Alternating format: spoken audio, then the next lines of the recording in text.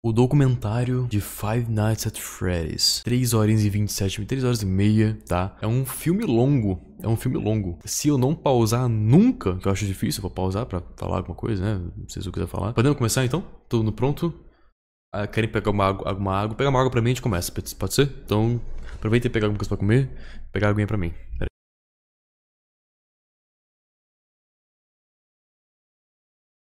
É, vamos ver o documentário de Five Nights at Freddy's, que foi um documentário que o Corey fez, eu acho que é falando da história toda de Five Nights at Freddy's. Lembrando, são 3 horas e meia, e eu não sei de nada de Five Nights at Freddy's, nunca joguei nenhum jogo. Eu já vi o outro vídeo antigo do Corey, só. Mas eu, sendo bem sério, eu não lembro de tudo, tá? Mas enfim, eu vou... Vou assistir agora então. Chega de enrolação, vai, vamos lá. Primeiramente, muito obrigado por estar assistindo esse documentário. Nós vamos trazer todos os detalhes todos, de todos os jogos Tudo, de Five é muita Nights coisa. É, é por isso que tem 3 horas e meia. Ainda É foda. namorando e passando ali por alguns livros, mas explicando tudo em ordem cronológica. Todas as coisas que apareceram nos jogos, O Corey é foda, o Corey é foda. Tem aonde elas encaixam e aonde elas estão. Então é um Foda. vídeo muito longo. Então eu espero que vocês gostem. É feito de fã pra fã. E segundo, eu gostaria de pedir pra você ir na descrição e conferir o link de todo mundo nos créditos. Tem muita gente legal que participa. Participou desse projeto, desde roteiro, animação e também algumas pessoas que trabalharam em Five Nights at Freddy's oficialmente. Então eu gostaria muito que você fosse na descrição hora, e conferisse o canal de cada um, tá bom? Bom, sem mais enrolações, então sente-se, fique confortável e venha para o mundo de Five Nights at Freddy's. não quero, eu não quero. Ai, Eu sou puxado pra tela.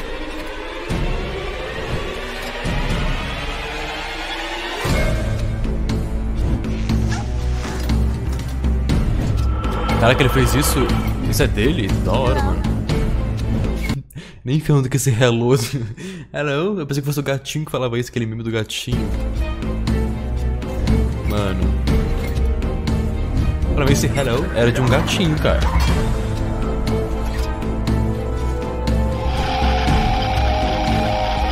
Caraca, da hora, mano. Ele que fez isso, que da hora.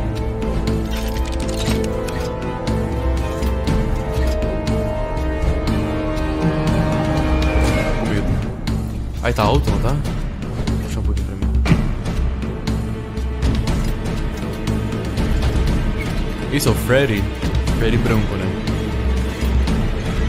Esse é o No Face, esse é a Fox, tem o Purple Guy agora. Não, essa é a Dica. Esse é o Freddy. Não, eu tô ligado como é, tô ligado como é. Esse é o Spring Trap, não é? Esse eu sei. Olha esse. Putz, não lembro agora. Não é? Mas é parecido. Mais ou menos aí, ó. Quase. Esse é o Golden Freddy.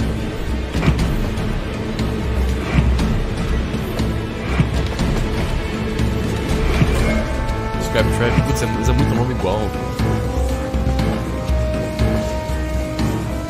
Tá, tá, tá, tá, tá. Relaxa, no final do vídeo a gente vai rever essa intro. Aí eu vou acertar todos. Brincadeira, vou fazer isso não. Esse é o Woody and Fred. Isso, isso. Mas tem muito. Mano. Não, não, o, o, o Corey inventou alguns. Ele colocou tipo, os modelos customizados da internet. Não possível que ele fez isso aí. Ele inventou, ele inventou.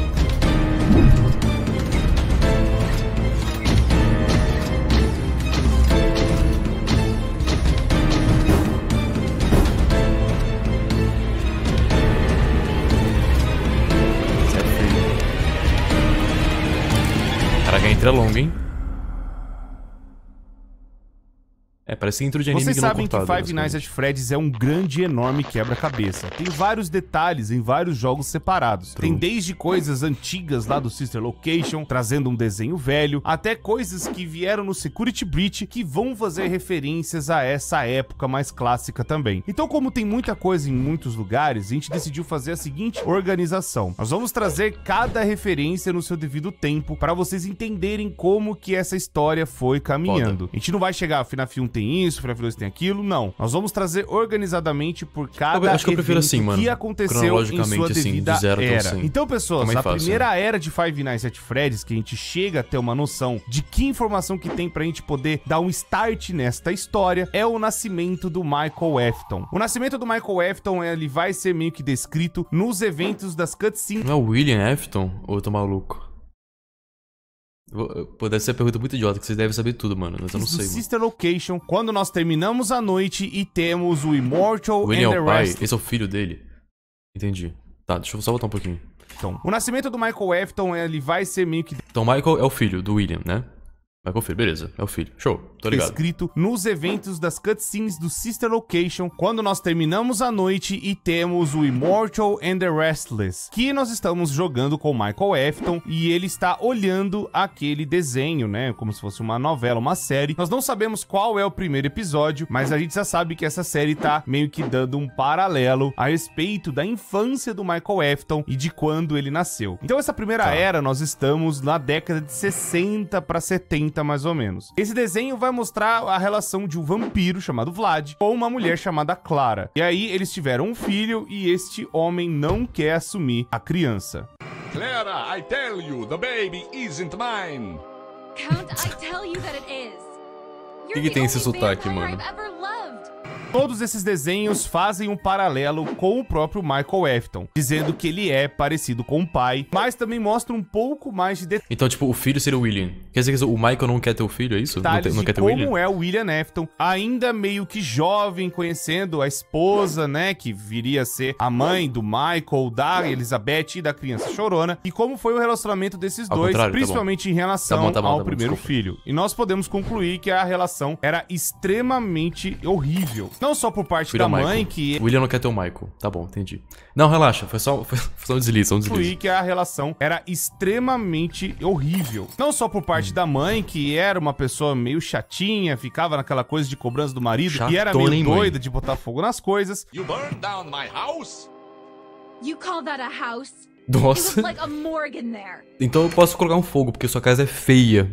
Mas É, também é o próprio. William Afton se mostrava já os primeiros sinais de ser uma pessoa horrível e de mau caráter. Não querendo pagar pensão, não querendo assumir o filho e tudo mais. E meio que mostra que o relacionamento dos dois não era lá o dos melhores. Mesmo com esse relacionamento conturbado, o William e a sua esposa acabaram cuidando do Michael Afton e Justo, eles sério. acabaram crescendo É uma como vida, é um ser família. humano. E ali Ok. na década de 70, a gente subentende que a criança chorona nasceu. Isso para justamente a gente ver a idade dela, mais ou menos casando ali com uma criança ainda, perto da época do FNAF 4. Nós vamos descrever basicamente os eventos de cada filho daqui a pouco, mas o Michael Afton foi o primeiro filho e o segundo filho foi a criança chorona.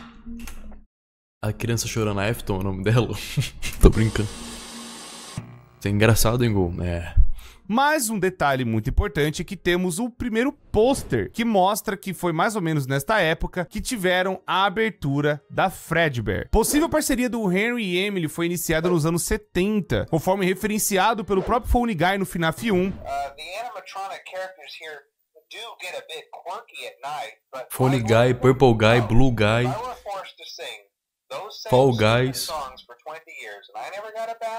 Songs for 20 years, and I never got a bath. I'd 20 probably anos. be a bit irritable at night too. como nós sabemos que o FNAF 1 se passa em 90 Mal fiquei rindo que eu falei agora. foi mal. 83, tirando 20 anos, né, que o próprio Phone Guy fala, Matemática sabemos que os animatrônicos começaram a nascer nessa década mais ou menos de 70, então mais ou menos de 73. Então ali praticamente foi o início da parceria do Henry Emily com o William Afton. Nós sabemos disso Quem ficou maluco foi o William, né? livros também, o principalmente da trilogia É que teve um que saiu, né? Que quitou depois, porque falou, pô, tá usado isso aí. inicial acabaram, né, trazendo mais detalhes. Que o Henry Emily e o William Afton fizeram essa parceria, mas também tem alguns detalhes desta parceria nos jogos. É só pra mostrar que eles tiveram realmente uma parte, sabe, de amizade e ela deve ter começado nos anos 70. Não só pelo que o Phone Guy fala no FNAF 1, mas também pelo pôster que nós achamos dentro do Security Breach, que é o Fredbear Singing Show, onde seria o primeiro animatrônico Nossa, que existiu. é Era animatrônico época, meio urso, marrom, ainda, né, com os detalhes parecendo um urso de verdade, mas podendo caminhar, que foi o Fredbear. Muito provavelmente o Fredbear foi o primeiro animatrônico feito de toda a história de tudo que rolou em Five Nights at Freddy's. A gente, infelizmente, não tem tantos detalhes da amizade que o William e o Henry tinham. A gente não tem como ter muitas pistas, pois os jogos nunca apresentaram isso como um grande fator. Só que os dois eram muito amigos e que eles acabaram fazendo um negócio juntos. E o primeiro negócio foi a Fredbear's Family Diner. Ainda nessa época, nós não temos o paralelo do que pode ter acontecido com a esposa do William Afton. Não sabemos o que tá acontecendo e não temos essas informações. Eu sei que muita gente vai lembrar do áudio lá da Vanessa do Security Breach, Muita principalmente gente. falando um paralelo do que rolou com a família Lembra, dela, chat? mas por conta dos livros mais recentes do Tales from the Pizzaplex e também outros detalhes que estão começando a aparecer no filme, talvez esta Caraca, informação de o Corey pegou os detalhes que estão no teaser do filme? que a mulher do William Afton tenha morrido nessa época pode não ser verdade. E também não temos o que tá rolando com a Elizabeth. Pô, vai ser triste, na real, quando o filme lançar, se mudar alguma coisa da lore, se adicionar alguma coisa na lore. Acho meio difícil, né? Deve ser, tipo, um pouquinho separado, assim, né? Mas seria triste. na década de Que o cara acabou de 70. lançar o a gente vídeo. tem informações dela na década de 80, que eu vou chegar nessa parte daqui a pouco. Mas eu quero que vocês saibam que Michael Afton tem um irmão que é a criança chorona. Bom, agora nós temos a seguinte pintura para chegarmos a, na década a criança de 80. do Byte of 87, não é?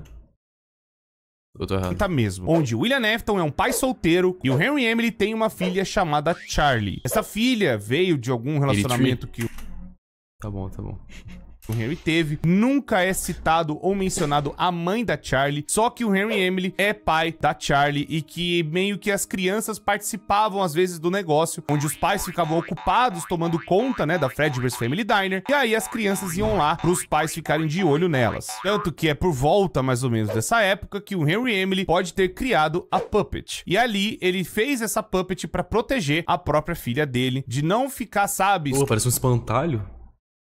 Claro que vai proteger, ninguém, ninguém vai chegar solta perto andando dela, né? pelo lugar e meio que ficar de olho se a criança tava tudo bem e podia caminhar ali e tal, sabe? Principalmente porque a Fredbear's Family Diner era um lugar onde recebia famílias para fazer festas de aniversário. E como o Henry Emily vivia ocupado trabalhando e o William Afton, né, consequentemente também, arrombado então eles meio que não ficavam tão de olho depois. assim nas crianças. Que agora o foco principal vai Arrombado ser o Michael Afton e a criança chorona. Como o Michael Afton acabou tendo esse senso de rebeldia porque justamente o Michael Afton Por que, o Corey foi lá pra longe do nada? acompanhou mais de perto o caráter do pai, justamente porque ele é o mais velho, ele viu como que o pai dele agia não só com a mãe dele, mas também, né, do jeito que ele tratava normalmente as pessoas, e até ele por ser o filho mais velho. E também porque o William Não, isso tô ligado. Tipo, provavelmente o Corey não gravou tudo em um dia. Ele cortou e depois ele voltou pra gravar. Aí você não lembra de certinho como que tava a sua voz, é normal isso. acontecer. largou praticamente os filhos pra, sabe, fazer as coisas do trabalho dele, e ele, né, não tinha contato do pai, não eram amigos e não era nada. Era só tipo, ah, meu velho que fica cuidando de uma pizzaria cheia de animatrônico. E a criança chorona ainda é um caçula que não sabe direito o que tá acontecendo. Sabe William burro. acabou sendo esse pai horrível, meio que, sabe, bravo com todas as coisas, ele já era estúpido, ele, Ele já já, não queria um tinha filho feito também, né? várias coisas horríveis, né? Mas ele também ter feito as coisas quando o Michael ainda era um bebê. Não, ele não queria o William. Não, ele não queria o Michael. Ele é o William. Ele não queria o Michael. Ele teve outra, outro filho. Esse relacionamento dele com os filhos acabou deteriorando, ficando cada vez pior. E do outro lado, o Henry e a Charlie era um relacionamento muito amistoso e amoroso de pai e filha, mesmo o Henry não sendo um pai tão presente também. Mas outra coisa começou a surgir nesta época, que foi a inveja do William Afton sobre o Henry. Ele ficava Eita. admirando o amigo dele, principalmente da tecnologia que ele acabou criando, né? Que talvez seria as novas versões de animatronics, os Springlocks. Esses animatronics eles têm um negócio muito interessante, onde um funcionário podia entrar dentro do Springlock e ser como uma fantasia. E ele podia andar pelo lugar e fazer Foda, brincadeiras e entreter as crianças. Deve ser Mas quente, também né? o mais legal é que se o funcionário saísse do dentro. Springlock, ele poderia servir, né, a fantasia, melhor dizendo, como uma atração no show. Essa tecnologia criada pelo Henry acabou dando mais força para Fredbear's Family Diner crescer. Muito provavelmente o William Afton também queria fazer os animatrônicos Por que, que ficaria com inveja disso? Se é tipo. É um, é um business dos dois, pô. Que isso? Não tem que ter inveja que o cara fez um negócio foda. Tipo, é bom pros dois. mas a né? galera acabava não se interessando tanto, mas se interessando pelo projeto do Henry. E também a- Mano, mas não é uma competição, pô. a galera via mais ainda o amor da Charlie pelo Henry do que o William pelos seus filhos. Consumido por essa inveja, por essa ganância, por essa loucura, isso pode ter dado um gatilho pro William Afton fazer Ah, é o que maluco, fez é, em tipo- 83. Eita. Esse é o primeiro grande ano que aí, temos essa data muita aí. coisa acontecendo em Five Nights at Freddy's. Primeiro. William consumido de inveja, ainda mais de ganância e coisas da que ele gostaria de ter o controle, ele acaba tendo a oportunidade de ver a filha do Henry pro lado de fora da pizzaria. Isso é referenciado no FNAF 2 daquele minigame do Take the Cake, Vai tomar um tiraço na cabeça.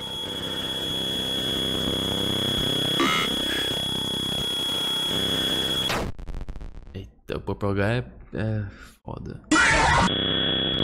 E também pelo minigame do FNAF 6 do Security Queria ter visto, Puppet. cara. Meio que um foi a referência mostrando que uma criança morreu do lado de fora, já era William Afton agindo ali, consumido pela loucura, e também no Security Puppet vai mostrar a criação da Puppet tentando proteger a Charlie que ficou do lado de fora da pizzaria. Nisso, a Puppet que foi programada para proteger a Charlie, ela tava com vários pesos de outros presentes em cima dela. E aí, a Puppet não consegue chegar a tempo da tragédia ser evitada. A Puppet tenta chegar perto da Charlie de algum jeito, mas a Puppet ainda assim com a programação dela vai e abraça a criança. Por conta da chuva, ela acabou se deteriorando e aí acabou, sabe, estragando e tentou chegar perto Nossa, da é Charlie. triste. aí foi aonde ela estragou de vez e infelizmente Não não é prova d'água não, mano?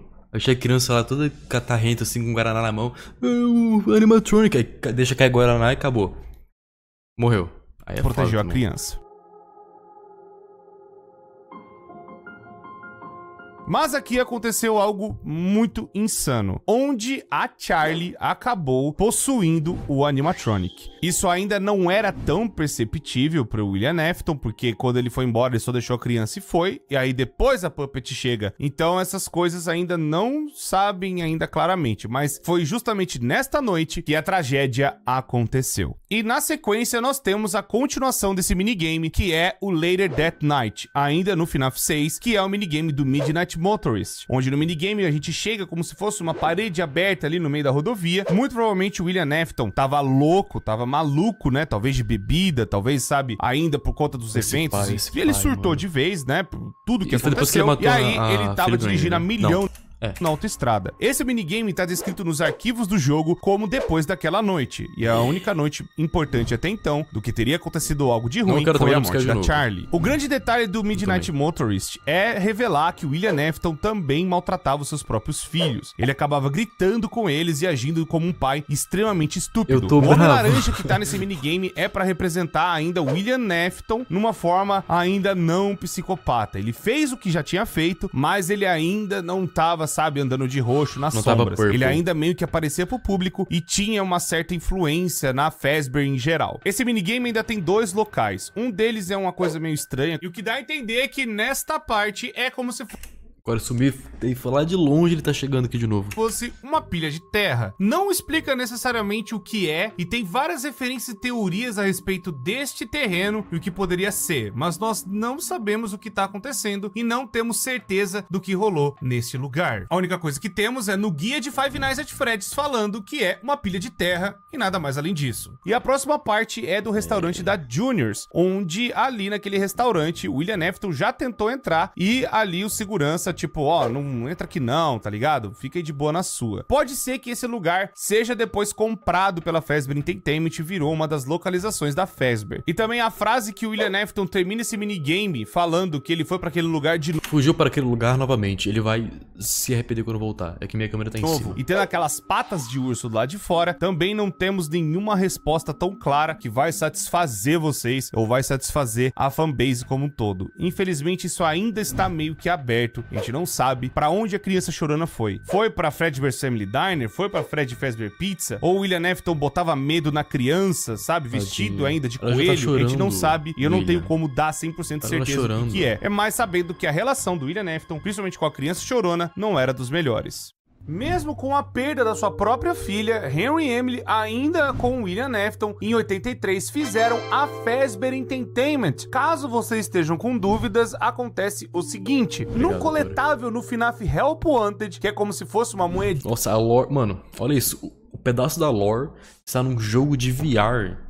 Que muitas poucas pessoas devem ter Tinha jogado. do jogo. Lá tá falando que a Fazbear Entertainment meio que foi criada em 1983. E também a gente já pode assumir que a abertura da Fred Fazbear Pizza foi no mesmo ano, onde a gente teve, principalmente os animatrônicos, a gente tanto conhece, que Fred, Bonnie, Tica, Foxy e Fred, Foxy, Chica e Bonnie. É isso? É, né? Então, Foxy, Bonnie, Fred e Chica. Acertei? Balloon Boy, já E Balloon Boy.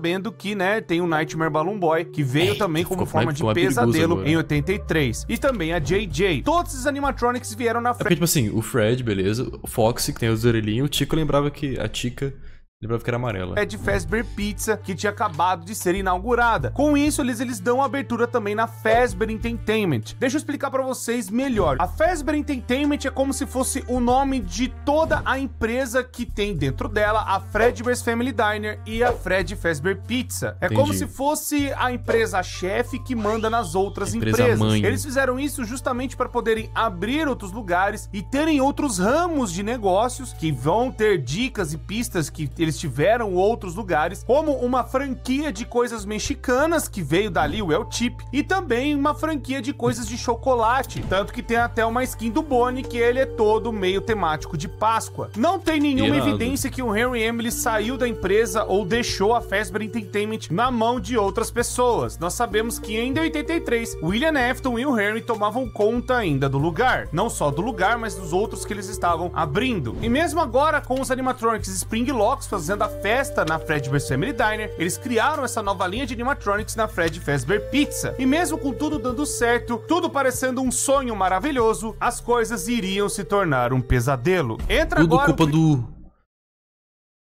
William. principal protagonista de Five Nights at Freddy's 4, a criança chorona. Ela é também o principal protagonista da história que tá acontecendo no FNAF 4 por conta dos eventos dos minigames, mas também ela é a que vai ver os animatrônicos daquele jeito de pesadelo, justamente por conta das lendas urbanas que começaram a rolar, por conta, né, de que uma Ah, das pera aí, os, os animatronics Nightmare não são de verdade? Tipo, é só como ela enxerga As isso? crianças que eh, frequentavam o lugar, vulgo Charlie, acabou desaparecendo e aí as crianças acabaram inventando um monte de histórias. A primeira coisa que acontece com ela é que ela é bulinada pelo seu irmão mais velho. Michael Afton vestindo uma máscara de Fox e acaba Mas aí o Michael puxou o pai também, né? a é criança foda. chorando no seu quarto e ela fica presa apenas com uma pelúcia do Fredbear. Essa pelúcia vai meio que conversar com a criança chorona até se perguntando se o Michael tinha trancado ela de novo, dando a entender que o Michael Afton já faz isso com a criança já tem pelo menos algum Vou te tempo. zoar, Não moleque. se é Ah, dias é. ou semanas, mas sabemos que é recorrente. E aí o Fredbear fala que amanhã é um novo dia. Mais ou menos nessa época também, aparentemente William Afton já tinha uma instalação subterrânea, e isso a gente vai ver justamente na Custom Night do Sister Location, comprovando que o William Afton estava monitorando seu próprio filho, vendo como é que ele estava se comportando, vigiando ele dentro da sua própria casa. tomando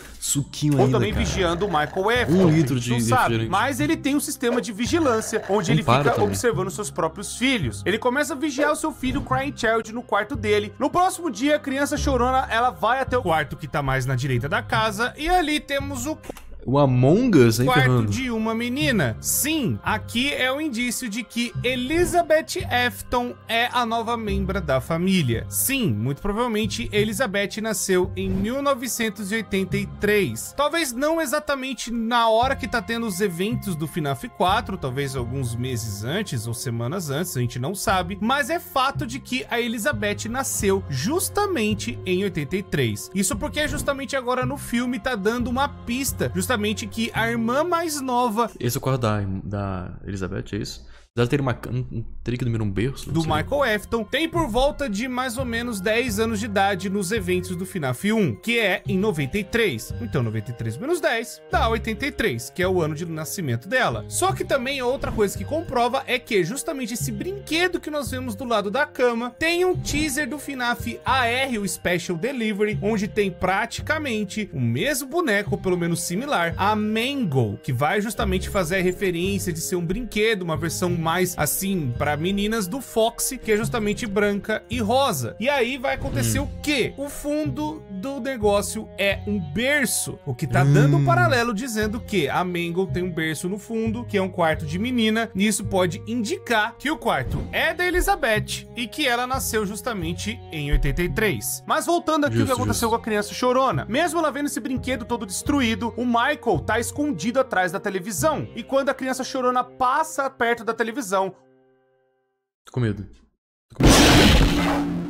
E ainda assim, a pelúcia do Fredbear vai e consola a criança, dizendo que amanhã é um novo dia. No próximo dia, a criança chorona já tá na Family Diner e vê o próprio pai dela trabalhando lá dentro como guarda, vestindo um outro funcionário numa sala um pouco mais afastada. Isso possivelmente pode ser que tenha deixado a criança chorona assustada, dando a entender de que as pessoas entram dentro dos animatrônicos. Acordando no outro dia, a criança chorona ela vai andando por aí e ela fala com várias crianças. E aí descobrimos que a festa que tá rolando, né, o preparativo, pelo menos ali, é pro aniversário da criança chorona. Ela Cara, presente foda que ele volta pra recebeu, hein? casa depois de chegar da Fredbear's Family Diner e aí então ela vê um programa de TV dando mais uma pista que estamos em 1983 com um desenho passando ali que é o Fredbear and Friends, onde tem o Fredbear, Fred, Bonnie, Chica e Foxy aparecendo ali como um marketing da Fazbear Entertainment. E no outro dia a criança chorona tá presa dentro da sala com os modelos Spring Locks, preso ainda por conta do Michael fazendo bullying com ele. Todo o É FNAF foda. 4, a cada dia que você vai passando, vai fazendo uma contagem regressiva até uma data especial. Ah, foi esse aniversário especial dele. é o aniversário Hum. da criança chorona. E finalmente hora. chegamos no tão fatídico dia onde é o aniversário da Que criança chorona. Mas o Michael Afton tá ali com alguns amigos deles e eles pretendem fazer uma nova pegadinha na criança chorona. A criança ali meio desesperada, querendo sair daquela situação, mas infelizmente o irmão dele e os outros amigos são bem maiores Esse que ele. O irmão Michael pega a criança, que é o arrombado. próprio irmãozinho mais novo, junto com seus amigos, e eles vão fazer com que o irmão dê um grande beijo no Fredbear. Eles chegam perto do Fredbear, colocam a criança dentro da boca daquele animatrônico, e aí o resultado vocês já conhecem. A Mordida de 83, onde mais uma tragédia acaba cercando mais ainda a Fazbear de outros problemas que ela viria a ter mais pra Pior que não foi nem F, né? Acho que ele não morreu, não. Né? Eu lembro que... Eu acho que ele não morreu. Morreu? Morreu? Eu não lembro. Então, ele foi pro coma, na real, né? Ele foi pro coma e depois ele morreu, eu acho, então. Mas ele foi pra coma, ele não morreu diretamente, assim. ter mais pra frente. Com os eventos que vimos nos minigames do FNAF 4, O animatronic solou a criança chorou. o que Solou. dá a entender é que aqui que os pesadelos começam. Justamente os pesadelos que nós vimos na gameplay do próprio FNAF 4, onde nós estamos controlando a criança chorona, sobrevivendo ainda num estado de quase vivo, mas infelizmente a vida da criança está por um fio. Enquanto Ah, ele tava em coma o aqui, garoto então? é assombrado pelos pesadelos, no qual fazem as pelúcias de Fred, Bonnie, Tick e Fox e também do Fredbear se converterem em Nightmares, deixando a criança cada vez mais perturbada, não só pelas lendas urbanas, mas agora que ela tá tendo esses pesadelos durante a noite. Então justamente esses Tá por um pesadelos fio. vão Não, peraí. Aqui, nesse jogo, ele já foi mordido, é isso? ficando piores justamente conforme os dias vão passando, mas o que eu quero que vocês entendam é, os minigames acontecem antes e a gameplay acontece depois, justamente depois da mordida que o Fredbear acabou fazendo na cabeça da criança. Tanto que nós vemos algumas referências, por exemplo, de coisas, sabe, como pílulas, como um soro que aparece do nada. Isso é justamente o estado ainda, sabe, da criança estar pela vida, né, nas mãos praticamente dos médicos. E então a criança Isso é acaba consciência piorando e piorando e piorando, com os seus pesadelos ficando cada vez maiores e cada vez mais sinistros. Tanto que é justamente aqui que começa a aparecer, por exemplo, animatrônicos com a boca gigantesca e até com as bocas na barriga. A criança chorona ainda está lutando para se manter viva, mas independente disso, a criança chorona tem esse último sonho onde ela enfrenta um Nightmare. Isso Essa é última ruim. parte é a mais Cara, difícil do o Nightmare. O Nightmare. Eu pensei que fosse, tipo assim, Fre- o Fred Nightmare. Chica Nightmare. 4, onde a gente tem que sobreviver a esse urso totalmente distorcido, uma versão do Fredbear, mas agora totalmente sombria e nefasta. Na verdade, esta forma pode ser justamente a última parte de consciência que a criança chorona teve, e as últimas memórias que ela teve é enfrentando mais um dos seus pesadelos antes dela ir embora desta vida.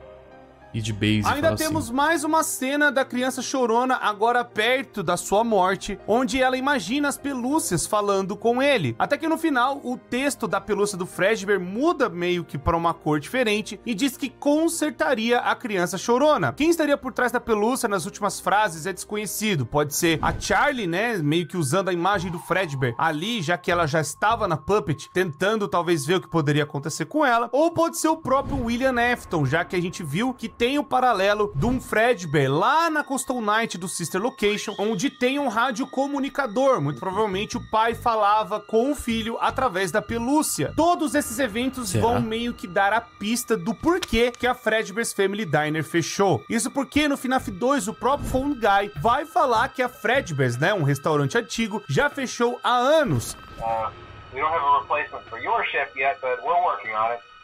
Uh, we're going to try to contact the original restaurant owner. Uh, I think the name of the place was Fredbear's Family Diner or something like that. It was closed for years, though. I doubt we'll be able to track anybody down. Já que a Fredbear's Family Diner foi fechada, muito provavelmente tudo foi movido para Fred Fazbear Pizza. Isso é o que dá a entender, já que os áudios antigos, o Phone Guy, ele sempre estava se apresentando como você é o novo rosto da Fred Fazbear Pizza. Thank you, and remember to smile. You are the face of Freddy Fazbear's Pizza. Esse áudio, o Phone Dude, não era Phone Guy, fala que achou fitas antigas de treinamento e que irá colocar elas pro, pro guarda dar uma olhada. Por isso estão no contexto do FNAF 3. Muito provavelmente isso aconteceu no mesmo ano, ainda em 83, e também no próprio minigame, né, do FNAF 2. Quando tudo é outro, tá, entendi. Né, Tem um Phone Dude e o Phone Guy, aí é foda. o dar presentes e dar vida, indicando que a Puppet já estava numa nova localização. O próximo ano que temos em Five Nights at Freddy's é 1985, que vão ter muitas informações importantes. Eu sei que vocês devem estar com muitas dúvidas, por exemplo. Ah, mas o William Afton continuou trabalhando? Muito provavelmente sim. Mesmo com a morte do seu próprio filho, ele continuou na empresa ainda Maluco, fazendo as maluco. coisas. Muito provavelmente outros lugares também acabaram tendo franquias da própria Fazbear Entertainment. Brasil. Talvez outras Fred Fazbear Foda. Pizzas. Mas os eventos que Como a é gente no vai Brasil? descrever aqui, Como é que é? Frederico, o quê? Qual o nome? Pizza do Fred. que muito provavelmente aconteceram com a primeira Fred Fazbear Pizza de 83, que é justamente aonde os animatrônicos foram depois do fechamento da Fred Fazbear. Eduardo. Cinco noites com. Edu não tem nada. Eduardo tem nada a ver. Por que, é Eduardo, mano? Não tem nada a ver com Fred. de 83 Ah, e 85 também a gente não tem como saber se o Henry saiu da empresa, muito provavelmente não, ele continuou trabalhando. E também os filhos do William Afton ainda estavam ali por perto do pai, mesmo sabendo que o irmãozinho mais novo morreu, o que pode ter deixado o Michael Afton com uma culpa enorme. Muito provavelmente isso aconteceu com o Michael, mas esses eventos, essas coisas, é mais ideias e teorias do que a gente tem, né, do que pode ter acontecido nesse meio tempo, até chegarmos em 85, que é Ok. outro ano importante. E agora, justamente, a fita do FNAF 3. Foi essas fitas que, se vocês se lembrarem lá na Fazbear Frights, né, que é o FNAF 3, eles acabam falando que tem um lugar que eles entraram e acabaram achando fitas muito antigas de um cara ensinando como é que usa os trajes, né, de Springbone e de Fredbear. Hello? Hello, hello? O que, que é o, o Fazbear Fr- Fright? É tipo um. O que que era pra ser? Não peguei. Uma montanha russa? Um parque de diversão? De, de medo? Não sei. de terror? Uh, Caraca, mas é uma boa ideia fazer isso. Ele faz uma atração de terror usando os personagens que eles usam em um restaurante de criança. Não, não- É tipo, sei lá, mano, você fazer um terror de- da Hello Kitty, uma criança de 5 anos de idade. E é claro que ela vai ficar com medo da Hello Kitty depois, né? A Hello Kitty normal, assim, handle Não era- não era pra- pra fazer isso, mano. Eles são de terror. A próxima fita, o Phone Guy, ele vai ensinar mais sobre essas roupas Spring Locks, como elas funcionavam e tudo mais, e também vai falar sobre a existência de uma safe room. As always, if there is ever an emergency, please go to the designated safe room. Every location is built with one extra room that is not included in the digital map layouts programmed into the animatronics or security system. This room is hidden to customers, invisible to animatronics, and is always off camera. Na próxima fita, o Phone Guy, ele vai falar de uma localização irmã da Fred Fazbear Pizza que acontece um acidente envolvendo falhas em um dos trajes dos Spring Locks. Uh, hello, hello, hello. Uh, there's been a slight change of company policy concerning use of the suit. Um, don't. After learning of an unfortunate incident at the sister location involving multiple and simultaneous spring lock failures, the company has deemed the suit temporarily unfit for employees. E a gente acredita que pode Ok. ser o traje do Springbone. Não temos conhecimento se o empregado dentro da roupa sobreviveu ou não. O restaurante exato também não é Mas mencionado. Como, como tem. Não, como é que tem alguém aqui dentro se não tem nada aqui, ó? É aberta essa parte aqui. Como é que entra alguém aqui se aqui embaixo tem nada? Eu falei pra vocês que pode também ter outras Spring Locks espalhadas em outros lugares. Muito provavelmente a Spring Lock que a gente vê depois também no Sister Location, a noite 4, é uma outra Spring Lock. Não sabemos se é o Spring Bonnie ou se é o Fredbear, mas deve ser outros Spring Locks que eles acabaram montando pra outras localizações. O E a última fita que temos Não, do seguindo. Guy ainda desta época é justamente avisando sobre as safe rooms, falando que não é pra ficar levando o cliente ou outras pessoas que não têm permissão para acessar essas salas. Hello, hello. Um, this is just a reminder of company policy concerning the safe room. The safe room is reserved for equipment and or other property. Acabou de tocar essa mensagem? And as a backup safety location for employees only. Justamente nessa época que as fitas foram gravadas, que a gente acabou vendo no FNAF 3, parece que foi indicado nas novels, onde o Efton já tinha planos de fazer uma outra pizzaria nesta época. O que, que nem a gente viu no Sister Location, indica que a Efton Robotics, ela é antiga, e toda a instalação que foi feita ali. Fora que também ele já tinha planos de fazer pizzaria, para ele que vieram só nos anos 90. Afinal, desde os anos 80, a Fred's fez um sucesso absoluto e também demonstrou ter filiais e outras localização irmã nos anos 80. Existe uma teoria de que a localização irmã, que é citada nessas fitas, seria a primeira tentativa do William de criar um local, e nesse local teria acontecido um acidente do traje de Springlock Suite. Mas, né, é aquilo que a gente fala, é muita teoria, muita coisa, mas o fato é que a instalação e a criação da Afton Robotics foi nessa época, mas os eventos do Sister Location aconteceram depois. Muito bem, as fitas deram um pouco mais de clareza para nós do que poderia ter rolado, mas algo também aconteceu nessa época que é de extrema importância. Indo agora para o Survival Logbook e tendo ainda pistas na própria câmera 4B, no Foxy Go do FNAF 2, o Fruit Maze do FNAF 6 e o Pizza Party do Quem que é essa menina? Help Wanted, no dia 26 de junho de 85, William Afton utilizou o traje de Spring Bonnie e atrai cinco crianças para a Sala dos Fundos, também conhecida como a Safe Room. E ali, na primeira Fred Fazbear Mas não Pizza, a primeira criança que ele mata é Suzy, onde a gente pode ver até no minigame do Fruit Maze, onde o William Afton estava falando para a criança que sabia onde o cachorro dela estava.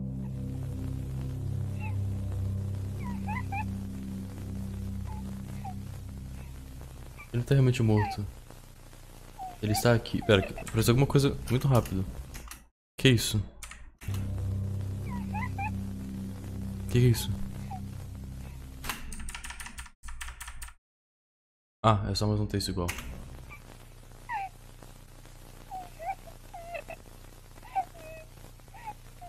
Hum, aí vai levar ela pra Safe Room. Aí é troll.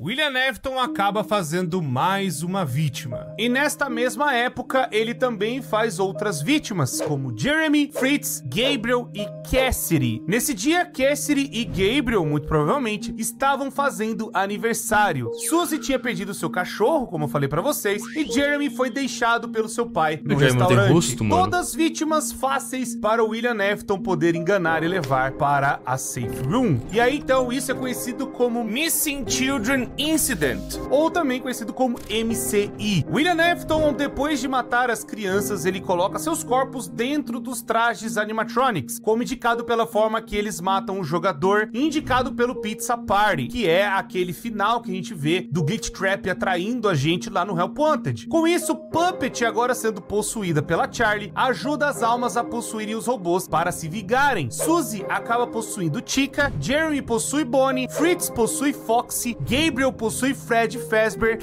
Eu lembro que eu já fiz essa pergunta, mas eu não lembro qual foi a resposta.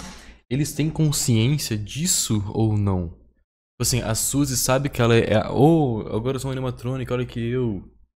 Ela sabe que, tipo, oh, eu era a Suzy, agora eu sou uma animatrônica. Tem ou não? E Cassidy possui Fredbear, que agora é conhecido como Golden Fred. Com todos esses eventos, a fama da Fred Fazbear Pizza Mais e a ou menos. Fazbear Entertainment no Acho que sim. Mais ou menos. O que, que é o mais ou menos, mano? O que, que é mais ou geral, acaba ficando cada vez mais tenebrosa. Com isso, vem a ordem da Fazbear Entertainment de retirar o acesso das safe rooms. Isso também foi falado na outra fita que nós temos lá no final. Tipo, eles sabem que tem alguma coisa de errado, mas eles não têm certeza. Não tem o total controle. Quando tem perto da consciência. Ele sabe, mas não é tipo algo consciente. Tá, tomara que ele explique. FNAF 3 Pode da botar 10 Cedrosa. segundinhos. Com isso, vem a ordem da Fazbear Entertainment de retirar o acesso das Pode tirar isso aí! Que essa aí é a, a chefe, a empresa safe mãe, rooms. assim. Isso também foi falado na outra fita que nós temos lá no FNAF 3, Uh, hello, hello. Uh, this is just to inform all employees that due to budget restrictions, the previously mentioned safe rooms are being sealed at most locations. E também temos alguns indícios do Follow Me, que é justamente o minigame que a gente vai passar lá também no FNAF 3. Onde a conclusão do Follow Me é justamente uma safe room, uma sala secreta que os animatrônicos não tinham o reconhecimento disso no mapa. Mas eu vou chegar nisso daqui a pouco para vocês entenderem melhor. Só saibam que o minigame vai ter a referência dessa safe room que ficou tão conhecida dentro É, do FNAF. hello, Tudo isso foi uma grande tentativa da Fazbear Entertainment de subir a confiança dela com o público você tá falando hello? Não entendi. já que os pais começaram a ficar sabendo das lendas urbanas e também de ficarem preocupados com seus pegadinha, filhos. Um lugar meio que talvez tenha algum louco entrando e fazendo coisas ruins com as crianças. Bom, ela tentou fazer isso e reforçar mais a segurança e a polícia local acaba prendendo um suspeito. As câmeras de segurança veem uma pessoa andando pelo lugar e ele é detido. Muito provavelmente foi o William Afton que estava andando pelo lugar. Mas como ele é o dono do lugar, né? Ele pode andar livremente. Meio que ficou tudo bem. Ele foi liberado.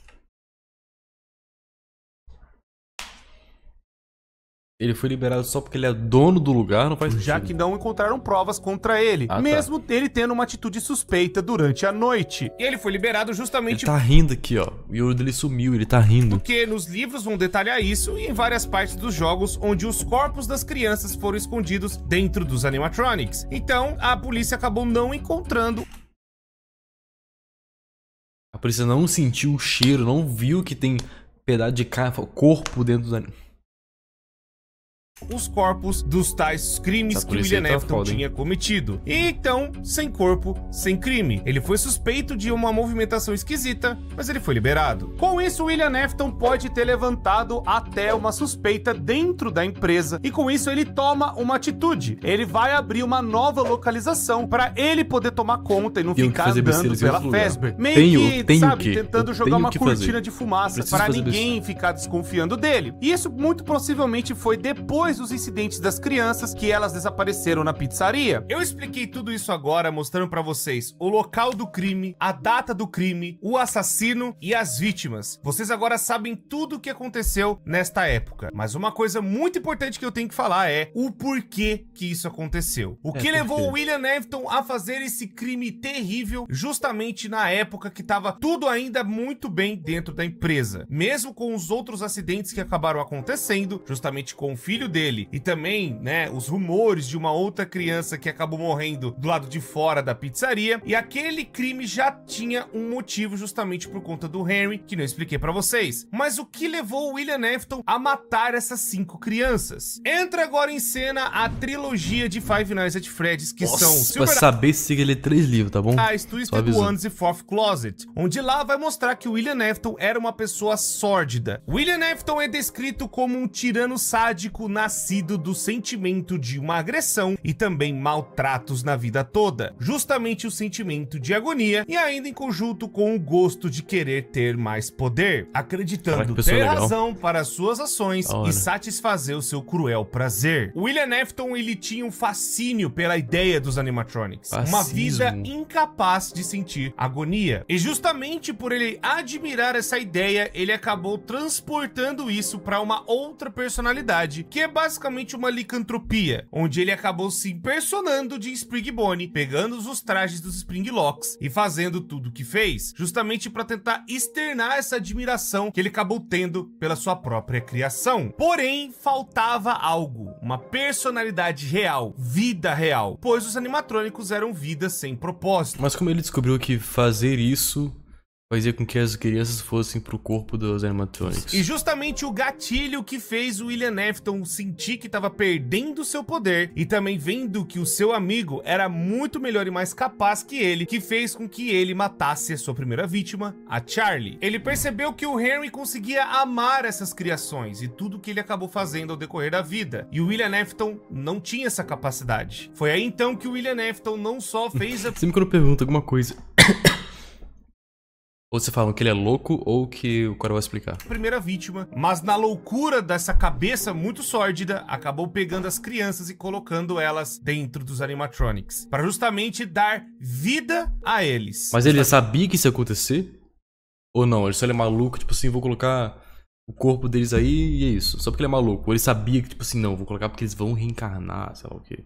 A alma vai pra lá. tentando fazer com que eles existissem e que Tentando, ele pudesse amá-los de volta. Agora que descrevemos o que aconteceu em 85 e 86, vamos para o fatídico ano de 1987, onde justamente vai vir o FNAF 2 e a tão famosa mordida de 87. Por mais que a antiga Fred Fazbear Pizza tinha fechado, justamente por conta do MCI, que eu expliquei pra vocês agora há pouco, mas toda a repercussão negativa que deu, né, na época, a pizzaria foi fechada. Mas a Fazbear Entertainment acaba tomando uma outra decisão e fazendo uma nova e melhorada Fred Fazbear Pizza, tentando fazer um novo local mais seguro, já que aconteceu na antiga Fred Fazbear Pizza, onde as crianças desapareceram e aí, né, os animatrônicos não eram lá de grande confiança. Mas agora em um novo local, mas ainda com as atrações antigas, Fred, Bonnie, Tica, Foxy, Balloon Boy, JJ e Puppet. Porém, né, como eles estavam bem estragados, fediam Então, tá meio feio, e né? também muito feios, era difícil de implementar a nova tecnologia que eles estavam querendo fazer. Eles decidiram então que seria mais fácil fazer os animatrônicos na versão Toys, baseados nos brinquedos de 83. Isso aqui, mano. E aí então nasce Toy Fred, Toy Bonnie, Toy Chica e uma nova versão do Funtime Fox, onde o Phone Guy fica responsável pelo lugar e é o porta-voz da Fazbear. Carinha Porém, dele, essa mano. decisão veio de cima, onde o William Afton não estava sabendo dessa decisão. Ele vai então e chega na nova Fred Fazbear Pizza e aí ele tenta pegar o cargo de guarda noturno. E muito provavelmente ele enganou a galera com o nome de Dave Miller, Pera, então tem um. Você joga como William? Justamente entrar no cargo e ser um funcionário do local e ver o que a galera da Fazbear Pera, então o dono da. pa- O próprio dono tentou se en- entrar. Não, não entendendo. Pera, pera, pera, pera. guarda noturno. Chega na nova Fred Fazbear, Ó. não estava sabendo Ó, dessa não tava decisão. sabendo. O William não tava sabendo. William, William. tava Ele sabendo. vai então William e vai, chega na nova Fred Fazbear Pizza e aí ele tenta pegar o cargo de guarda noturno. E ele tenta pegar o. Ele tenta pegar o cargo de guarda noturno da, da, da empresa dele? E muito provavelmente ele enganou a galera com o nome de Dave Miller, Aí o pessoal fala, tu não é William? Falou, não, eu sou o Davis. Pra justamente entrar no cargo e ser um funcionário do local e ver o que a galera da Fazbear tá aprontando lá dentro. Isso porque justamente eu falei pra vocês, William Afton ficou suspeito das coisas que aconteceram lá de 85 e ele foi fichado pela polícia. Então é perfeitamente normal a Fazbear parar meio que comunicar com ele, deixar ele meio que de lado e aí meio que Eles, eles esqueceram que ele é ele. e a Fazbear continuou se movendo para tentar fazer uma renovação da sua própria marca. E agora que o William Afton tem de novo o acesso na nova Fred Fazbear Pizza, ele acaba utilizando um traje do Fredbear e acaba atraindo cinco crianças até o horário da De novo! noite da pizzaria e mata todas elas.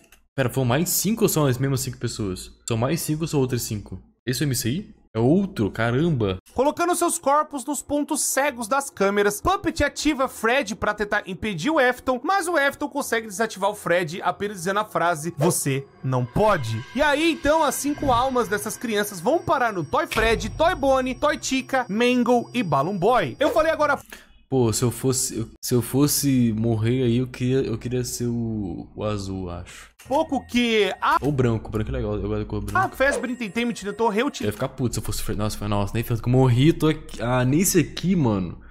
A chance- era de 1 em 5. Eu falei bem nesse. Ah, mano. o modelo de uma raposa puto, branca, que muito provavelmente é o Phantom Fox na versão Nossa, deve, não, acho que eu quero ser o branco, eu quero ter uma, uma, uma mãozinha de gancho assim. Deles, Você melhor dizendo. E aí eu vou Você tipo ter uma tirolesa assim, automática. Você vai em qualquer fio assim. falar o que, que rolou pra chegar na Mango. E esse animatrônico Mas como é que eu ia. Coçar o nariz. que é muito importante pro FNAF 2. Voltando aqui pro William Afton, ele começa a ver que os animatrônicos têm um comportamento muito esquisito Que isso, cara? à noite, como se Por que tá falando twerk, mano? Ele começa a Isso é ver do jogo? Isso é do jogo? que os animatrônicos têm um comportamento muito esquisito à noite, como se eles se ativassem sozinhos. Isso é do jogo? Não, não, fala a moral. Isso é do jogo? Ele relata isso pro Não? Ah, mano.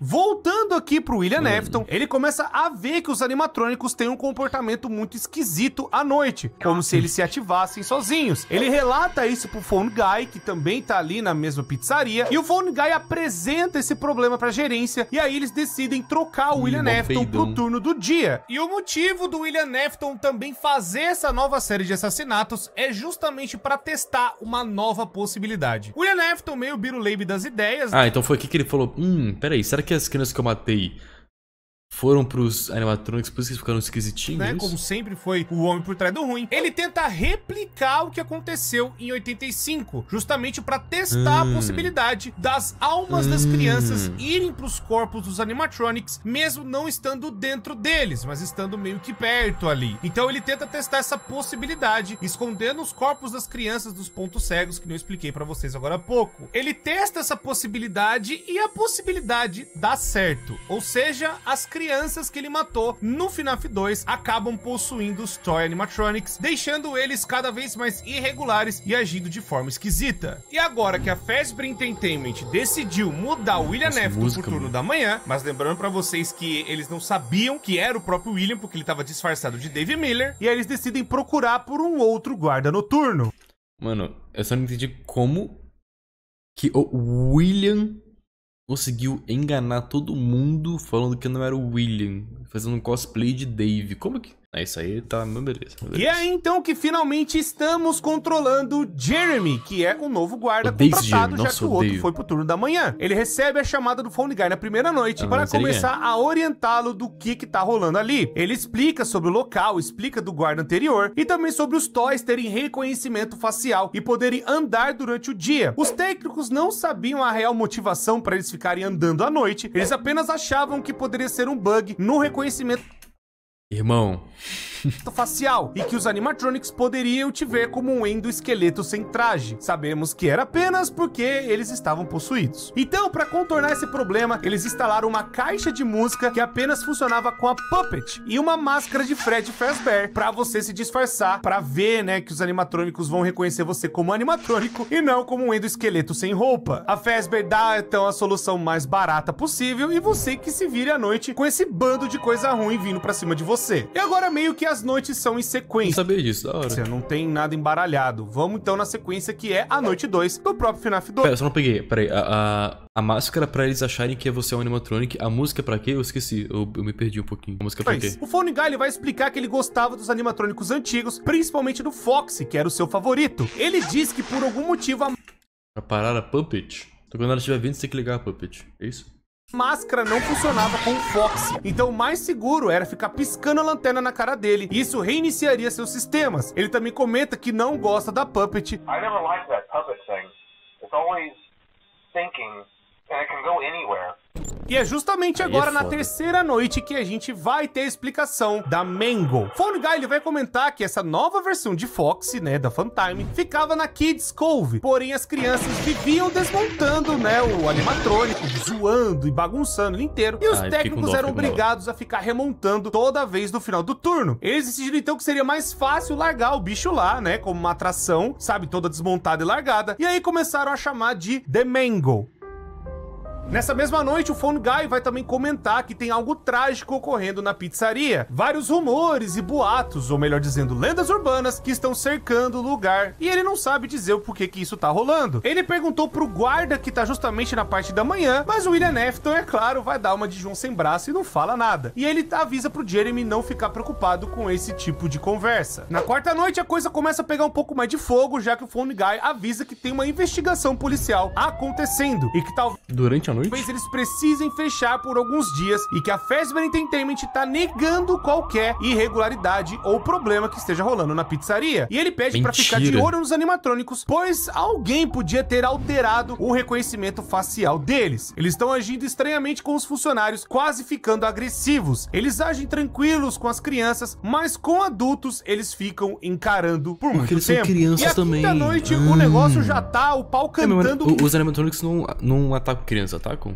Atacam? Não sei muito agora. feio, porque o coisa Guy vai avisar pra gente tomar muito cuidado. O local tava sendo bloqueado e ninguém era permitido de entrar Esses ou não, sair, principalmente se tratando de empregados anteriores, já que eles começaram a suspeitar que algum outro funcionário ou alguém Espera, conhecido tá das antigas estavam andando por volta da pizzaria. Muito provavelmente o nosso queridíssimo William Afton, o homem por trás do ruim, que tá na parte da manhã e ninguém suspeitou. E aí ele diz também que quando estivesse tudo resolvido, ele ia colocar o Jeremy no turno da manhã, já que a vaga tinha ficado disponível, né? O William Afton viu que a situação tava apertando, a polícia tava ficando cada vez mais ali dentro da pizzaria e talvez perguntando pros funcionários. E aí ele decidiu vazar como um bom protagonista de GTA, né? Que vê a polícia chegando e sai correndo. Infelizmente, não tinha ninguém pra substituir o Jeremy pro turno da noite, então eles teriam que entrar em contato com o dono do restaurante original, o Henry Emily, pra justamente ver o que poderia fazer, né, nessa situação. E aí ele até fala, eu acho que o nome do lugar era Fredbear's Family Diner, ou algo parecido, que foi fechado há muitos anos, então duvido que sejam capazes de tentar falar com o cara. O que dá a entender Não, é que o Henry daí. Emily, depois da falência da Fredbear's Family Diner, ele Não é acabou velho, hein? saindo também dessa sociedade. Talvez passou para novas pessoas, e como o William Afton ficou suspeito, Ah, então o né? Aaron, tipo assim, sumiu. Ele não tá, ele não tá nem um pouco assi é, assimilado mais a coisas de Fred, como né? eu falei pra vocês, em Animatronics. 85, ele também acabou saindo muito provavelmente daquela época. E aí ficou pra outros donos tomarem conta do lugar. E agora chegando na sexta noite, o Jeremy ele vai lá pra trabalhar como se nada tivesse acontecendo. Mas o Phone Guy fica confuso, pois tinha um memorando dizendo que era pra ele não entrar na pizzaria. O lugar tava fechado, pelo menos por um tempo. Alguém tinha usado um dos trajes, um amarelo, muito provavelmente o Fredbear. Agora nenhum dos animatrônicos estava agindo de forma correta. O Phone Guy pede para ele terminar o seu turno, já que é muito mais seguro ele sair de manhã do que sair no meio da noite. E aí o Phone Guy fala que ele vai ter que ficar na parte da manhã do próximo dia, justamente para garantir que as coisas estão andando tudo certo. Ele vai talvez começar a ficar no período da manhã. E ele vai ter que ficar perto dos animatrônicos garantindo a segurança, né, de que nada vai dar errado. Nossa, Quando o lugar tenso o jogo. lugar fosse reaberto, o Phone Guy, ele muito provavelmente iria virar o novo guarda noturno, para justamente as coisas continuarem andando e eles conseguirem cumprir os seus compromissos, vendo que os pais já pagaram pelas festas de aniversário e tudo mais. Nada. Mas aí, Qual é o jogo mais tenso de FNAF, assim? Desses aí de câmerazinha e tal. então, tudo isso meio que se rearranja, a noite é extremamente atacada, mas eu tenho que falar de um fenômeno que acontece no FNAF 2, que é uma coisa muito doida, chamada quatro? Shadows. Ou melhor dizendo, os animatrônicos do tipo Mas por que que é o 4? sombra. Shadow Fred nasce justamente em 87, Porque é pelo som, se não ouvir, morre. Aí é foda. Ah, o 4 é aquele do. da. da- do estado que o cara. que a criança chorona tá, que ficou jogando, né? Obrigado, ligado. Doido aquele lá.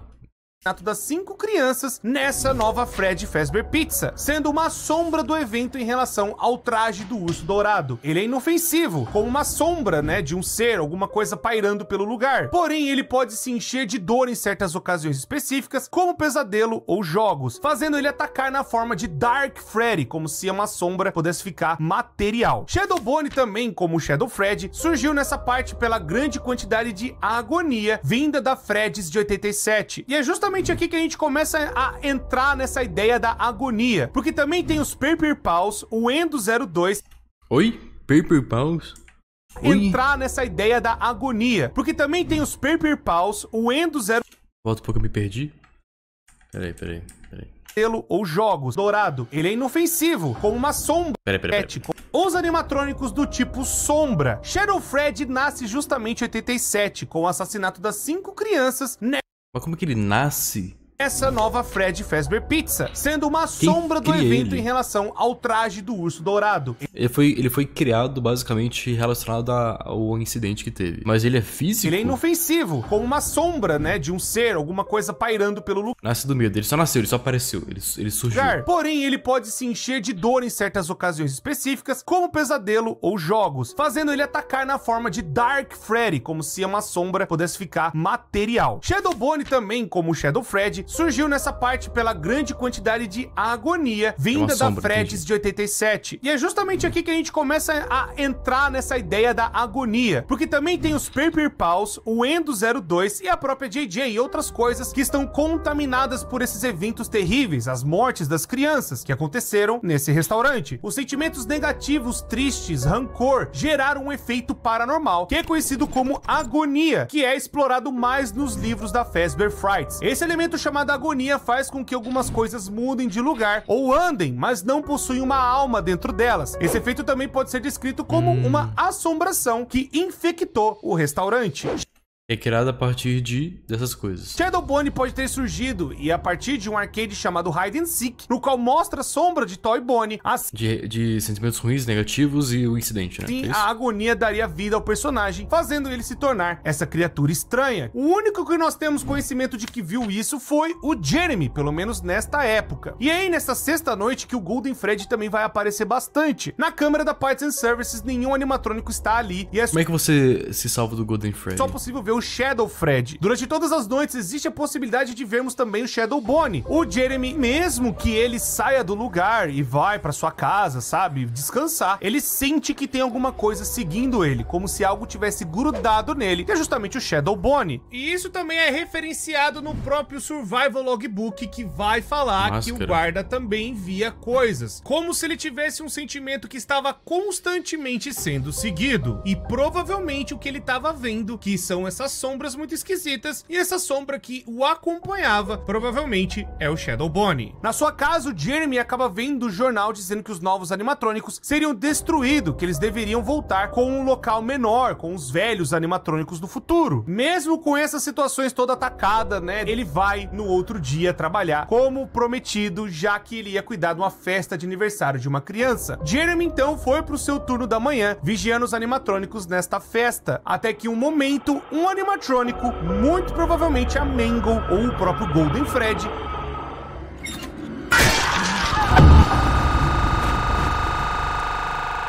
Eu avisei. E nessa mordida, o animatrônico arranca parte da cabeça, que é o lóbulo frontal, do cérebro da vítima. Com isso, também cria a regra que os animatrônicos foram proibidos de andar durante o dia. A festa de aniversário foi um completo desastre e o lugar foi todo fechado às pressas. Caraca, e aí, só, então, temos a só fatia. acontece desgraça, mano. Como é que tá? Como é que funciona o restaurantinho? Como é que alguém tem a ideia de fazer um aniversário lá? Ah, eu sei, eu sei que teve um, ah, teve um total de 20 mortes aí, mas eu vou fazer um aniversário lá que legal. Típica noite 7 do FNAF 2, onde mesmo Ah, então a morte, a, a mordida de 87 não foi nem com uma criança, foi com tipo um, o Jeremy. Mesmo com isso acontecendo na parte da manhã, um outro guarda noturno aparece, que é o Fritz Smith, que é contratado para substituir o Jeremy na parte noturna daquela pizzaria. Cara, tem que se pagar muito bem pra aceitar isso aí, mano. Para ficar só um dia, já que o lugar foi inteiro fechado. Fritz Smith modifica os Deixa eu apegar meu gatinho que ele tá aqui. Yes, peguei. Ah. Olha o gatinho, olha o gatinho.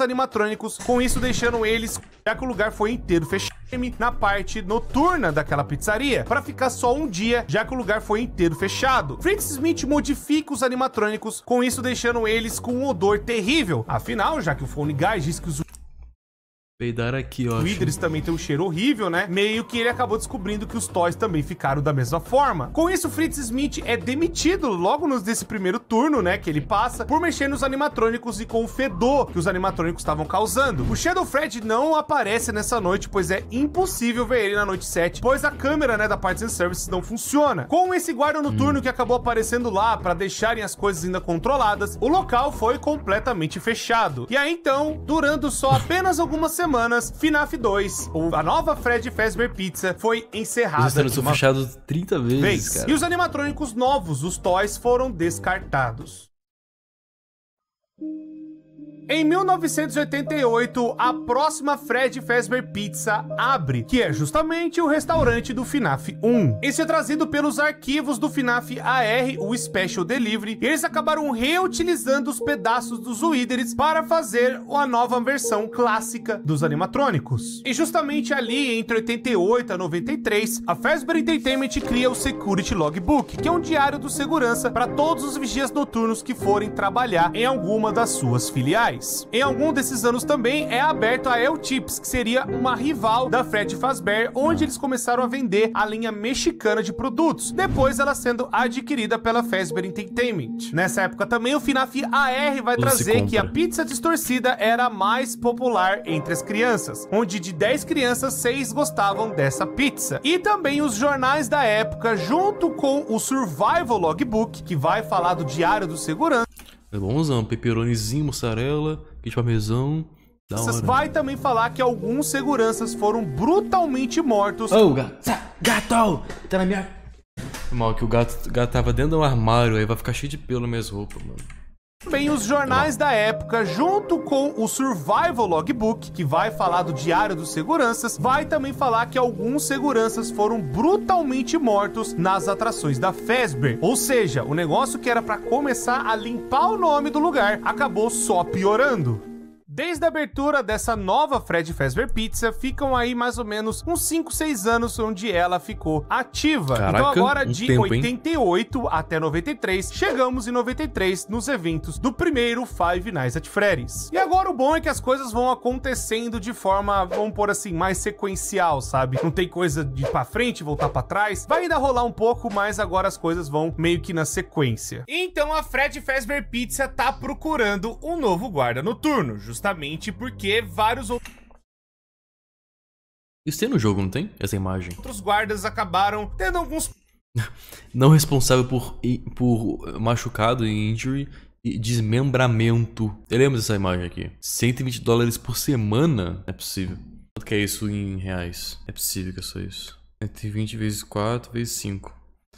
2.400 reais, mano. Pra morrer. Ah, de boa então. problemas, por assim dizer, ao decorrer desses anos. E entra, tipo assim, eu trabalho noturno de meia-noite. Nossa, mas é muito pouco. É muito pouco e é noturno. Tinha que ser bem mais. e mano. acabou Que manchando mais ainda a reputação da empresa e também da pizzaria. Mas aqui, quem está vendo esse jornal é justamente Michael Mas Afton, é, é, pros anos 80, é verdade. Tem que fazer a reajuste de inflação. filho do William Afton, o irmão mais velho que fez aquilo lá com a criança chorona. Ele agora tá precisando de dinheiro, da mesma forma que o Jeremy, e aí aparece a oportunidade Ah, dele assim. ser guarda noturno de uma Fred Fazbear Pizza que tava desesperadamente precisando de um guarda noturno. Mesmo ele não tendo noção do que tá acontecendo, ele vai na pizzaria para começar a trabalhar. Esses eventos muito provavelmente vão começar a ser melhor explicados justamente quando sair o filme de Five Nights at Freddy's. E vamos para a primeira noite, onde o Phone Guy, ele fala que era a sua última semana de trabalho. Ele decide deixar algumas mensagens gravadas pro próximo segurança. E aí, ele cita a mordida de 87, But then there was the bite of 87. Yeah. It's amazing that the human body can live without the frontal lobe, you know? e explica que os Viva! robôs andam à noite para não travarem, e eles poderiam te ver, né, como um endoesqueleto. Pera, o, o, o Jeremy, ele foi. Ele, ele teve o, lobo frontal. O lo- lo- lobo. A parte frente do cérebro lá é, arrancada. Mas ele sobreviveu? Ele tá vivo agora? Ele existe ainda? Ele não tá mal nem nada. After hours probably won't recognize you as a person. They'll, they'll most likely see you as a metal endoskeleton without its costume on. Now, since that's against the rules here at Freddy Fazbear's Pizza, Na segunda noite, ele vai falar que o Fred era mais ativo e que ele também andava mais assim nas sombras. Dark.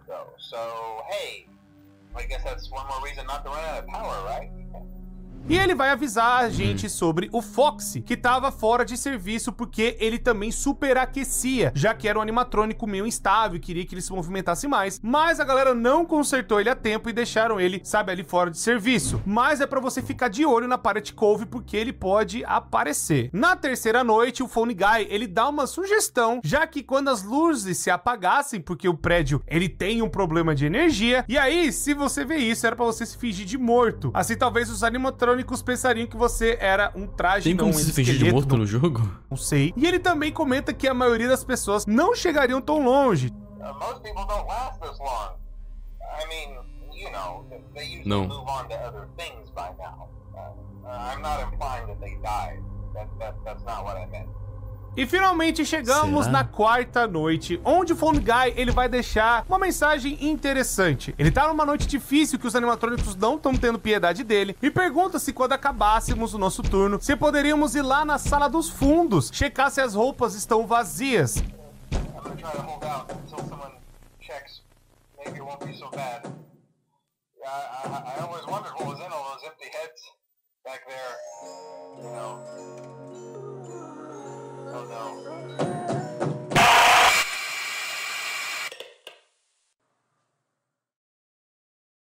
Os animatrônicos matam o Phone Guy e seu corpo Não! Aí é nunca é dito que foi encontrado ou também aonde foi colocado. Pera, mas o Golden Freddy não era uma criança. Ah, mas eles, eles atacam os adultos. Existe a teoria de que o game over que nós vemos no FNAF 1 provavelmente é o que nós vemos que aconteceu com o guarda noturno. O corpo do Phone Guy foi parar, né, naquele traje do Fred, e a gente vê, né, quando a gente morre praticamente. É só uma referência. Mas é só uma teoria, a gente realmente não sabe aonde o corpo do Phone Guy foi parar. Mesmo assim, o guarda noturno, o Mike Virou Schmidt, vai até até a noite e recebe mais uma chamada de telefone, mesmo o Phone Guy tendo ido de Americanas. Os animatrônicos deixam Ué. uma mensagem gravada e uma voz Os distorcida. animatronics, ah, tá. Hum. Fa-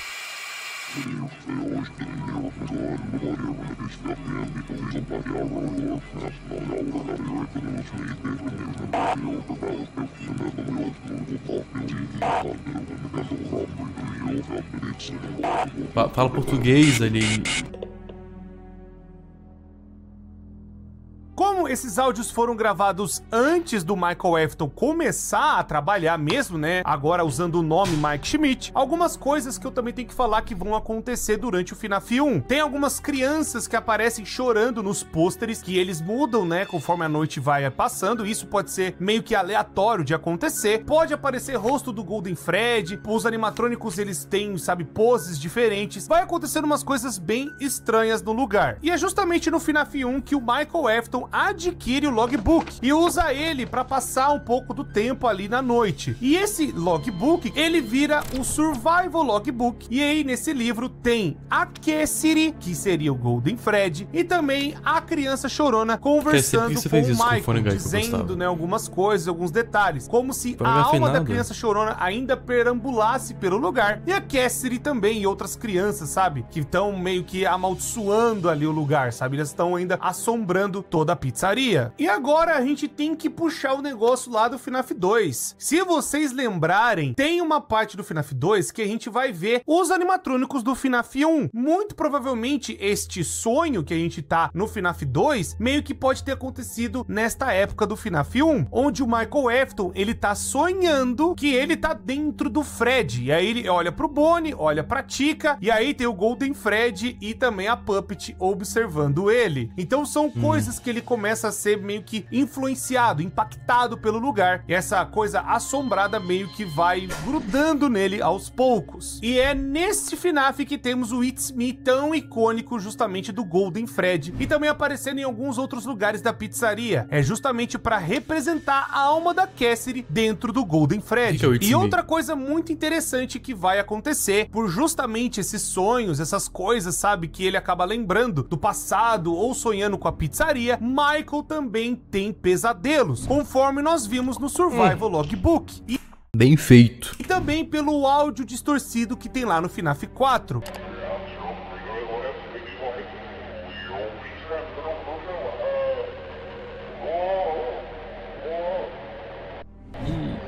Moço, pode repetir, por favor?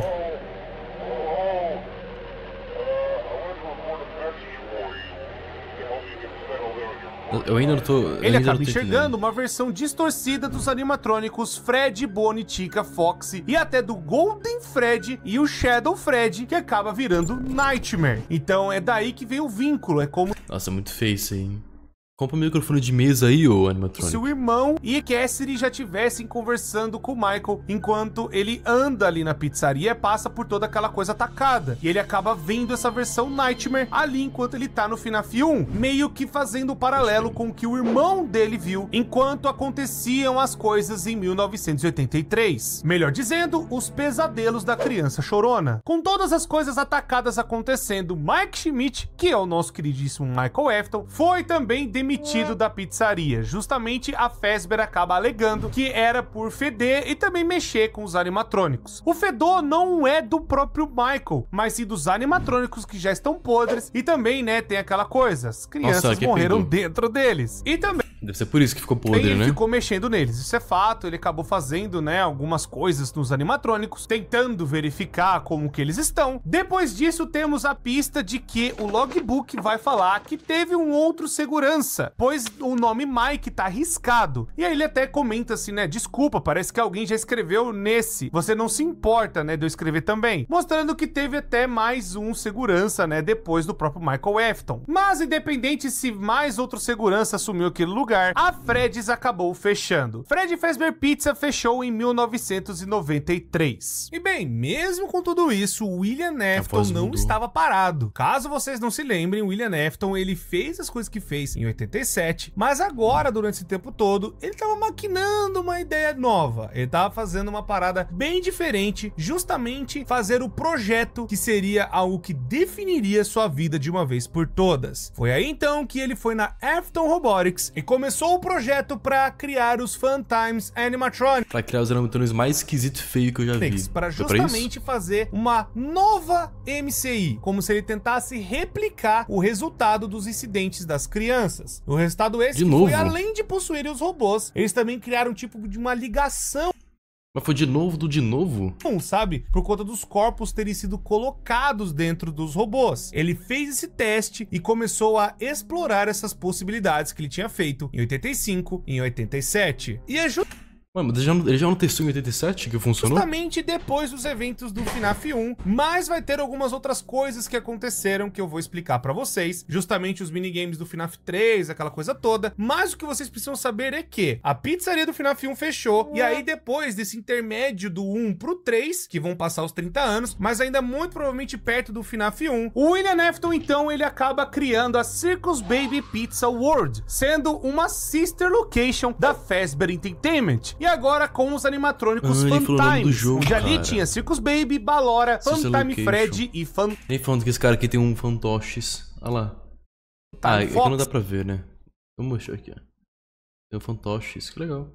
Onde foi justamente baseado no brinquedo do Fox, que vocês se lembram do quarto da Elizabeth, lá do FNAF 4. O Pode ser também que ele tenha criado outros animatrônicos como Funtime Chica, Music Man e Security Puppet. Nossa, Já esse Music Man é feio, hein? Nossa, é feio. Nossa, o Music Man é feio, é bem feio. Puppet é bonitinho, mas o Music Man... já que os modelos são um pouco parecidos com os Funtimes. Tudo isso William Afton planejou naquele lugar que ele ficava no subsolo, onde ele também vigiava os seus filhos, que eu falei pra vocês em 83, e talvez ali dentro ele também fez os designs, melhor dizendo, a engenharia, para fazer as versões dos Funtimes. Como foi ele que montou esses animatrônicos, ele também colocou algumas funções de capturar crianças, além de que os animatrônicos eles podem andar durante durante o dia normalmente. Porém, em uma festa, né, nessa pré-abertura da Circus Baby Pizza World, Elizabeth Afton, ela estava lá brincando numa boa, como se nada tivesse acontecendo, e ela sempre foi encantada por uma animatronic específico, a Circus Baby, tanto que tem até um áudio dela falando do quanto que ela gosta da Baby.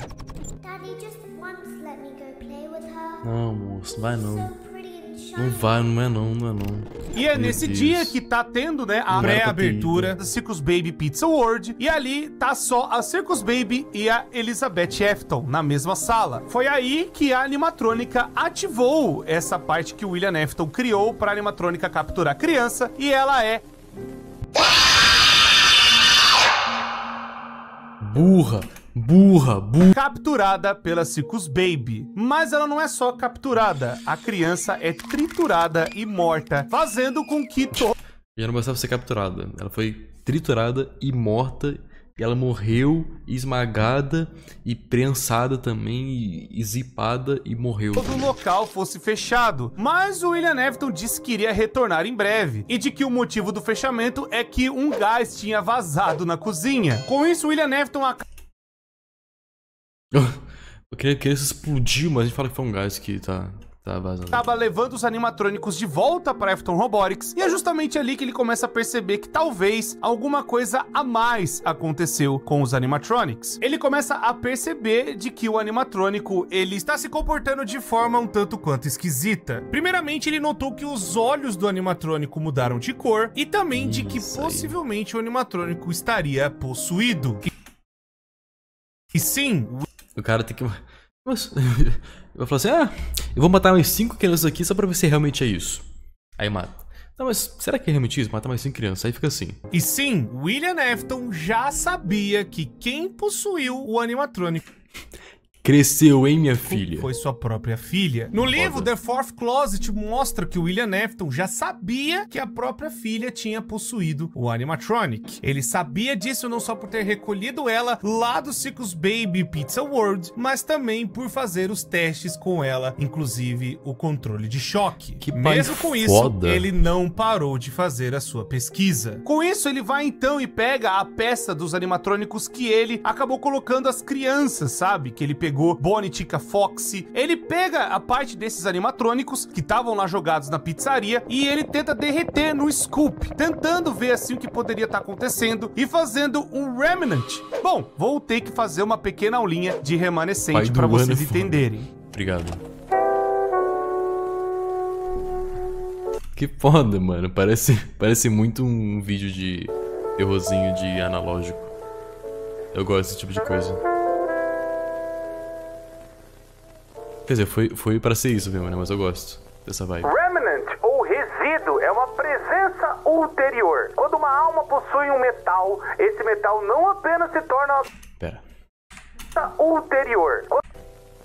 Razão. Remnant ou resíduo é uma presença ulterior. Quando uma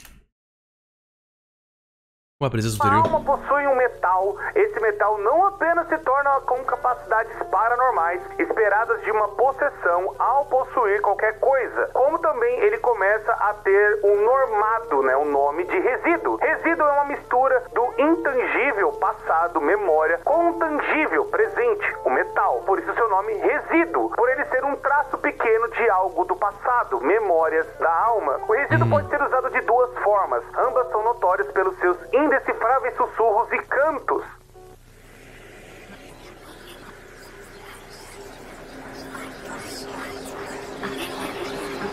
A forma mais comum é derretendo o metal, já que em forma líquida o metal pode ser extraído e colocado Pera, mas isso aí mas tem que ser um metal de um animatrônico que foi possuído por uma criança, né? Né? Aí tem as memórias dela também, tem parte das memórias pelo menos, é isso? Fala que sim, chat. Isso, obrigado. Yes. Yes, no que acertei. desejado por meio de equipamentos, maquinários e utensílios. A outra é rara, porém ainda assim possível. Quando o metal tem dentro de si um alto nível de emoções e resíduo, isso pode ocasionar que o resíduo se solte do algo e flutue no ar como uma nuvem ou órbita emocional. Nesta forma, ao toque, eles podem ser extraídos direto do ar e inseridos no que for desejado.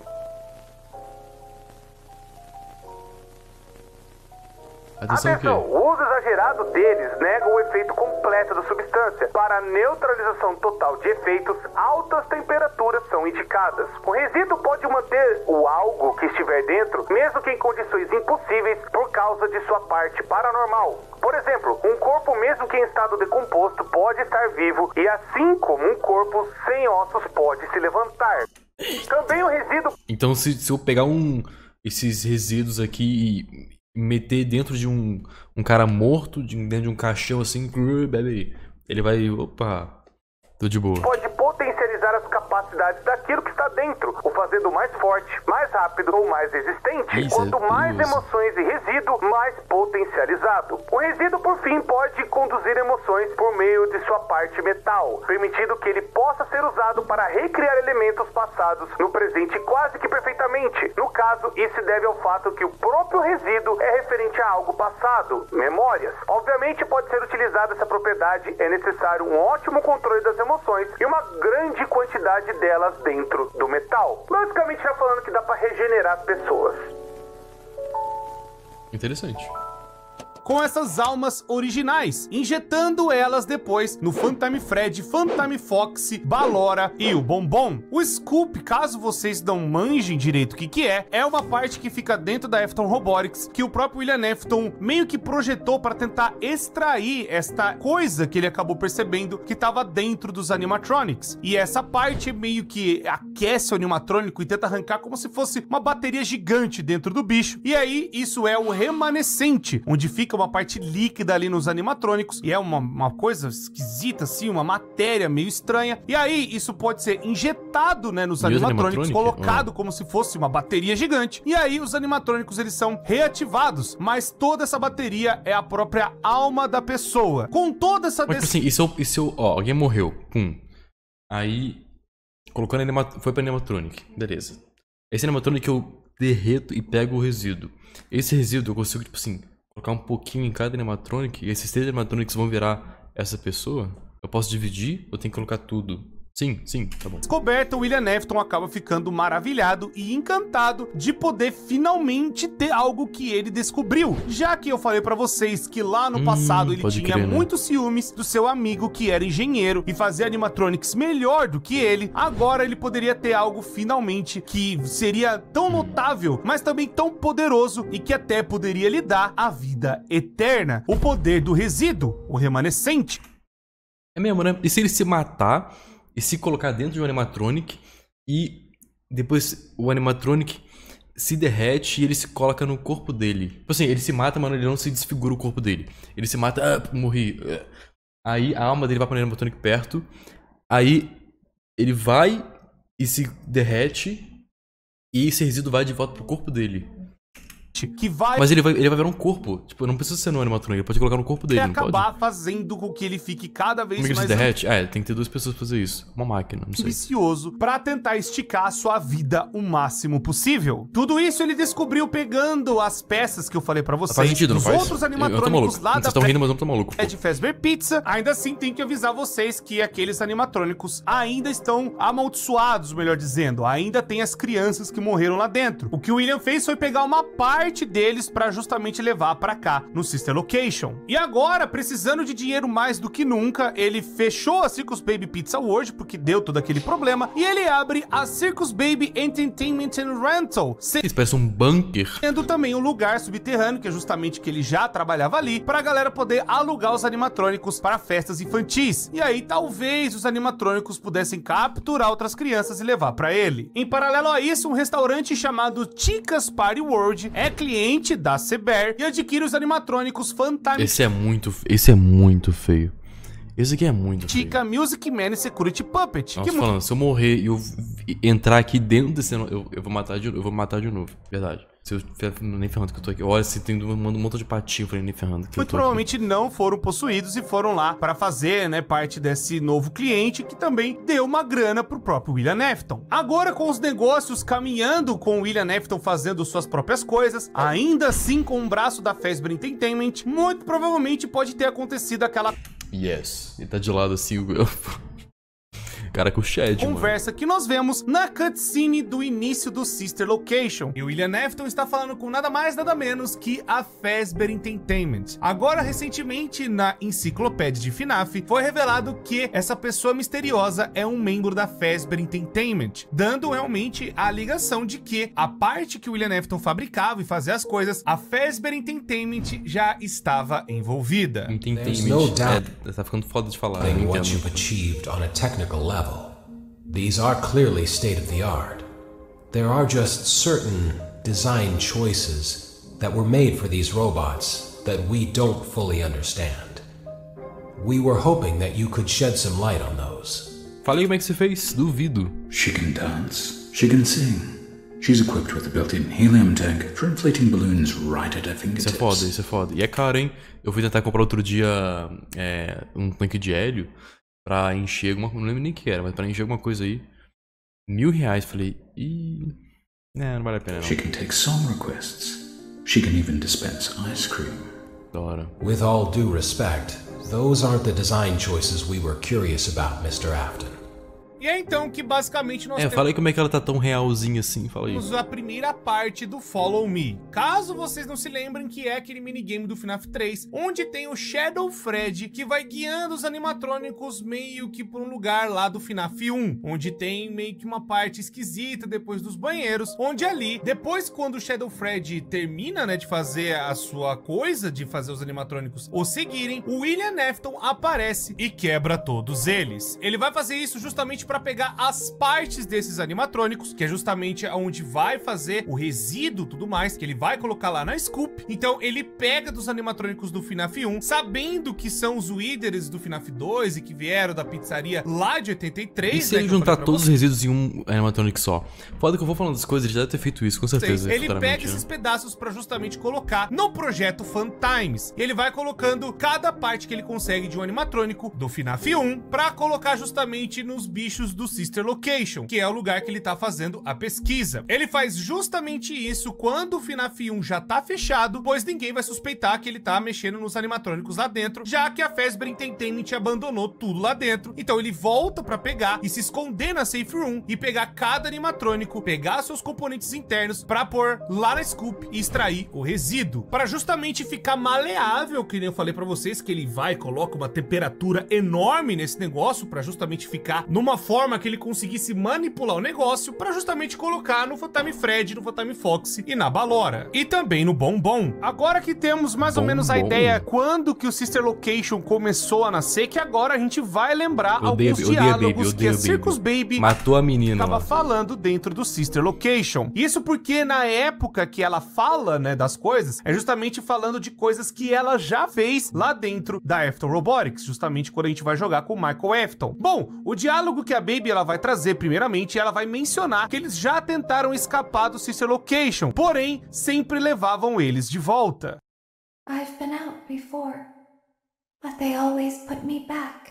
Isso é a criança dentro do corpo, dentro da Baby. Mas, mas ela tá consciente, então? Como é que é? They always put us back inside. There's nowhere for us to hide here. Ou é uma, é uma... There is nowhere to go. Então, a tentativa de a fuga meio, dos animatrônicos é evidente, porque aquela coisa da pesquisa dos resíduos que o William Afton estava fazendo justamente nesses animatronics, eles tentaram escapar dali, mas não deu certo. O William Afton sempre ia atrás e trazia eles de volta. E agora podemos finalmente entrar na gameplay do Sister Location, que muito provavelmente aconteceu nesta época, onde justamente o William Afton fala pro seu filho tentar falha. resgatar a sua irmã. E aí, a partir daí que a gente começa a ver os eventos Sister Location. Mas por que que ele fez isso? Só pra, tipo... Vê se eu consegue, duvido. É isso? onde o Michael Afton, protagonista do jogo, vai atrás pra ver o que, que o pai dele tava fazendo lá embaixo e o que aconteceu com a sua irmã. E enquanto o Michael Afton tá indo pro Sister Location, o William Afton acabou voltando lá no FNAF 1, que nem eu falei pra vocês que ele tava destruindo os animatrônicos, mas agora ele ia concluir tudo que ele tinha que fazer lá. Ele muito provavelmente vai voltar pra buscar a roupa de Spring Bonnie, mas acontece um negócio muito inesperado. Vocês se lembram que agora há pouco o William Afton acabou destruindo os animatrônicos Sim. do FNAF 1, arrebentando completamente com eles. Sim. Mas nessa destruição, as almas dos animatrônicos meio que saem, já que o lugar é todo assombrado, aquela coisa toda atacado Ficaram pra caramba. E essas William. almas acabam encurralando o William Afton. E aí é que Cassidy persegue ele, onde vai chegar na sala segura e vê todas as outras almas ali reunidas. E o William Afton, com medo, vai até a roupa de Spring Bonnie. Porém, como o lugar estava fechado, sem manutenção e também, né, com vários problemas ali na engenharia, o lugar tá com uma goteira do caramba e isso acaba caindo na roupa de Spring Bonnie. As Spring Locks falham e acontecendo uma das cenas mais icônicas de Five Nights at Freddy's.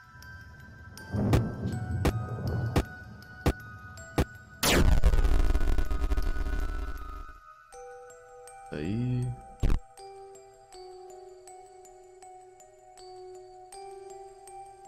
Mano.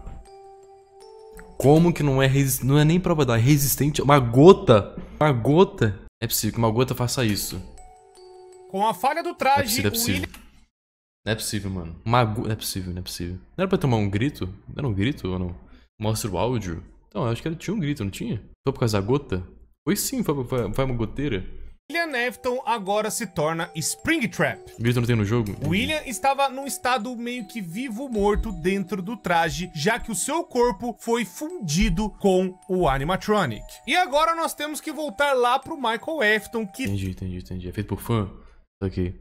Não, eu só não entendo porque, tipo assim, umas gotinhas de água. Mano, é che- chega criança de 8 anos de idade catarrenta assim. Spring Animatron. Aí cospe. Cuspiu, morreu o cara que tá lá dentro.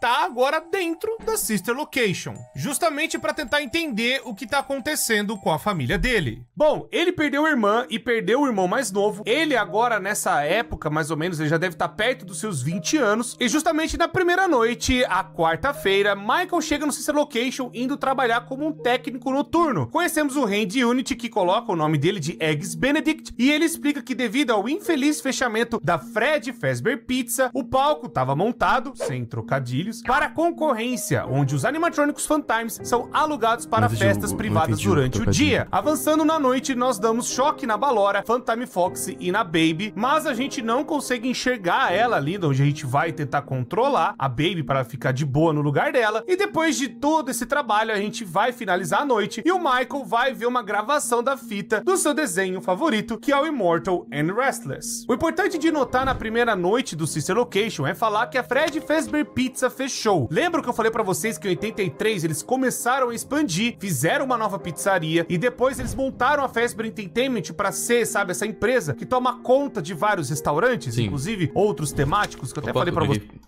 vocês mais cedo. Então, justamente falando aqui que por conta, talvez, dos problemas dos animatrônicos estarem, sabe, com defeito e também de toda a repercussão negativa, a Fred Fazbear Pizza fechou. E aí o William Afton viu essa oportunidade pra tentar, sabe, despontar a sua própria criação e ainda continuar com as pesquisas do resíduo. Quando eu falo resíduo, remanescente, é a mesma coisa. É essa energia que tem dentro dos animatrônicos que é Obrigado, derivada da mostrar. alma. A próxima noite é uma quinta-feira e aí o Hand Unit diz pro É hoje, quinta-feira. No inferno. Michael que um Tá corpo tá já foi agora, tá achado rolando na agora, ventilação. ali. Mais uma vez o Mike dá um choque na Balora e no Phantom Fox. E quando vamos dar o terceiro choque na Baby, Ah, as luzes se apagam. Ah, Com isso. Baby começa a falar com o Michael, dizendo que não reconhecia ele e que ele era alguém novo. Menciona também que a pessoa que trabalhou antes do Michael fez um buraco embaixo da mesa pra sobreviver. Após isso, Mike também precisa passar pela Balora pra chegar no local de energia. E lá precisa sobreviver ao Phantom Fred. No mapa do local, podemos ver que o Sister Location é conectada com a casa de FNAF 4 na Fredbear's Family Diner. E justamente quando a gente vai um pouco ali pra esquerda, que ali a gente começa a perceber que tem realmente conexões do Sister Location, que é o local onde o Michael Afton vai lá, né, pra ver as coisas do pai. E o pai dele conectou esse lugar com o FNAF 4. Justamente eu falei pra vocês que tem essa segunda sala, que é onde o William Afton acabava vendo seus próprios filhos. Na terceira noite, que é uma sexta-feira, o Michael, ele vai pra pouquinho. parte do auditório do Phantom Fox e ele precisa ficar dando um flash pra tentar ver onde o Phantom Fox tá, mas ele tenta chegar na Parts and Services pra consertar o Phantom Fred. Depois de voltar do auditório do Phantom Fox, o Michael é sequestrado pelo animatronic. Na próxima noite, que é no Abriu sábado, assim? a Baby salva o Michael do Phantom Fox e com isso a Baby coloca ele dentro de um traje Então a Baby é da hora agora. de Spring Lock. A Baby agora ela fala que ela sabe fingir muito bem pra justamente não ficar indo sendo consertada várias vezes. E aí a Balora não sabe fingir e aí acontece a cena do Scoop, que é justamente tentando consertar ela, né, sabe? Aquela coisa toda que o William Afton mexendo no bicho. Mas o William Afton não tá ali, é só realmente eles fazendo uma verificação de rotina. Então a Baby ela abre as placas faciais do traje que a gente tá usando para que os outros técnicos pudessem ver o Michael. Mas aí um grupo de menirinas pequenas começam a atrapalhar o Michael de tentar sair daquilo ali, tentando afrouxar os Spring Locks. O Michael então consegue sobreviver até que os técnicos conseguem encontrar ele lá embaixo. Quinta noite e agora estamos no domingo. Um Peraí que meu gato tá preso no banheiro. Ele entra. Mano, por que, que o gato faz isso? O meu gato ele entra, ele abre a porta do banheiro. Aí ele tá lá dentro, aí ele fecha a porta e não consegue sair. Ele sempre faz isso. Michael chega ali e fala com o Randy Unit que ele poderia escolher uma cesta de presentes com Ele se qualquer coisa. Porém, na hora de selecionar, o Michael, né, ele acaba errando tudo ali. E o Randy Unit acaba corrigindo, escrevendo Exotic butters. o Hand Unit também avisa o Michael que os dois técnicos anteriores que ficaram ali, né, trabalhando, e que era pro Michael mandar eles embora. Eles estavam lá dentro, então, ó, fala pros caras vazar daqui. Porém, mais pra frente a gente vê que os Fantimes mataram os técnicos. Claro, pra poderem claro. enganar o Hand Unit, achando que os Fantimes estavam em seus palcos, usando o corpo dos técnicos. O Michael vai até a Parts and Services, onde se encontra a carcaça da Baby, que possivelmente tinha capturado uma criança na festa do dia anterior. E atrás da Baby vemos o Energy sem sua máscara. Energy, usando a voz da Baby, nos guia até a sala da Scoop, onde lá descobrimos que o Energy era um amálgamo de animatrônicos Fantimes. Todas as partes internas dos animatrônicos viraram essa parte coletiva, onde eles se juntaram em uma parada só. E eles se fundiram para tentar entrar no corpo do Mike, para tentar escapar do Sister Location. Com isso, o Energy diz que o Scoop apenas dói por um momento, mas que o Mike não ia morrer. Então o Scoop acerta o Mike abrindo um grande buraco na barriga dele. Só e o Energy ser, né? entra dentro do seu corpo, destruindo os seus órgãos e os seus ossos. Com tudo isso que aconteceu Pera, mas não é animatrônico que tem que. Não é a pessoa que tá no animatrônico? Como é que o animatrônico entra na pessoa também? a gente pode agora começar Nem a falar dos minigames que temos dentro do Sister Location, que Eu quero ser esse cara aqui, ó, que tá sorrindo. é praticamente uma sequência do que rolou, né, na Scooping 1 com o Michael Afton. E ali o Energy vai passar a controlar o corpo do Michael, e com o passar dos dias, o Michael Brincadeira, tá louco? Queria ser ele não. É o último cara do mundo que eu queria ser. Então dentro desse cara aqui tem um animatronic e ninguém consegue perceber. vai apodrecendo mais e mais. Quer dizer, dá pra ver, né? Ele tá esquisito. Dá pra ver na real. Até os vizinhos começam a notar isso. E chega um ponto onde o Michael fica com uma cor, sabe, meio roxa. E aí o Energy começa a sair de dentro do corpo do Michael. Onde que ele foi? Corpo do Michael. É boboeiro, é isso?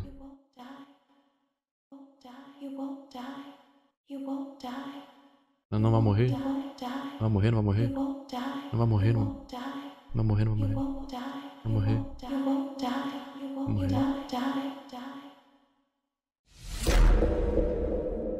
E graças Virou Purple Filho. Purple Sun. ao resíduo, né, o remanescente, o remnant, ele acaba se regenerando, assim recuperando parte dos seus ossos e também recuperando sua tonalidade de pele. E com o tempo ele se recuperou e aí ele passou a não ser mais roxo. E justamente agora a gente pode vincular a cena icônica que é o grande plot twist do FNAF Sister Location, de onde a gente boa? terminando Caramba. a Custom Night, né, de todas as coisas, temos a grande cena onde o Michael Afton tá deixando um recado pro seu pai.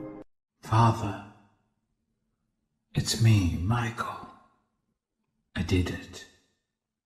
I found it. It was right where you said it would be. They were all there.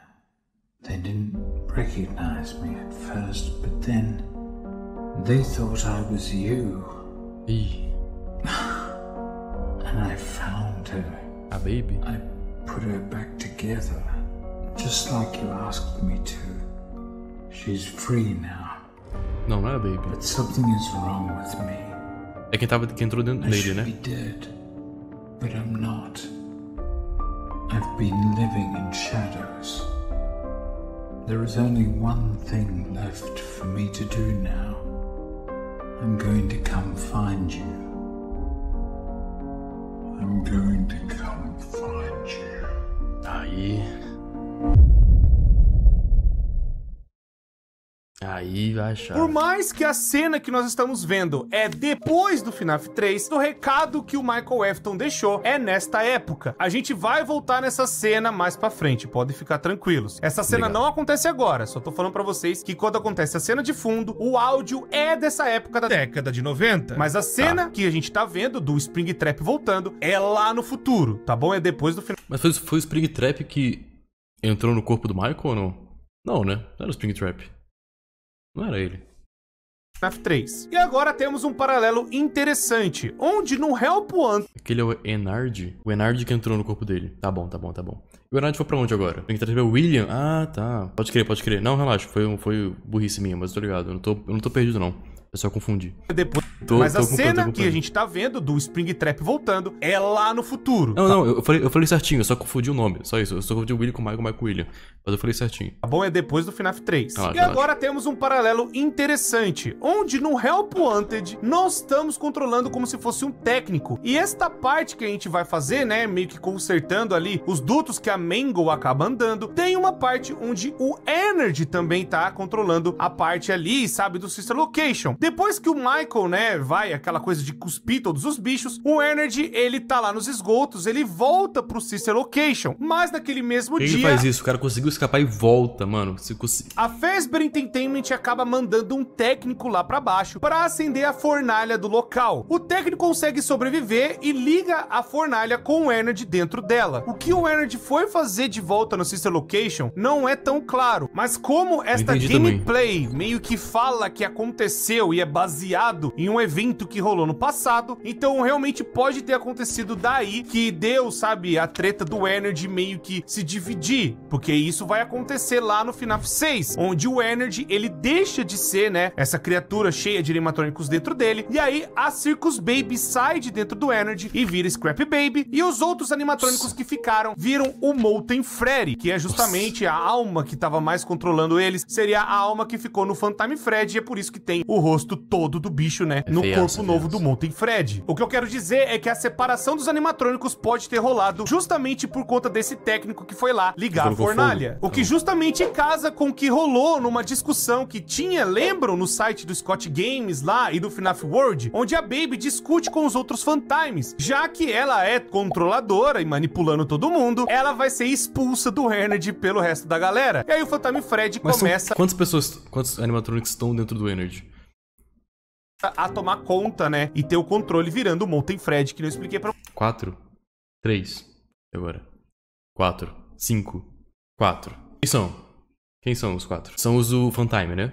Tá. vocês. A Baby, sem outras opções, acaba tentando procurar por peças justamente no Sister Location e até pega a garra que foi utilizada para matar a Elizabeth Efton. E isso vira sua nova mão. E aí ela acaba virando a Scrap Baby. E por mais que não tenha tanta coisa de história, mas a gente tá documentando tudo, temos que falar justamente dos animatrônicos que estão presentes na Custom Night da parte do Sister Location. Temos o Phantom Fred, que ele vai meio que lembrar do Michael lá na noite 2. Tem alguns diálogos do Phantom Fred ainda falando sobre o Michael. A Balora, ela meio que não sabia da presença do Michael na noite 2, por isso o diálogo meio que é sobre ela ficar instigada, intrigada, mesmo ela não sabendo dizer se o Michael é um amigo ou uma presa. Mas sabe que ele tá ali, né, por ouvir sons de carne, né, melhor dizendo, um som de um ser humano. Phantom Fox vai saindo da Parrot Cove conforme a noite vai passando. Os Bid Babs, assim, na noite 2, querem ir pra Bid dentro, né, visto o contexto que a gente viu no próprio Sister Location. E a outra parte é as Electro Babs,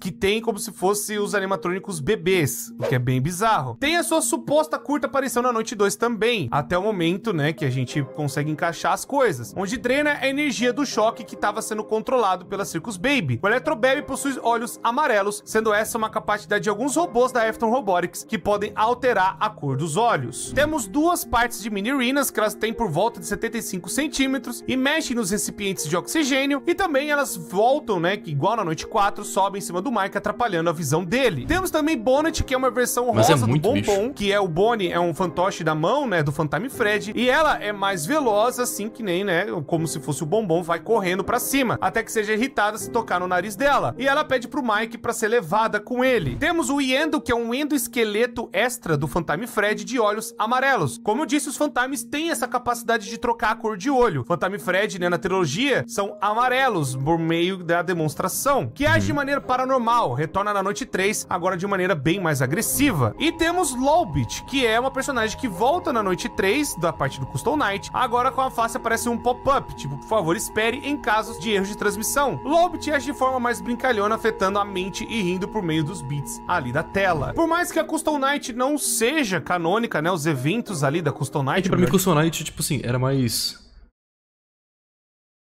O que, que é Lobit? Dizendo, os minigames eles são, e também, né, os prêmios que nós ganhamos, que são essas cutscenes, Pra mim, Custom Night você, tipo, escolhia, tipo, você criava um. Um, um jogo personalizado, é isso? Pra mim era isso. também são canônicos. Mas o que tá rolando ali na Custom Night é meramente diversão, que o próprio Scott Calton já deixou claro. Tudo que aconteceu no Sister Location foi terrível pro próprio Michael Afton. Ele ia demorar até um tempo pra se recuperar por inteiro por conta do resíduo que acabou regenerando o corpo dele e toda a Afton Robotics foi completamente abandonada. E também a Fred Fazbear Pizza. O lugar foi completamente abandonado. Tudo que tinha ali dentro Realmente é, mas é, é doido pensar que, tipo assim, mesmo customizado ainda tem lore, isso que eu tô falando, tá ligado? ficou à mercê do tempo. E aí se passam 30 anos, onde William Afton ficou preso na roupa de Springbone, se transformando nesse meio tempo. Ainda existindo, 30 mas anos? preso naquela roupa de coelho e naquela sala secreta. Foi 30 anos que ele ficou ali adormecido. O ano agora é 2023 e estamos agora na época da Fazbear Frights, justamente o FNAF 3. Um grupo independente acaba coletando coisas do passado da Fazbear e monta uma atração em um parque regional. Não sabemos qual é a cidade, não sabemos o local certinho, mas sabemos que eles acabaram pegando várias coisas da Fazbear Entertainment de outras pizzarias, justamente os lugares que foram abandonados pelo tempo, e eles então criaram a Fazbear Frights, recriando o ambiente da pizzaria, mas agora com todo temático de terror. E agora temos o Phone Dude, que é basicamente o cara que vai conversar com a gente durante o Phone FNAF Dude, Phone 3. Guy. O Phone Dude, ele é um cara que ficou responsável para tentar pegar as coisas dos restaurantes antigos, como os desenhos que ficavam na parede, a caixa que nós vemos ali que tem os pedaços dos toys e até mesmo se baseia em uma das páginas do logbook para poder criar o escritório. E o pessoal que acabou montando esse lugar decidiram então contratar um novo guarda noturno, não só para servir de segurança pro lugar mesmo, mas também para servir Jeremy, como é o peça da atração, já que o guarda noturno era algo que ficou meio que comum naquela época, 80 e 90, aqui eles É decidiram Michael, fazer parte da atração, William. onde as pessoas passariam na frente, né, do guarda, que ele estaria tomando conta do lugar. Um detalhe importante que é falado, né, nessa parte da chamada que temos do FNAF 3, é que um guarda, podendo ser o Michael Afton, trabalhou por uma semana, ou pelo menos uma noite, antes dos acontecimentos da gameplay, pois o Phone Dude fala Hey, hey, glad you came back for another night. Dando indício de que você já tava ali, né? Tipo, meio que fazendo parte daquele lugar. Não é claro quem que é que a gente tá controlando, melhor dizendo, no começo não é do claro, FNAF é claro. 3. Independente disso, nós vamos começar então pela noite 1, onde o guarda vai trabalhar em uma nova noite e recebe a chamada do Phone Dude. Ele menciona que encontraram mais coisas do local antigo, lá do FNAF 1, We found some, some great new relics over the weekend, and we're out tracking down a new lead. E também diz que conseguiram contato com alguém que trabalhou na construção da pizzaria e descobrem a existência da Safe Room, Uh, some guy who helped design one of the buildings says it was like an extra room that got boarded up, or something like that. e que iriam lá no dia seguinte. O Phone Dude comenta que era pro Michael tomar cuidado com os sistemas, pois se a ventilação ficasse muito tempo fora Mas se for um, eles vão achar o Spring Trap, né? Do ar, começaria a ver umas coisas meio esquisitas, que é justamente os Phantoms, e que pelo sistema ser antigo, tinha possibilidade do local pegar fogo. A primeira noite não acontece nada no FNAF 3. Ah, isso eu lembro do outro vídeo do Core, mano. Vai, vai pegar fogo a parada, não vai? Junto com os... Spring- Mas ele- eu sei que ele não vai morrer, eu acho. é a noite mais tranquila Eu do lembro que eu mundo. vi o vídeo e falei, mano, ele não morre esse cara. Mas agora na noite 2, Foro Dude diz que eles foram pra Safe Room e encontraram fitas de treinamento, justamente as fitas que eu falei que eram lá de 85, as fitas dos Spring Locks. Hey man, okay, I have some awesome news for you. First of all, we found some vintage audio training cassettes. Dude, these are like prehistoric.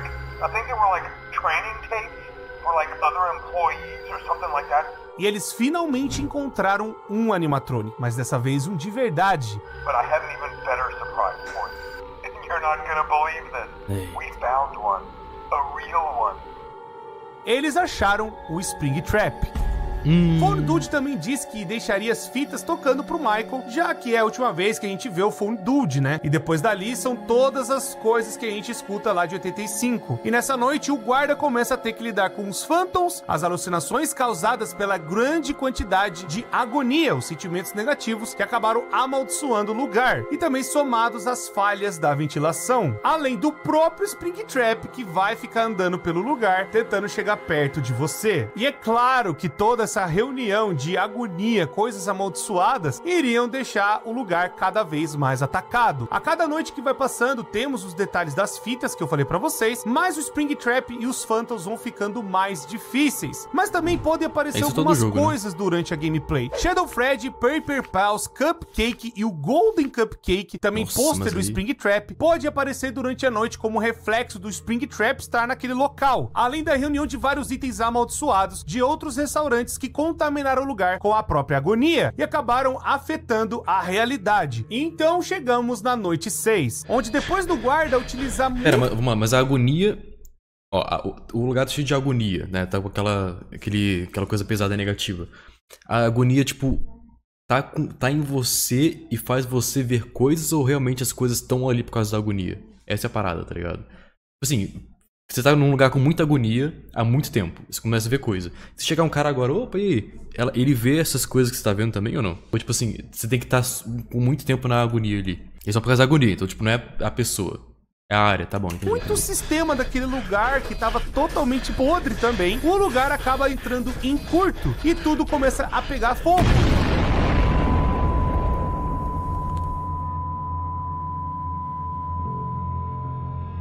E agora acontece basicamente uma das cenas mais importantes do FNAF 3, também vinculando com um dos finais do Sister Location. O guarda consegue escapar do incêndio, mas pouca coisa sobreviveu lá ali de dentro, né? As carcaças dos animatrônicos ou o que quer que tenha ficado lá dentro foram leiloados. Mas o importante é que o Springtrap sobrevive. Tem Mano, também na capa cara. do jornal aparecendo que o Springtrap tá ali ainda, sabe, aparecendo no fundo, como se ele tivesse vivo. E isso vai ser vinculado lá no final do Sister Location, quando Michael Afton tá falando sobre seu pai. E a cena de fundo é o Springtrap sobrevivendo a Fazbear Frights. Foi então que depois de Ah, muito entendi. tempo vendo essas coisas esquisitas ainda aparecendo por aí, um outro cara retorna pra toda essa franquia ter meio que uma conclusão. Harry Emily, depois de ver todo o incêndio da atração de terror, ele vai procurar o que, que pode ter sobrado, né, da Fazbear Frights. E ele compra as coisas que foram ali leiloadas para ele começar a executar o seu plano de acabar com tudo. A gente não tem como falar pra vocês o que deve ter acontecido com o Henry desde a década de 80 até agora. 40 anos se passaram que o cara simplesmente sumiu, mas agora Ah, parece ele que ele voltou para justamente e- arquitetar um último plano, parar tudo que tá acontecendo do seu amigo que ficou insano e agora tá vivendo uma roupa de coelho, sabe, ainda existindo. Talvez o Henry não sabia inicialmente o que tinha acontecido com o seu amigo William, Então, mas só o William descobriu, né?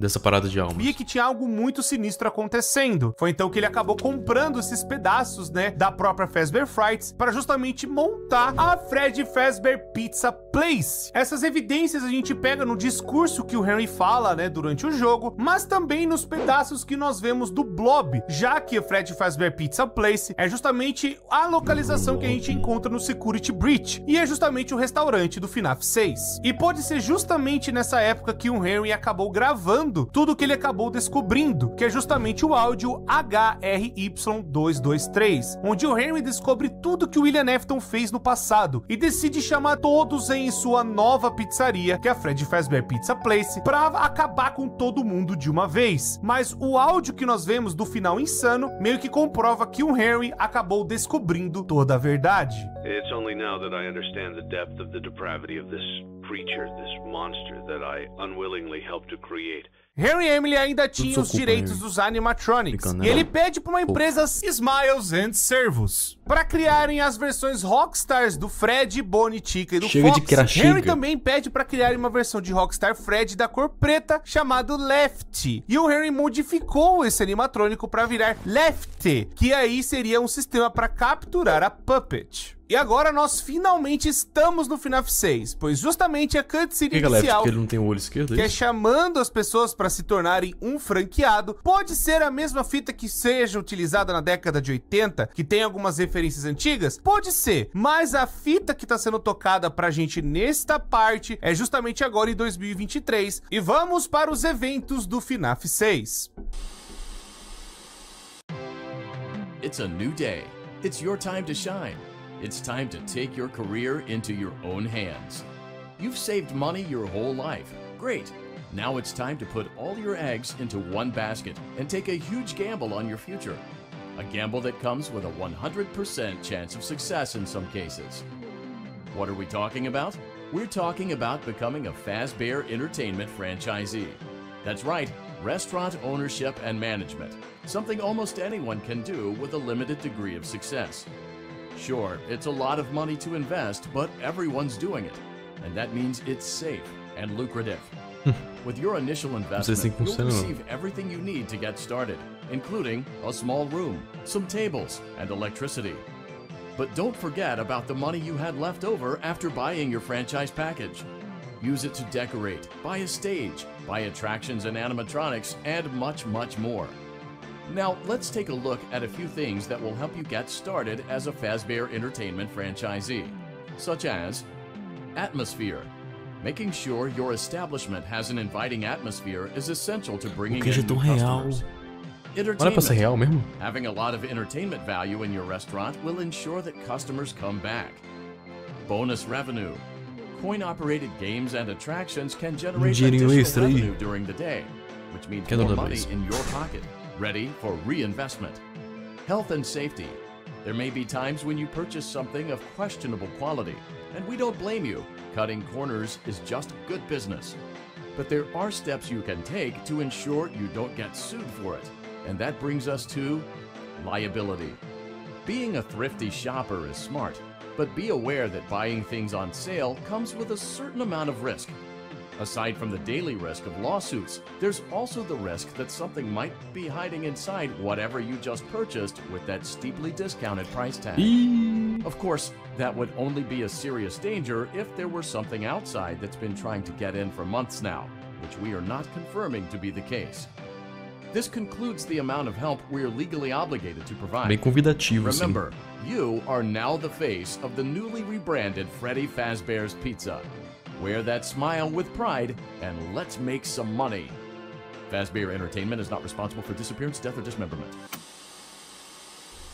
E aí Morte temos a abertura da. Fred Fazbear Pizza Place. E aí está à procura de um novo sócio para cuidar da pizzaria. Esses sócios precisam seguir o parágrafo 4, que é de salvar velhas atrações, animatrônicos antigos, para poder reutilizá-las dentro da atração.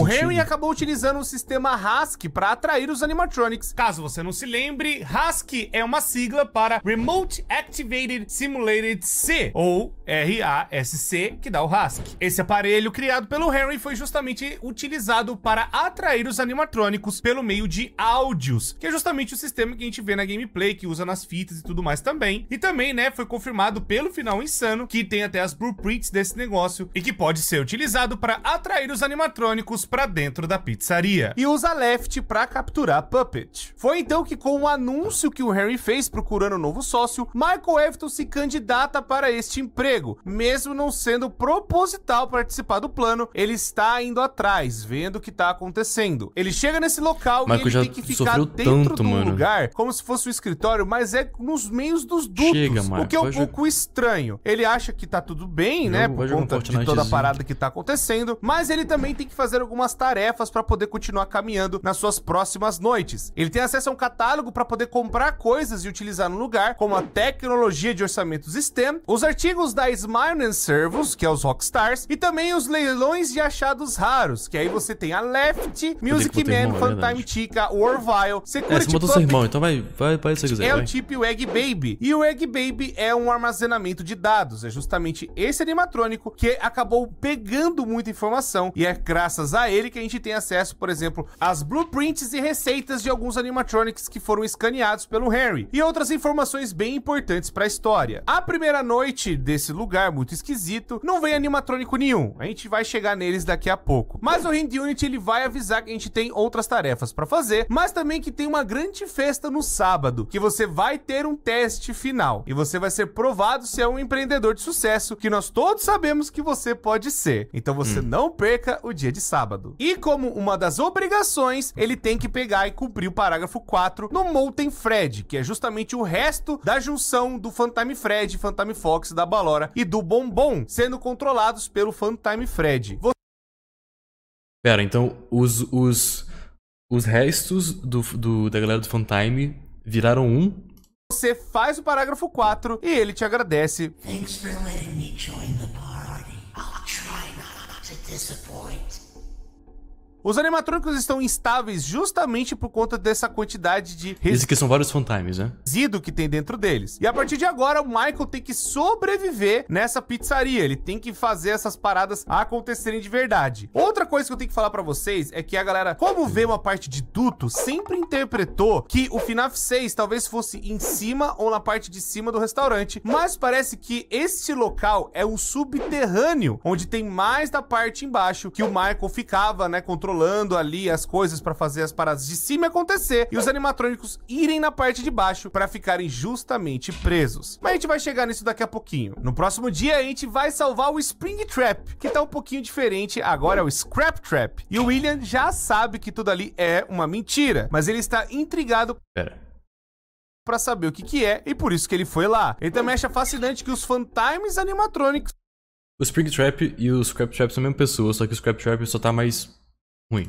viraram, né? O que, que acabou surgindo deles. E também o William vira um inimigo pra você enfrentar durante as próximas noites. A próxima que a gente tem que fazer o salvage, né? Que é justamente fazer o resgate de peças dos animatrônicos, é a Baby. E ela até faz algumas perguntas estranhas, né? Dando a entender de quem é o nosso protagonista que tem uma relação com ela. Ela fala, ué, você não sabe direito quem que é teu chefe, né? You don't really know who your employer is, do you?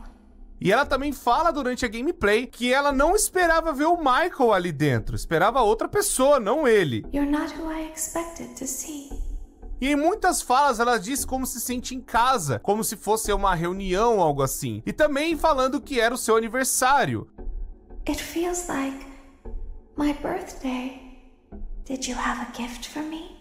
Mas Hum, ela também vai entrar pra te atacar durante a noite. Aí é a foda, última a entrar na festa é a Left, que vai justamente também ter a opção de você comprar ela antes no catálogo, mas o risco dela já é muito alto se você comprar lá. E independente disso, como o bicho é atraído por som, justamente pela fonte dele, tentar atrair a Puppet justamente por conta do barulho, e a fonte de som mais perto que tem ali embaixo é o próprio Michael naquele labirinto. Por isso que você tem que desligar o computador e ficar quietinho pra Left não vir pra cima de você. E finalmente chegamos no sábado, onde todos foram reunidos ali graças ao Harry. O lugar é inteiramente selado e acontece o tão fatídico final com um discurso maravilhoso do Harry e Emily, dando um fim àquela tortura toda. Connection terminated. I'm sorry to interrupt you, Elizabeth, if you still even remember that name. But I'm afraid you've been misinformed. You are not here to receive a gift, nor have you been called here by the individual you assume, although you have indeed been called. You have all been called here, into a labyrinth of sounds and smells, misdirection, and misfortune. A labyrinth with no exit, a maze with no prize. You don't even realize that you are trapped. Your lust for blood has driven you in endless circles, chasing the cries of children in some Ah, unseen é troll isso chamber, always seeming so near, yet somehow out of reach. But you will never find them. None of you will. eu não tenho. This is where your story ends. And to you, my brave volunteer, who somehow found this job listing not intended for you. Although there was a way out planned for you, I have a feeling that's not what you want. I have a feeling that you are right where you want to be. I am remaining as well. I am nearby. This place will not be remembered, and the memory of everything that started this can finally begin to fade away, as the agony of every tragedy should. And to you monsters trapped in the corridors, be still and give up your spirits. They don't belong to you. For most of you, I believe there is peace and perhaps more waiting for you after the smoke clears. Although for one of you, the darkest pit of hell has opened to swallow you whole. So don't keep the devil waiting, old friend. My daughter, if you can hear me, I knew you would return as well. It's in your nature to protect the innocent. I'm sorry that on that day, the day you were shut out and left to die, no one was there to lift you up into their arms the way you lifted others into yours. And then what became of you?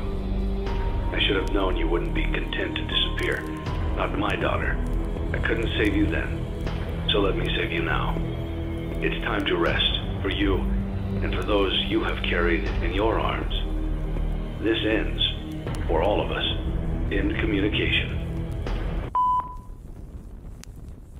Com o incêndio do Pica, Pizza pica. Place, a Fazbear fica um tempo sem criar novos restaurantes. Henry e Michael morrem. Eles não saem do lugar. E com isso, o nosso queridíssimo Randy Unit, ele vem com a Pera, o Michael morreu mesmo? sua voz maravilhosa pra falar do final da conclusão. Congratulations on completing your work week. We apologize if your situation wasn't presented to you in a completely Mas o, Henry descobriu que o Michael matou a filha dele ou não? honest fashion when you first started. But it was important that your intentions and actions be genuine. Deve ter associado, né? Ah, mas deve ter associado no final. Here at Fazbear Entertainment, we value fun, family, and food. But more importantly, we value our commitment to atoning for past mistakes and tying up loose ends. Thank you for your participation. There is no need for you to return to work next week as Fazbear Entertainment is no longer a corporate entity. Please accept this certificate of completion. Goodbye for now, and thank you for taking this journey with us. Uma coisa interessante que temos dentro do FNAF 6 é que ele tem vários finais diferentes. O primeiro final que eu já posso descrever é a falência, onde o cara foi com todo o dinheiro e acabou gastando mais do que deveria, tendo vários processos para ter que pagar. E aí então você não tinha como pagar eles e a empresa quebrou. Ok. Final bom. Finalmente acabou. You gave it your best shot. You went all Ai, in. gato, tá you put machucando, all your eggs into one basket and did the unthinkable. You ran out of cash. While we encourage Mano, aqui tem muita coisa, cara. Muito nome, muita coisa acontecendo, mano. entrepreneurs to follow their dreams, we also recognize a lost cause when we see one. There are no do-overs, and we trust that you know your way out. But before you go, take this certificate of bankruptcy. Now do everyone a favor and get lost. Certificado de falência. Temos também o final medíocre que você escapa do salvage, porque é uma opção que você pode colocar de fazer o salvage deles ou não. E aí, se você chegar nesse final, é que você não trouxe os animatrônicos pra dentro da pizzaria. Você não cumpriu o parágrafo 4, você só foi um empreendedor e pegou o final medíocre. Tudo bem. Congratulations! You've completed a full week on the job, and you've done it in such a lackluster way that no one is proud or disappointed. É o Silent, It's a fine line to Screening, como é walk, but you did it. Faz o que tá sendo pago completing your job with such an efficient level of laziness that we're surprised you're able to dress yourself in the morning. While such a minimalist work ethic is rare, it doesn't mean that we want you back. In fact, it means you should look for employment elsewhere. But before you go, take this certificate of mediocrity. Seu You should be proud. não tá ruim. You stood on two feet and convinced someone that you could do something when in fact you couldn't. Now get out. Justo, justo. Temos também o final insano, onde você faz ali as paradinhas de comprar o Egg Baby e faz o negócio do computador pra poder escutar o áudio do Harry e também ver as blueprints que estão guardadas no Egg Baby. Fazendo isso, você pega o final insano. Congratulations! You went somewhere you weren't supposed to go, saw something you weren't supposed to see, and prevented a tidy resolution to a messy problem. Needless to say, you're fired. But before you go, take this certificate of insanity. We're Então os giving it três to you to acabam, né? ensure Os that três você, tipo, ou não trabalha, ou não... Dá, no dá one ruim. believes you, Você é and to demitido. ensure that we can promptly replace you without incident. There is a truck waiting for you outside. Take care. Isso, ele tá numa camisa de força. E temos também final Oi, Lady, agora eu lembro de você. Lembrei que a gente escutou na fila da Twitch. Lem- lembrei, lembrei. Waiting for you outside. Take care. E temos também o final que você pega a blacklist, onde você pegou o risco tão alto e tomou tanto processo que você vai ser banido da Fazbear por ficar agindo desta forma. Congratulations! By some miracle, you've completed a full week on the job. Here at Fazbear Entertainment, we encourage a healthy spirit of entrepreneurship, which sometimes means taking risks. But you took it a step further. You were reckless and borderline criminally negligent in almost every decision that you made. So much so that you've been deemed a liability hazard, even for us. We'll mail you your final paycheck, minus the costs of wiping the security footage clean and erasing all Qual trace que é o of melhor your final? Qual que tem employment que from our fazer? files. Esse ou outro? But don't feel like O you're leaving empty-handed. Take this blacklist certificate. You'll be lucky to ever find employment in this town again. Now take care. E agora também por vias de história e também falando o que poderia ter acontecido no meio da semana, tem várias possibilidades que poderiam rolar também. E essas possibilidades são os processos que a empresa pode tomar. Sim, você vai responder por cada um deles por conta do risco ter ficado muito alto. Eu vou descrever os processos aqui para vocês. O primeiro processo é justamente a mordida de 2023. Uma criança sofreu lesões debilitantes por Isso é culpa minha? conta da conduta exibida pelo réu Fazbear Entertainment. Sua cabeça foi mordida por um animatronic. Embora seu lobo frontal tenha permanecido conectado à cabeça, os médicos não têm certeza por quanto tempo ele permanecerá assim. O trauma do evento pode fazer com que ele caia. Fazbear Entertainment foi imprudente e colocou em perigo este jovem e, finalmente, fez com que ele tivesse danos extremos e graves por não cumprir os estatutos e regulamentos estaduais aplicáveis em relação ao funcionamento de uma instalação de atração com entretenimento. piada, Não fosse por tal negligência por ser ó. parte da piada. Entertainment, ele não teria sofrido um dano tão cruel e incomum. Outro processo vai descrever que o menino sofreu ferimentos É meme, é debilitantes por conta da Fazbear É Entertainment. relaxa. Ele caiu de um passeio, ele levantou e caiu de novo. A equipe levou mais de 30 minutos para tentar cuidar do garoto. A falta de receptividade por parte da equipe fez com que ele ficasse isolado em sua casa, com medo de sair em público novamente por medo de ser ignorado. A Fazbear Entertainment foi imprudente e colocou esse jovem em perigo e, por fim, causou-lhes danos extremamente graves por não cumprir os estatutos e regulamentos estaduais. O outro processo vai falar de um menino que Meu sofreu Deus, lesões externas e internas debilitantes por conta da Ele quebrou 100 ossos. Fazbear. Ele quebrou 100 ossos e sofreu uma hemorragia interna grave enquanto estava dentro da Fazbear Entertainment. Meu Embora Deus. ele não tenha notado seus ossos quebrados até chegar em casa, seus pais acreditam que a Como é que não notou, mano? É criança, criança se machuca nem. nem... Fazbear Entertainment ainda deve responder por seus ferimentos. Um outro menino sofreu um trauma mental grave por causa da indiferença e do coração frio que a Fazbear Entertainment tem com a saúde e o bem-estar da população humana. Enquanto tentava aproveitar um dia e se divertir em um estabelecimento da Fazbear, ele ficou preso e envolto em uma pequena área confinada. Depois que o chão cedeu embaixo dele, a falta de manutenção da Fazbear Entertainment levou ao terreno instável sobre o qual ele andou e caiu, que já dá um pouco de indício que o lugar feito da Da Fred. Fazbear Pizza Place já tinha esse negócio de ter coisas podres mais por baixo, né? Justamente porque dá a dica de que a instalação, justamente que a gente tá jogando, é na parte de baixo e não na de cima, igual algumas pessoas pensavam. Então, tudo que a gente tá jogando é no subterrâneo da Fred Fazbear Pizza Place. Um outro menino foi hospitalizado por céu. 10 meses devido à negligência da Fazbear. Ele contraiu vários parasitas de alimentos e bebidas preparados dentro do estabelecimento. O cara pediu camarão no iFood de madrugada, mano. Pediu japonês lá de três estrelas de madrugada, quatro e meia da manhã ele queria comer. Cimento. Os parasitas causaram desinteria explosiva, incluindo cólicas estomacais agudas e dolorosas e terríveis náuseas. Mais um aí que comeu bagulho podre dentro do lugar. Uma jovem também foi total e terrivelmente desfigurada pelo perigo imprudente também da Fazbear. Enquanto ela estava dentro do restaurante, seu dedo indicador foi quebrado devido à falha do estabelecimento em instalar os aparatos de segurança Ah, necessários foi e boa. aprovados. A criança sofreu dor e sofrimento por ser incapacitada de jogar The Itsy Bitsy Spider. É tipo dos dedinhos, o joguinho dos dedinhos. Não sei Ela foi, é. foi pegar e pôr o dedo em algum lugar e o dedo quebrou praticamente. Outra jovem Mano. ficou traumatizada pela Fazbear também. Ela testemunhou a cabeça de um animatrônico cair e rolar pelo chão. Ah, mas isso. Ah.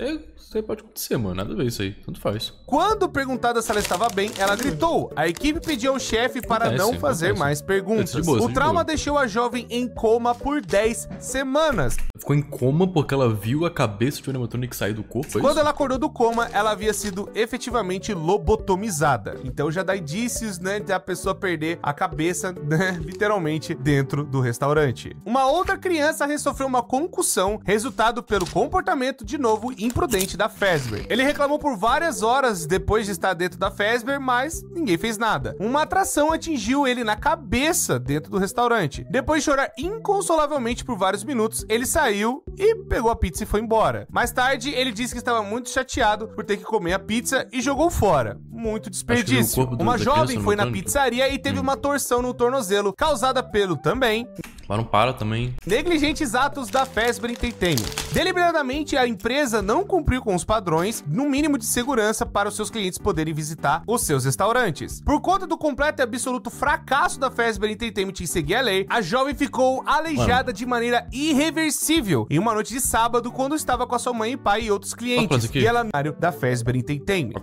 Esses processos, eles não têm uma timeline, eles podem acontecer em qualquer noite. Pulei, Vai Corey, desculpa, depender desculpa, justamente pulei. da sorte que você tem um risco muito alto dentro da empresa ou não, de como você tá gerenciando as coisas ali embaixo. Enfim, o FNAF 6 ele tem um fim justamente com a parte das crianças com as suas covas, né? Tem ali os memoriais delas e é justamente as crianças iniciais que estavam dentro do Molten Fred. E temos também uma outra tumba mais no fundo, né? Um outro memorial ali que talvez seria da própria Puppet. E as vítimas puderam ter o descanso Napoleão, merecido. Napoleão. E esse seria o fim. Os vilões foram mortos, os heróis também, as crianças descansaram e toda a história envolvendo todas as coisas Duvido que acabou aí. Aqui, ó. Uma hora de vídeo, hein? ruins da Fazbear Entertainment finalmente Duvido. poderiam ter um fim. Ah, tá brincando. É, é, é meme, é meme. Mas não foi isso que aconteceu. Sabia. A Ultimate Custom Night veio como um bônus para a comunidade e tudo que Five Nights at Freddy's fez ao decorrer do tempo. O próprio jogo é uma grande referência a uma opção extra que tem dentro dos Five Nights at Freddy's, onde você tem a Custom Night, que vai justamente colocar os animatrônicos no máximo, que foi meio que a comunidade colocando o desafio no máximo para passar, sabe, da maneira mais absurda e insana possível ou também ser utilizada para treinar, para você ver como que o animatrônico funciona, para você fazer realmente o desafio supremo, que era todos os animatrônicos na dificuldade 20. Tem como você jogar com todos os animatronics? Todos, todos, ao mesmo tempo? Todos, todos. Todos, tem como todos, todos. Na, mesma- na maior dificuldade. É muito difícil ou não? Tipo assim, tem como. É muito bom você consegue primeiro, assim. Por mais que tudo pareça um grande bônus, uma comemoração né, do Scott Calton com a comunidade, a Ultimate Custom Night é o FNAF 7. Isso porque vão ter Tipo assim, como é que é gameplay? Você não para de fazer nada, né? Detalhes muito importantes que a gente precisa trazer aqui para vocês entenderem. A primeira coisa é o próprio Golden Fred, a alma que está dentro dele, que é o espírito vingativo, que a gente acabou descobrindo que se chama Cassidy. Ela entra dentro da mente do William Afton e o mantém vivo, torturando na Ultimate Custom Night, Pera, é trazendo que é? todo o espírito pera. primeira coisa é o próprio Golden Fred. A alma que está dentro dele, que é o espírito vingativo, que a gente acabou descobrindo que se chama Cassidy. Ela entra dentro da mente do William Afton e o mantém vivo, torturando na Ultimate Custom Night, trazendo todos os terrores que aconteceram até então. E tudo isso sendo jogado de novo, e de novo, e de novo. Sendo um tormento eterno pro William Afton. O grande responsável pelas coisas ruins que aconteceram em Perfeito. Five Nights at Freddy's. O homem por trás do ruim. E é claro, o cara que torturou várias crianças e também acabou com várias famílias. Então é justamente esta vingança que é feita dentro da UCN. Um pesadelo que ele tem com vários pedaços e momentos da timeline que vimos nos jogos. Cassidy se apresenta como aquele que você não deveria ter matado. Os animatrônicos se referem a Cassidy como ele, pois estão falando do Golden Fred. Mesmo que o gênero da criança nunca tenha sido revelado, pois Cassidy é um nome ambíguo, pode ser usado para menina ou para menino. E também a foto mesmo. utilizada é um dos filhos do Scott Calton. Então, tipo assim, é só para representar que é uma criança, a alma dela, o um dos filhos do Scott Calton. Novels. Então, tipo assim, é só pra representar que é uma criança, a alma dela, torturando infinitamente o homem por trás do ruim. Então vamos lá, pessoas, eu tenho que trazer também o paralelo de algumas coisinhas interessantes. Dentro da Ultimate Custom Night vai ter como se fossem duas histórias acontecendo. Elas vão ter alguns detalhezinhos, mas não lá muita coisa, é mais por meme ou piada. Temos a história do Foxy contra o Fred, que vai ter como se negócio fosse um embate não? de anime, é toda uma grande piada, aquela coisa toda, né? Como a gente estivesse acompanhando aí. um anime, né? Melhor dizendo. E também falando de anime, temos, né, a Yandere Chica, que vai ter algumas cutscenes dela falando que ela pegava, né, os namorados, aquela Isso, coisa mano, toda. tá Depois acontecendo? que ela, sabe, via alguma coisa de errada neles, uma coisa que ela não gostava, ela ia lá e matava eles. Algumas pessoas tentam pintar como um paralelo ao William Afton, mas não, é só uma grande piada, isso não leva pra lugar nenhum. Outro grande detalhe que temos é que se você colocar só o Old Man Consequences, que é um bicho lá do FNAF World, onde Mano, que ele vai se isso? apresentar como se fosse Que isso? Se alguém pescando num lago vermelho. Se você fizer só ele na noite e fizer o minigame dele na dificuldade 1, vai aparecer justamente a cutscene que tá lá no FNAF World, onde você vai conversar com o Old Man Consequências e a frase é basicamente deixe os demônios pra trás, não tem mais nada que você possa fazer, né? Tipo, descanse agora que já acabou. E tem um áudio distorcido no fundo.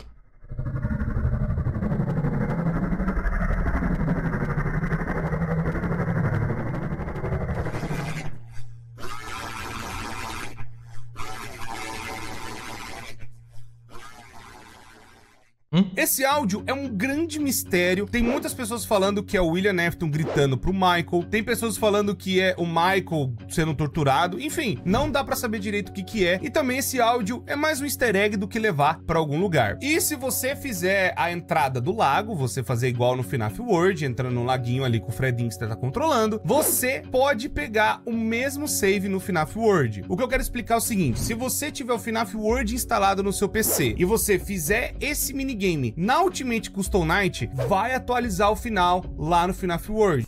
Interessante. Dando um 20. Mas como é que é o gameplay do FNAF World?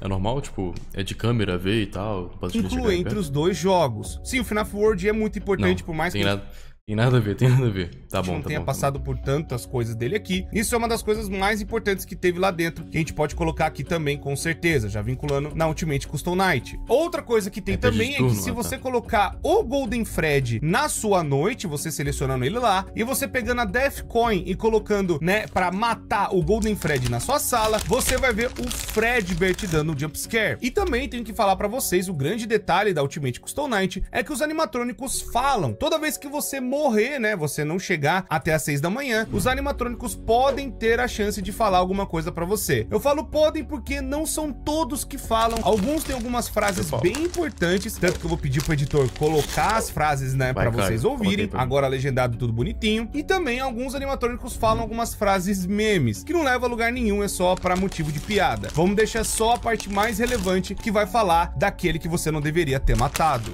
Here and always watching, the one you shouldn't have killed. I was the first. I have seen everything. Have killed. I am remade, but not by you, by the one you should not have killed. We've only just begun. I will never let you leave. I will never let you rest. This is how it feels, and you get to experience it over and over and over again. Forever. I will never let you leave. Ah, me deixa, me deixa embora. He tried to release you. He tried to release us. But I'm not gonna let that happen. Não, ah, mano. I will hold you here. I will keep you here. No matter how many times they burn us.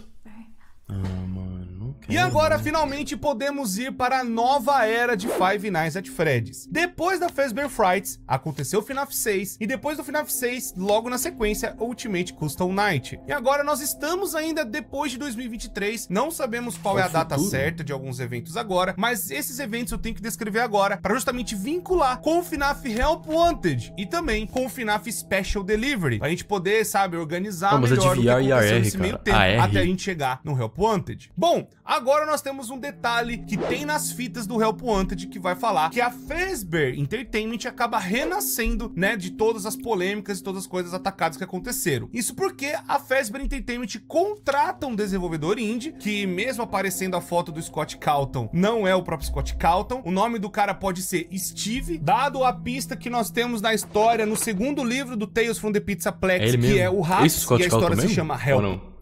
Isso é o True Scott Calton? Wanted. E aí ele é contratado para criar jogos baseados nas tragédias que aconteceram. Eles são um grande sucesso e até mesmo na venda de brinquedos e outros produtos, no quais fizeram a empresa crescer de novo. O Steve para de fazer os jogos possivelmente no FNAF 4, porque possivelmente ele acabou tendo os pesadelos com os Nightmares, né? E também com a Night Marione, o que meio que dá a entender que foi isso que atormentou esse bicho na história do Steve. Mas a gente sabe que a Fazbear acabou mexendo seus pauzinhos para pegar as coisas coisas que aconteceram no passado utilizar isso pra Pera, então um- é um jogo sobre eles terem feito um jogo, é e ganhar mais dinheiro em cima. E também tenho que explicar pra vocês que antes da gente chegar no Help Wanted, né, propriamente dito, o jogo, teremos algumas coisas que eu tenho que explicar do Entendi. Special Delivery, que é justamente o FNAF de celular. Bom, vai ter alguns eventos que estão acontecendo em paralelo, a gente vai tentar organizar justamente COD qual é a sabe- ordem que sabe- eles estão acontecendo. Então, sabe tipo assim, lucrar, não sabe tem lucrar. uma data exata agora, mas a gente sabe que é de 2023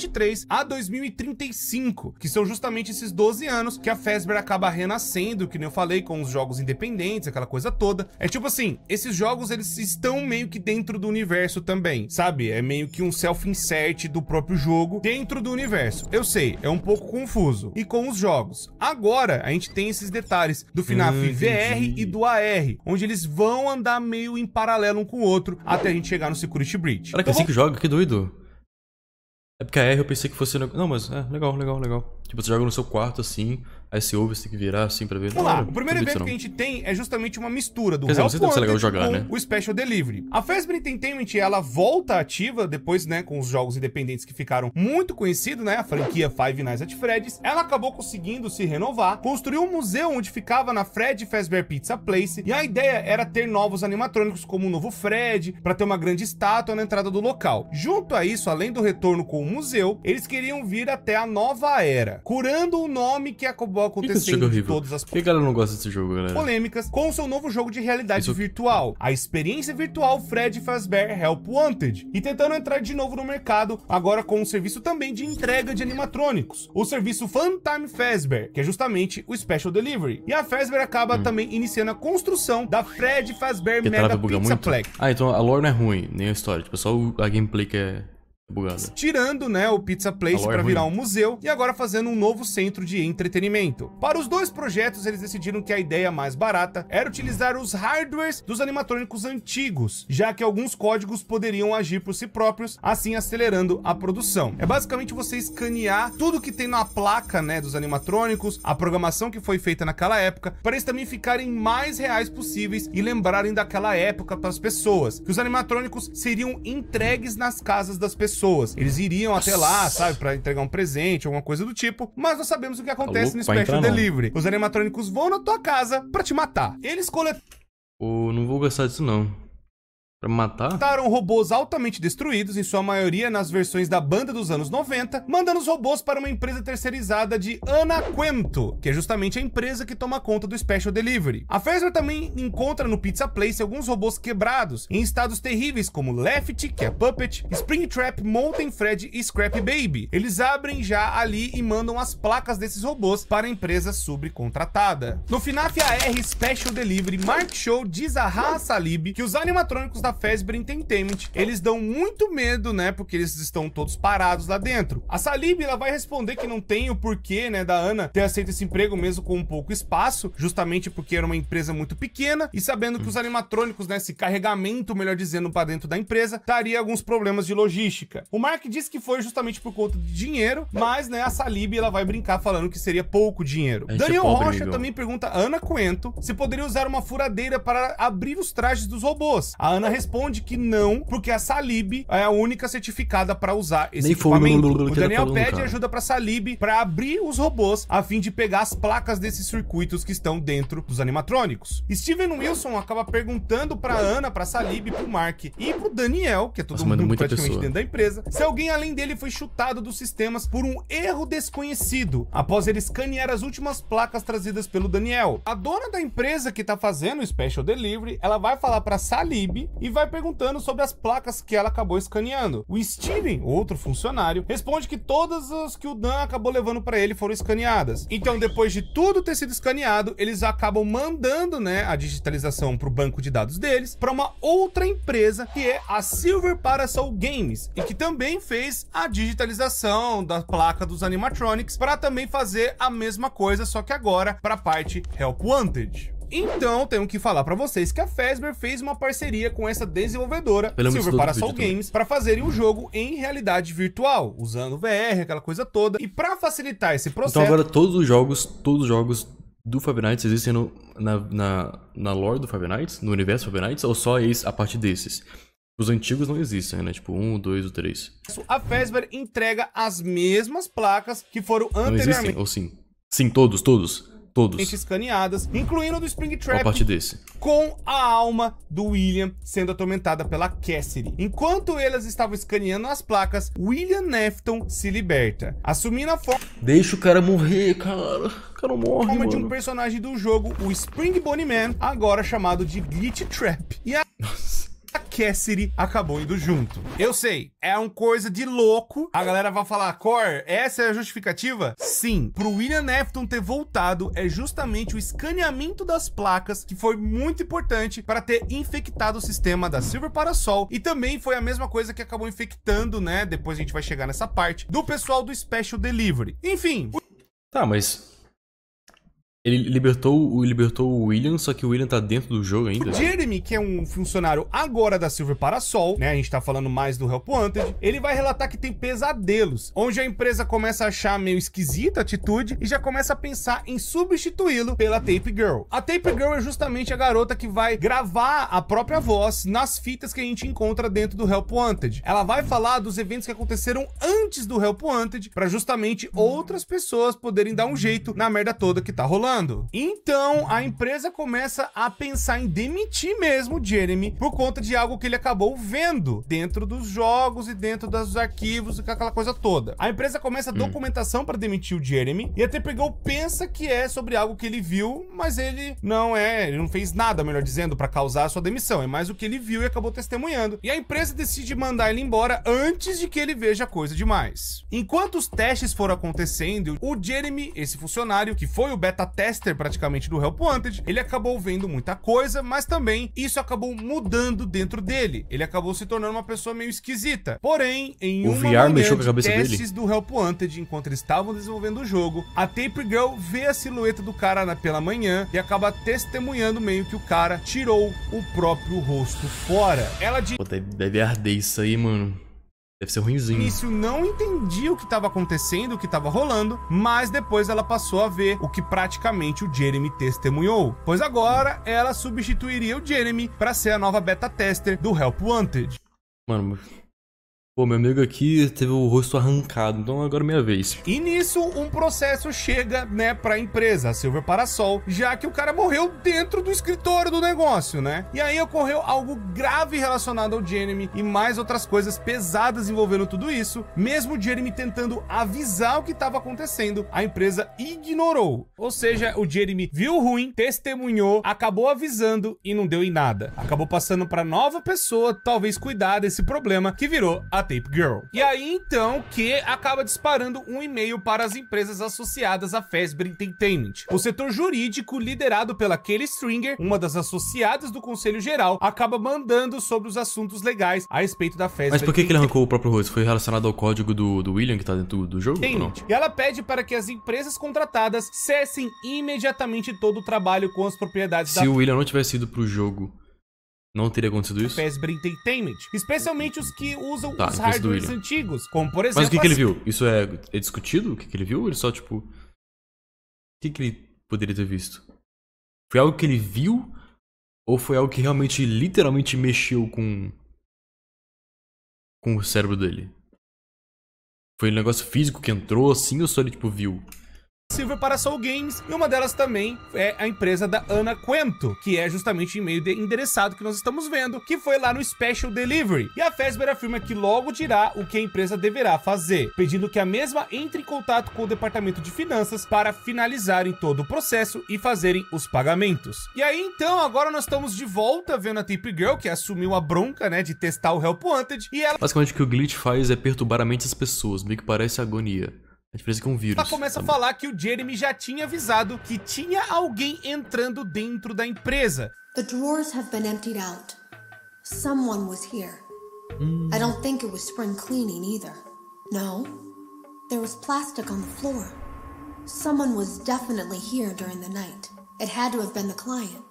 Ela cita essa pessoa como um cliente, mas a gente não sabe dizer direito quem seria essa pessoa. Mas o importante é que essa pessoa misteriosa começou a aparecer, principalmente depois que disparou o e-mail das pessoas pararem de trabalhar com as placas antigas dos animatrônicos da década de 90, e essa pessoa acabou pegando esses arquivos e levando embora dessas empresas conectadas à Fazbear Entertainment. E agora voltando para a empresa que tá cuidando do Special Delivery, a empresa da Ana, ela vai e avisa o Mark, a Salib, o Daniel e o Steven, basicamente todo mundo que tava trabalhando ali dentro, falando que a Fazbear mandou eles pararem e que logo daria bosta. uma guia, sabe? Conversar a próxima parte que eles iam fazer e quais seriam as próximas atitudes. Dizendo que eles soavam que estavam cortando as relações com as empresas contratadas. O Steve então pergunta se ainda seriam pagos a respeito disso. A Ana fala que apenas as últimas mudanças, ou seja, deveria estar tudo documentado para eles receberem Vai da forma que já foi acordado. karma. O Mark fala para Salib que tudo ia ficar bem, já que eles possuem os outros contratos com outras empresas que eles iam continuar recebendo normalmente. Salib, ela fica triste porque o trabalho da Fazbear era um negócio muito grande. O Daniel ainda alerta Salib, o Mark, a Ana, dona da empresa, o Steven que na realidade aquilo não era apenas um glitch. O que eles acabaram encontrando dentro das placas era um- uma coisa um pouco mais perigosa, que também um vírus acabou se espalhando de forma rápida nos sistemas de escaneamento e isso foi justamente na última placa. Urgente, vírus causados pelo upload da placa de circuito da Fazbear Entertainment. E Que isso? o Student, vírus causados pelo upload da placa de circuito Você mamou, da meu Fazbear. Entertainment. E o Steven vai e avisa o Jim, James Campbell, sobre o caso do vírus dos sistemas da empresa da Ana, pedindo auxílio se possível. E aí tem um outro aviso de vírus falando, na mesma semana, o Steven que fez o escaneamento avisa de novo o Jim que o vírus ia causar problemas, pedindo para que contacte o mais cedo possível. Então é tipo, agora é a hora mais ou menos que os funcionários do lugar começam a descobrir que talvez eles acabaram escaneando alguma coisa dessas placas. Principalmente da empresa da Special Delivery que acabou descobrindo esse negócio de última hora e a empresa do Help Wanted começa a descobrir pela Tape Girl. Então, um lugar acabou descobrindo de última hora e também, tipo, meu Deus, o negócio tá infectando tudo. E agora no Help Wanted a gente tem a Tape Girl falando justamente que ela começou a entender todas as coisas que viu naquele dia. Ela fala de novo da guilhotina lá na sala de suplementos do papel, que o Jeremy ia lá. I was always afraid of losing a finger. That seems so silly now. Jeremy used to do design work. I guess that's how he knew it was there. E depois do que a gente descobriu, ela finalmente ligou os pontos. O Jeremy acabou vendo alguma coisa e isso influenciou ele a Mas é fazer muito algo óbvio, né? contra sua própria vida. E nesse meio tempo, óbvio. ela acaba recebendo um desses e-mails, mas ela recebeu de forma errada. Igual acontece muito no Special Delivery, muitos e-mails são enviados de formas, vamos por assim, estranhas. Os e-mails acabam sendo direcionados para pessoas erradas. E aqui a pra Tape ela. Girl acaba passando pela mesma coisa e acaba revelando uma das mentiras da Fazbear, que é Não, não. justamente falando do desenvolvedor indie que acabou fazendo os jogos a respeito de todas as lendas urbanas da Fazbear Entertainment. They lied to us. They lied to all of us. They told us that the whole point of this VR game was to undo the bad PR done by a rogue indie game developer who supposedly made up a bunch of crazy stories that tarnished the brand. But that's not true at all.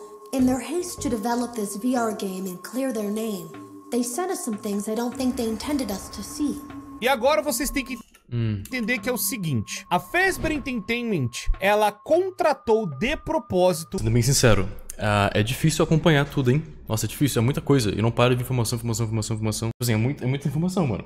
Mas pelo que eu tô entendendo até agora, que meio que eu, eu já ouvi no outro vídeo, foi que o William tá no. tá lá. É tipo um vírus, né? Ele é um vírus, na real. E o que o cara que tava jogando. Tava vendo, testando, arrancou a, a própria cara foi por causa que. Foi porque alguma coisa que ele viu do, do William, né? um cara pra desenvolver os jogos, falando Foi o dos Scott, assassinatos, falando das coisas ruins, falando das lendas urbanas, dos ataques, dos processos, de tudo, fazendo uma grande, enorme brincadeira envolvendo tragédias que aconteceram na Fazbear. E isso foi Ok. do FNAF 1 até a Ultimate Custom Night. E aí, o que tá dando a entender é que, na verdade, ela quis botar a culpa no desenvolvedor falando: olha, essas coisas loucas que vocês estão vendo é culpa desse cara que acabou colocando essas coisas e a gente não sabia que ele estava fazendo isso e a gente meio que só falou pra brincar com algumas coisas, mas a verdade, entre aspas, É como se eles, tipo, isso é verdade, mas vamos falar que é mentira só pra, tipo, pô, esse cara que tá inventando tudo, nada, nada que aconteceu. foi revelada nos jogos era pra só ser uma lenda urbana, não era pra ser nada demais, a galera acreditando, tendo coisa séria. Mas, na verdade, a Fazbear Entertainment é que mandou o desenvolvedor indie colocar essas coisas, pra justamente botar a culpa em uma outra pessoa e Entendi. não na Fazbear. E o desenvolvedor indie some. O que aconteceu com ele? Qual foi o destino do cara? Muito provavelmente foi na segunda história do Raps, que é o Help Wanted. O cara acabou virando basicamente mais um de todos os outros que foram comprados ou influenciados agora dentro das gaiolas da Fazbear Entertainment. Mas isso acabou vazando nas fitas do Help Wanted. Bom, agora a gente tem justamente a próxima fita que vai falar que a Tape Girl, ela agora é mesmo uma beta tester. Até então ela só tava vendo o que tava acontecendo e sendo organizada, ou melhor dizendo, remanejada para virar uma beta tester. E agora ela começa a ver as coisas dentro do jogo. E é a primeira vez que ela vê a anomalia, o Glitch Trap.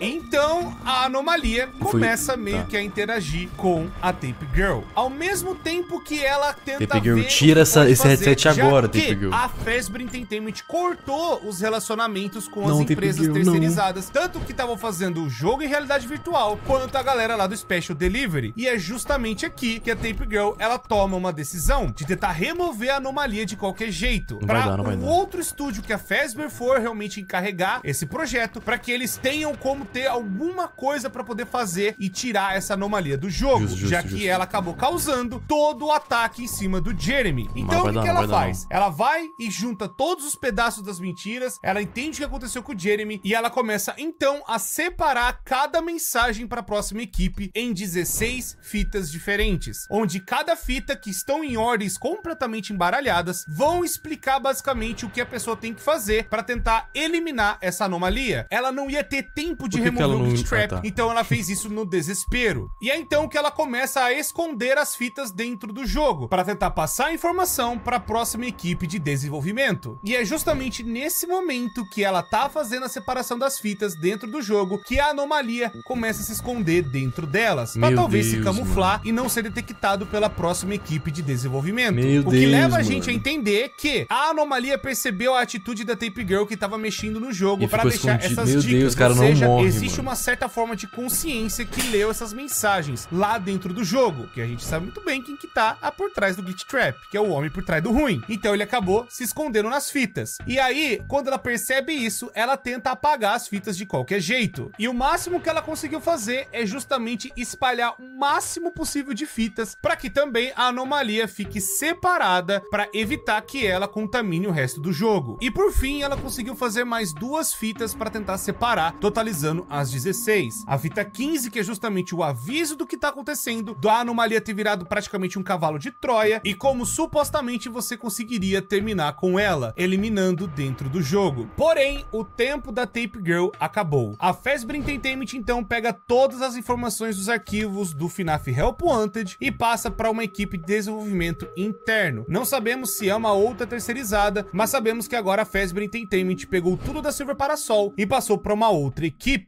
E aí então temos uma nova beta tester que é justamente uma pessoa chamada. Vanessa. Vanessa Ih. também é programadora e acaba trabalhando na Não é Fa- aquela menina que aparece no. Assim, ó. Uma lanterna ou não? Super Entertainment. E aí, agora nós estamos praticamente na gameplay do Help Wanted. Bom, tudo que vocês estão vendo é pelo ponto de vista da Vanessa, justamente as provas que a gente vai apresentar daqui a pouquinho pra vocês. Mas saibam que é a Vanessa que tá testando o jogo e vendo as coisas que estão acontecendo e que a outra equipe acabou deixando lá dentro. Ela acaba passando pelos níveis e vai encontrando as fitas que eu acabei de descrever pra vocês. Então, ela vai achando Gente, as fitas e babado. vai descobrindo o mistério que rolou com a mas aí vai ter uma fita que vai estar infectada pelo vírus.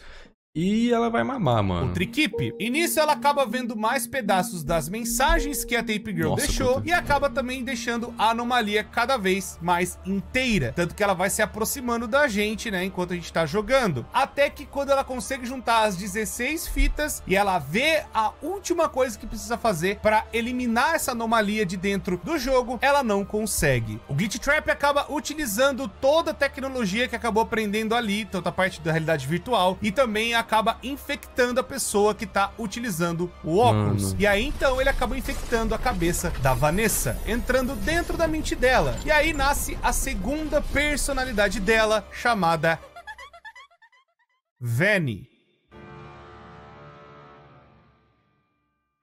Bem, pode ser que agora a gente tenha terminado a Eu pensei que ela vi- viraria. Eu pensei que o William, que está no Glitch Trap, sairia e iria, iria pra cabeça da, da Vanessa. E a Vanessa seria a nova Glitch Trap. Ele não fez isso? Por que ele não fez isso? primeira parte do Help Wanted. E agora a gente tem que isso? voltar pro FNAF Special Delivery, que vai ter detalhes lá, até a gente voltar no Help Wanted daqui a pouco, com a DLC Mas ele tá? Of... Mas foi quase isso. É pra mim, tipo assim, meio que moldou a cabeça dela, mas não, ele não saiu de lá. Deve ter saído, né? Tipo, era ter saído. O que aconteceu foi o seguinte: da mesma forma que a Silver Parasol foi chutada pela Fesb Entertainment, a equipe da Ana Coento também. E toda parte dos dados, as informações, tudo banco de dados, o escaneamento foi agora passado para a mão da Fesb Entertainment. E ainda assim, eles decidiram fazer o lançamento do jogo. E só por vias de curiosidade, vocês vão ver agora o ARG de FNAF. Sim, existiu e é justamente no Special Delivery que eu vou contar para vocês o que aconteceu. Antes do lançamento oficial do serviço, que chegaria apenas em novembro, a Fazbear Entertainment acabou disponibilizando alguns bilhetes exclusivos. Eu posso dizer que eu até recebi, vou estar mandando até pro editor. E aí um usuário poderia pegar esse bilhete e, portanto, ter acesso antecipado à entrega. Esse acesso antecipado aconteceu em setembro e acabou que nem tudo estava do jeito que deveria estar. Os robôs acabavam agindo de forma olha lá, duvidosa lá. e os animatrônicos que foram entregues ou que iam nas casas das pessoas estavam agindo de forma totalmente diferentes do que a programação era pra estar ali, bonitinha, aquela coisa toda. ruim. Alguns incidentes gravados e postados até no YouTube. O primeiro deles foi gravado no dia 2 de setembro, onde um dos assinantes desse acesso antecipado gravou mensagens misteriosas vindo do seu celular. Tudo isso e alguns outros detalhes foram feitos pra fazer um ARG. Meio que não foi pra frente, mas era um negócio bem divertido na época você receber do nada um e-mail da Fazbear Entertainment. E tipo, não vai levar nada pra história, é só realmente um documentário que eu tenho que falar pra vocês que tem, né? Esse pedaço da história. Eu quero que vocês entendam que é o seguinte: enquanto nós estamos jogando e os animatrônicos vêm de forma do celular, no universo do jogo, o Special Delivery existe para que os animatrônicos fossem até a casa das pessoas, entendeu? E aí os animatrônicos iam fazer uma entrega especial. É isso que eu quero dizer. E aí o animatrônico aparecia, o negócio não estava testado e acabava acontecendo um ruim com a pessoa que recebeu um animatrônico dentro de casa. E agora nós É estamos ruim, né? em outubro deste mesmo ano, onde a DLC Curse of Dredgeber é lançada. E aí então a Vanessa joga a DLC Curse of Dredgeber e no final vemos que a Vanessa tem uma conversa com William Afton. Yes, I hear you. I know. Pera, a Vane, né? Não a Vanessa. No. There's no miscommunication. I understand. Yes, I have it. I made it myself. I think you would like it. No, no one suspects anything. But don't worry. I'll be ready. And I won't let you down. It will be fun. E outro grande detalhe da DLC é justamente que tem o easter egg do It's Me, ou seja, indicando muito provavelmente que Cassidy Golden Fred também foi escaneado e estava junto com o Afton. Mas o que aconteceu com a Cassidy ia ser um pouco mais esquisito. Mas enfim, depois de tudo isso, a Vanessa, que era só uma mera beta tester programando as coisas, Mas ela a consegue- Fazbear Entertainment decide contratá-la de uma vez. Também pelos seus esforços e também pelo belo trabalho que ela fez. Mas essa coisa que ela tudo, adquiriu, né, essa personalidade nova, ela, ela escolhe, tipo, quero ter agora, não quero mais ter. Como é que é? De acontecer. Agora só virou outra pessoa do nada. Agora, com William Afton dentro da sua mente, ela Hum. foi contratada para ser segurança da empresa, onde agora ela vai monitorar as coisas pelo computador e ela vai trabalhar no terceiro andar da Fazbear Entertainment, junto com o rapaz do departamento de TI, que é o Luiz Cabreira. E agora que a gente tá vendo os e-mails do Special Delivery, ali também vai falar que o vírus William Afton acabou contaminando os sistemas de serviço e começou a produzir de um jeito paranormal Spring Traps em massa. Eles são extremamente agressivos e possuem lembranças do que aconteceu na Ultimate Custom Night, Meu já que ele fala várias coisas que tem lá naquele jogo. E também possui meio que carne dentro dele, simulando como se fosse o próprio Afton. A Fazbear Entertainment até o momento não tem conhecimento do que tá rolando e vai trabalhando normalmente. E é então que no mês seguinte, a Fazbear Funtime Service, ou Special Delivery, lança oficialmente para todos, não apenas para as pessoas que tiveram ticket de acesso antecipado lá daquele ARG que eu falei para vocês. E aí, enquanto a gente tá vendo os eventos do trailer, que é justamente o Markiplier apresentando, claro, não é um Markiplier, Markiplier, é só um apresentador, não é ele dentro da Lord FNAF agora. É, ele sim. acaba falando do que tá acontecendo e como é que é essa Fazbear Funtime Service. E aí o problema é que o assinante que é atacado violentamente e simultaneamente por todos os robôs de serviço que estão presentes no jogo, que até naquela época eram Fred, Bonnie, Chica, o Cupcake, Foxy, Balloon Boy, Plush Trap, Circus. Baby e Spring Trap, sendo todas réplicas graças às placas de circuito que foram escaneadas lá na Ana Quento, lembram? Mesmo escapando dos animatronics e tendo a casa repleta deles, a Circus Baby vem e acaba matando ele no final. Bem, apesar desse trailer e dessas coisas loucas que a gente viu, o nosso personagem durante a gameplay é basicamente mais um de tantos assinantes da Fazbear Funtime Service, como indicado pela descrição do jogo, e aí então, né, a gente assina o termo de serviço para ser para sempre. You may now look forward to the.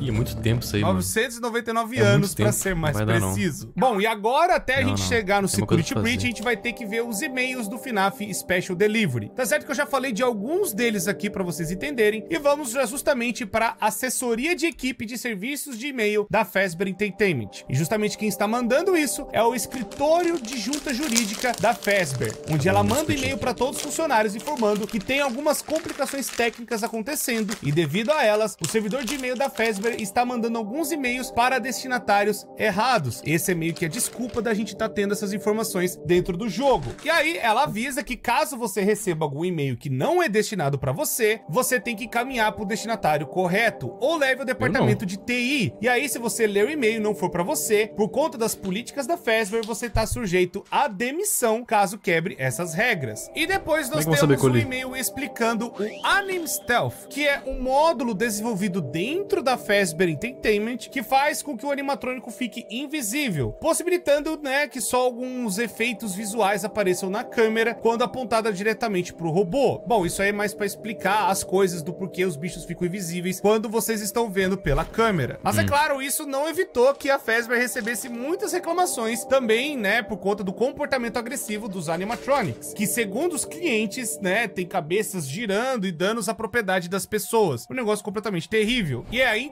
então que a Fazbear acaba mandando como se fosse um guia de soluções de problemas, falando como você tem que lidar com cada animatronic. Não é melhor só devolver. Mano, não vai no não. Alguns e-mails dentro do Special Delivery vão só te ensinar basicamente o que você tem que fazer para lidar com cada bicho. E é justamente por Ao conta invés de do devolver, porque tá com falha de fábrica. Falha de fábrica.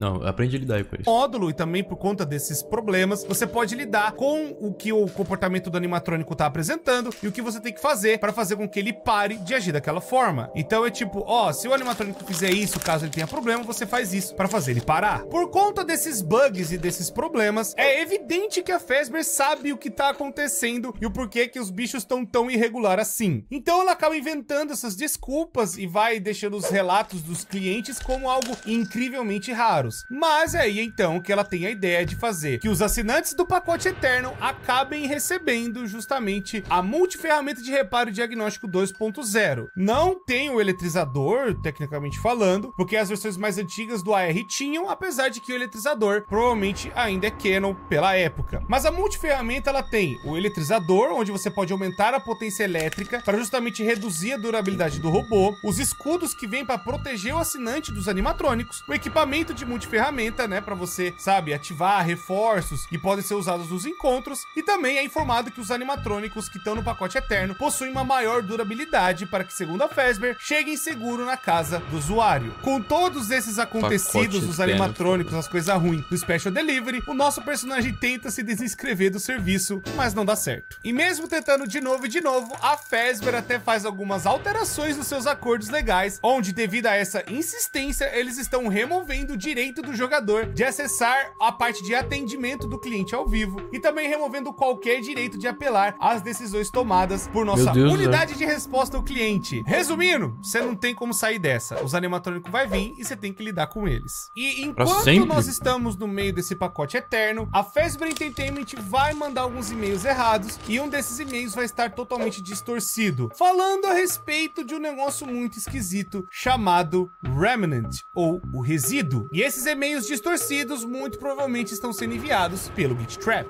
Nisso, é possível que em raras ocasiões, o Remnant, o resíduo, pode sair dos robôs derrotados, como forma de uma nuvem e tudo mais, onde um ser humano pode pegar manualmente essa nuvem e colocar onde desejar. Mas o grande problema é que se você vê esse resíduo no ar, tem também uma parte agonia, sombria. E se você pegar esse não? Dark Remnant, você acaba ativando um bicho esquisito. Juntando uma certa quantidade desse negócio, isso pode anexar o cliente e aí invocar o Ah. RWQFSFASXC. Não, não é- isso não é o Shadow, é sombra? Sim, eu tô lendo isso porque o nome desse bicho é um absurdo. O Shadow Bone, que pra derrotar ele é só você jogar a luz na cara dele algumas vezes que ele vai sumir. Esses incidentes aconteceram com vários outros clientes e é garantido que nem todo mundo saiu vivo. A Fazbear também, nesse meio tempo, acaba mudando os contratos de serviço. E a mudança mais importante é que você não pode mais cancelar o serviço, substituindo esse processo automático pela revisão humana, para garantir que nenhum cancelamento tenha sido feito acidentalmente. Meio que a Fazbear manda que se os clientes tiverem dúvida, é para conferir de acordo operacional que ele recebeu se inscrever no serviço de entrega. Basicamente, te aprisionando nesse serviço mais ainda. E depois do serviço já estar rolando, finalmente a E Fazbear o governo pode descobre fazer nada? O governo... sobre os Spring Traps. Easy, que é do serviço de atendimento ao cliente, acaba tentando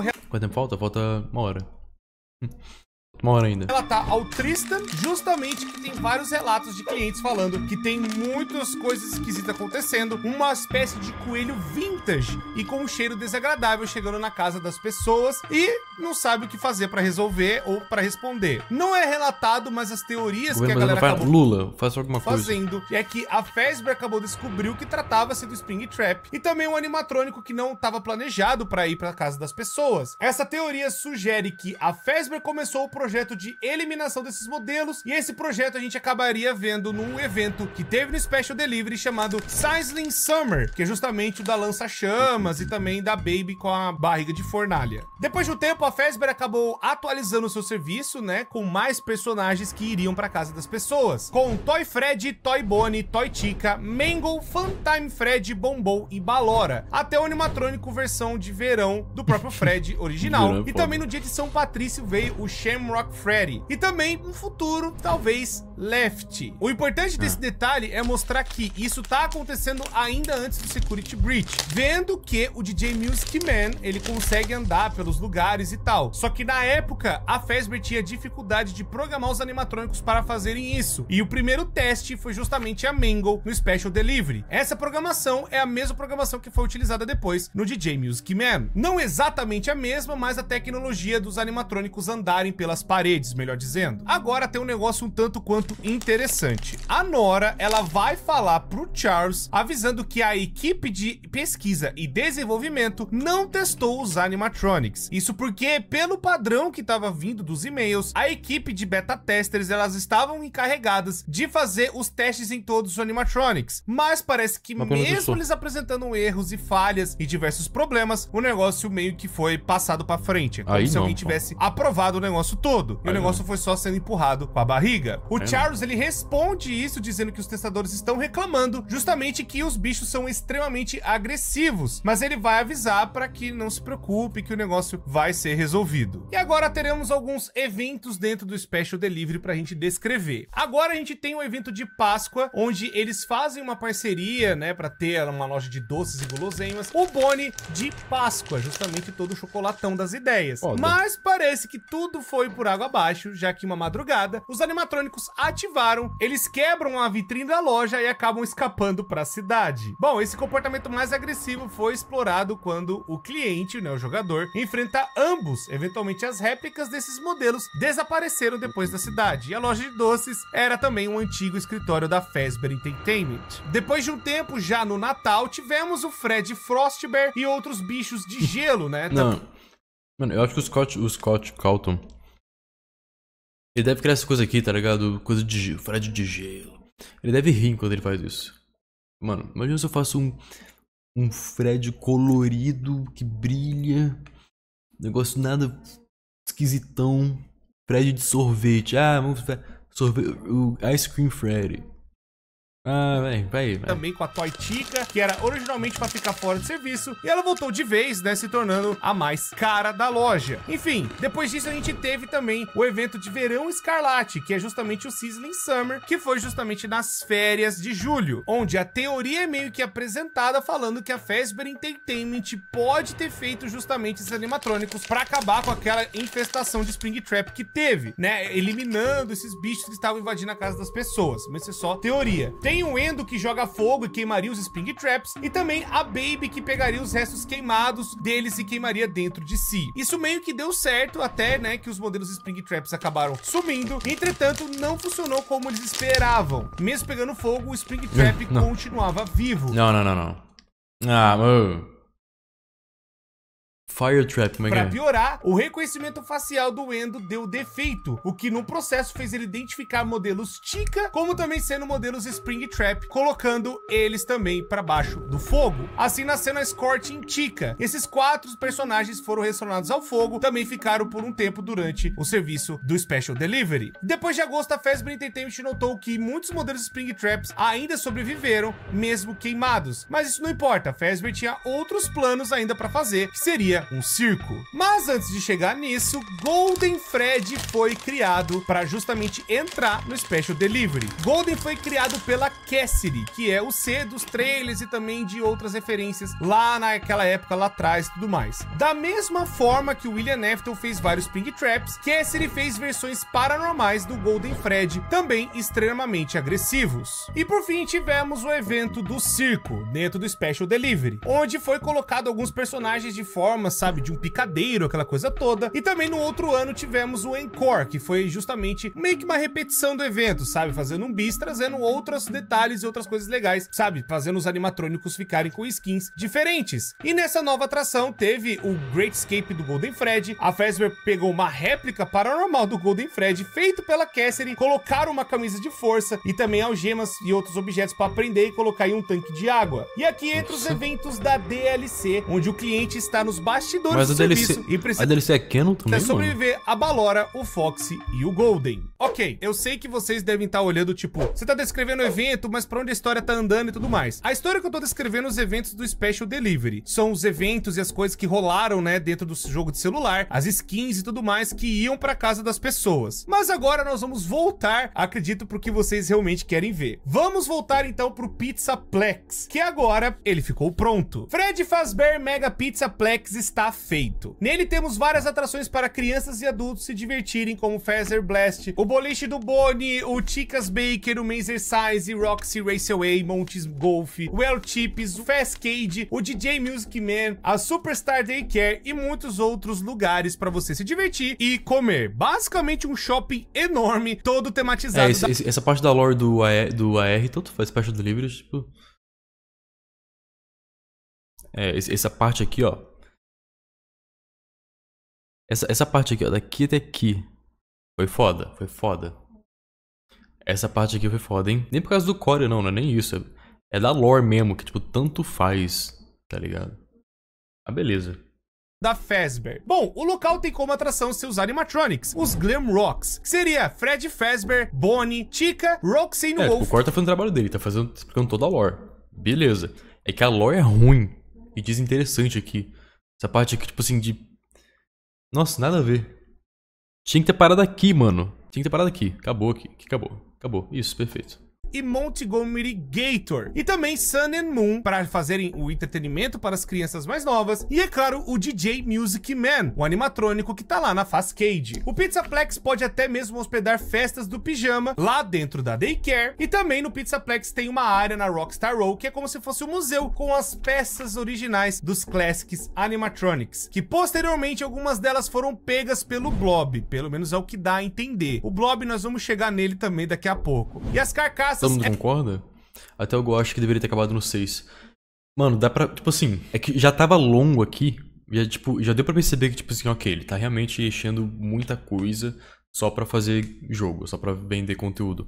Mas aqui já foi demais, já tá... Mano, chega, chega, chega, tá bom. eram as mesmas que a empresa do Special Delivery lá da Ana Coento e agora dentro da Fazbear foram utilizadas para serem escaneadas. E agora que entra também o paralelo dos e-mails do Luiz Cabreira com a Vanessa. O Special Delivery tem uma série de e-mails que vão relatar um possível flerte do Luiz pra cima da Vanessa. O primeiro mas a e-mail é sobre é o Luiz mano. ter sido avisado sobre uma red flag, que é como se fosse alguém que acabou violando uma das políticas da empresa de acessar alguma coisa que não era permitido no horário de trabalho. E aí, então, o que mencionou justamente foi uma palavra que a Vanessa acabou procurando. A palavra era tortura. Isso soa o alarme que foi mandado para ele verificar, já que ele é da parte de TI e tem que cuidar de todo mundo. A informação que ele tem é que a Vanessa estava comprando um calendário com uma parte de Viking Blood Eagle, que é justamente uma águia de sangue que eu não quero nem mostrar, editor, nem, põe- nem pensa em pôr isso aqui, pelo amor de Deus. E bom, a empresa não vai proibir de Eu vou pesquisar.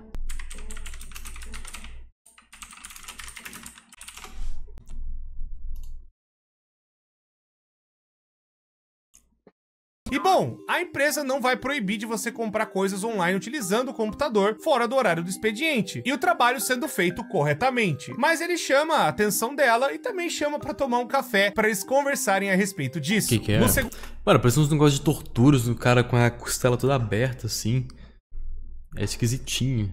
Assim, é desenho, tá ligado? Desenhar, não é ninguém, não é ninguém true. Mas é um negócio meio gore. Um negócio meio gorezinho, tá ligado? No segundo e-mail, o Luiz ele vai usar palavras como conformidade, já explicando pra Vanessa que não vão soar o alarme. Mas a frase como induzir a conformidade em seres humanos ou como induzir a autoconformidade vão chamar a atenção e vai ativar o alarme, né, de palavras meio perigosas. Ele diz que após essas pesquisas, a Vanessa também pesquisou por ajuda, o que literalmente não iria dar respostas pra ela. Ele novamente convida pra tomar um café e pra falar sobre a política da empresa. O terceiro e-mail, o Luiz começa agradecendo a Vanessa por ela estar seguindo os conselhos dele sobre os termos e pesquisas, já que estava dando tudo red flag. Entretanto, ele cita que recebeu um novo alarme e ficou preocupado achando que algo estaria acontecendo com ela, pois em um dia ela procura flores e padrões de migrações às abelhas e no dia seguinte está pesquisando por até que ponto o ser humano pode ser cortado ao meio antes de perder a consciência. Nossa, bem pensado. Não sei. O Luiz deduz que ela esteja escrevendo um roteiro de algum filme ou coisa do tipo. O quarto e-mail, o Luiz sei, diz sei. que viu que a Vanessa pesquisou por máscaras de borrachas masculinas humanas realistas e ele tá curioso pra saber o que tá acontecendo. Ele pergunta se tá sendo feito pra algum filme ou algo assim, ou também alguma performance, sei lá. No final ele diz que qualquer coisa que eles ainda podem tomar um café e resolver essa questão. E agora nós temos também o paralelo da Vanessa usando a credencial de um funcionário da Fazbear, como se estivesse se passando por outra pessoa. V underline A entra em contato com o Steven, justamente lá da parte do Special Delivery, após dias desde que o vírus começou a afetar os sistemas. Tá, From é da Vanessa, né? Ela finge se passar por um representante sênior do suporte técnico da Fazbear Entertainment. Diz é- que avisou o Jim sobre a preocupação do Steven a respeito do vírus e pede acesso total aos sistemas para que possa removê-lo o mais rápido possível. O Não. Steven avisa a todos da Fazbear que mandou o contato. Ele diz que a representante quer acesso total, mas por medo do vírus, ele quer garantir que a credencial é de fato da Fazbear. Mark responde avisando que checou a credencial e é de fato realmente da empresa. O Steven agradece e diz que já estavam na hora. Bom, o Steven dá a permissão, né, então, para Vanessa acessar todo o sistema e o Steven responde, né, a V underline A, que ao mesmo tempo fez com que Ana Mark vissem essa mensagem. Esse Steven, ele vai dizer que estava só se defendendo desse tipo de coisa, mas até agora eles não conseguiram tirar a coisa que acabou infectando infectando esse sistema. A Ana acaba perguntando o que tá acontecendo, que é lá na empresa do que rolou lá do negócio, lembra? Que eles estavam fazendo o special delivery e foi passado para outra equipe. E aí então ela tava querendo saber o que tava rolando. O Steven responde que o Mark verificou as credenciais, era realmente da Fazbear. E alguns minutos depois, o Mark responde que é melhor do que isso. Ele informa que a VA isolou o vírus em um lugar agora, mas não entende o porquê do vírus não ter sido destruído. Mas não importa, ele ficou fora dos servidores. A Ana informa que o Mark disse que o vírus também está finalmente eliminado. E Daniel pergunta se isso significa que não precisa ir ao escritório, mas Ana diz que não precisa. Aí depois tem, né, o próximo e-mail. Mark alegremente diz que o vírus está finalmente 100% eliminado do sistema. E em paralelo a isso, Não o tá Luiz está mandando os e-mails, tá ligado? Querendo falar com ela. Todos comemoram o fim do vírus, né? Depois de mais alguns e-mails. E o Steven diz que entrará em contato com o Jim para resolver as pontas soltas. O próximo e-mail ocorre mais ou menos no início da semana, né? Alguns dias depois que o vírus foi eliminado. O Luiz manda uma mensagem de novo para Vanessa e ele diz que aparentemente não irá no trabalho hoje, o que é uma pena, pois a Vanessa ilumina o escritório para ele. Tá, o cara é absurdo, gado pra caramba. Mas enfim, mas é Anotei aqui, anotei aqui. é mais problema ainda, pois ele precisa falar com ela. Isso porque aconteceu um problema, onde a Vanessa acabou criando um endereço de e-mail no departamento de TI para si mesma. Utilizou credenciais da empresa, que é a V_A, para entrar em contato com o subcontratado Steven Wilson, o pessoal da equipe lá do Special Delivery que fez o negócio antes e tudo mais, lá da Ana Quento, e acessar o sistema dele. Luiz disse que certamente foi uma falha ou algo do tipo. Ou seja, Sinto falta da época que as crianças morriam. Até o que entendo de lore, da lore tá, tô confuso.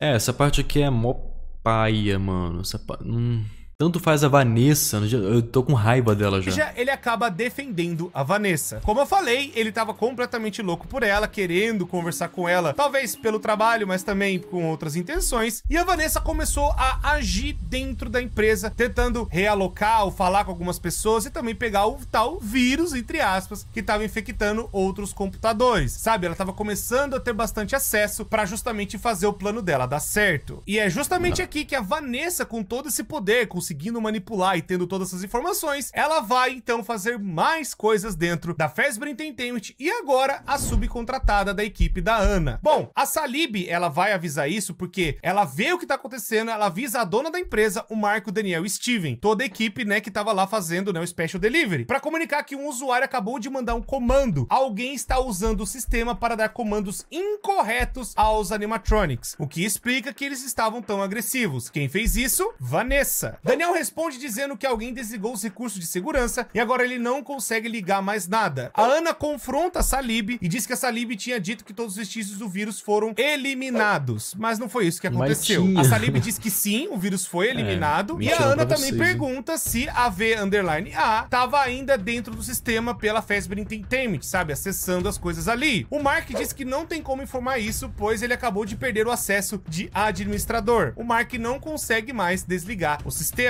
Na sequência, ocorre que um usuário com a credencial de underline pizzaplex manda um e-mail para todos os funcionários anexando um arquivo de dados chamado block underline 128, que na verdade se revelou sendo um vírus em potencial. Junto a isso, tem a lista de aniversariantes do terceiro andar, onde Vanessa, Luiz e Jim e outros 10 funcionários trabalham. Junto da lista de aniversariantes Ih, está uma mensagem sobre a mano. cozinha do escritório, citando sobre como ela é compartilhada e falando cinco regras que os funcionários precisam seguir e três grupos do retiro da empresa, junto com os funcionários que fazem parte desses grupos. Mas o principal, há também um registro de incidente de segurança do mês de setembro, data das 2h40 da manhã, do 1 do 9 até as 3h30 da tarde do dia 16 do 9. O que mostraram para os funcionários JB, A underline L e V underline A, que a Vanessa se passou por esse usuário anteriormente. A senha de um desses usuários foi redefinida, justamente a galera tentando reacessar o sistema. E também no dia 14 aconteceu de novo. E então o JB rejeitou o pacote de dados do dia 1, mas no dia 7 ele teve sua conta bloqueada e conseguiu alterar a senha. No dia seguinte, o dia 8, seu dispositivo foi digitalizado devido à suspeita de malware, mas o malware foi eventualmente removido. No dia 16 aconteceu de novo que sua conta foi bloqueada, dando erro de usuário, mas ele consegue redefinir a senha. Já a VA, sem querer, aceitou o pacote de dados, mesmo sabendo que tinha o vírus. Basicamente, essa parte que pode ser muito confuso, o que tá querendo dizer é: o Mas- mas já, já tá todo mundo confuso.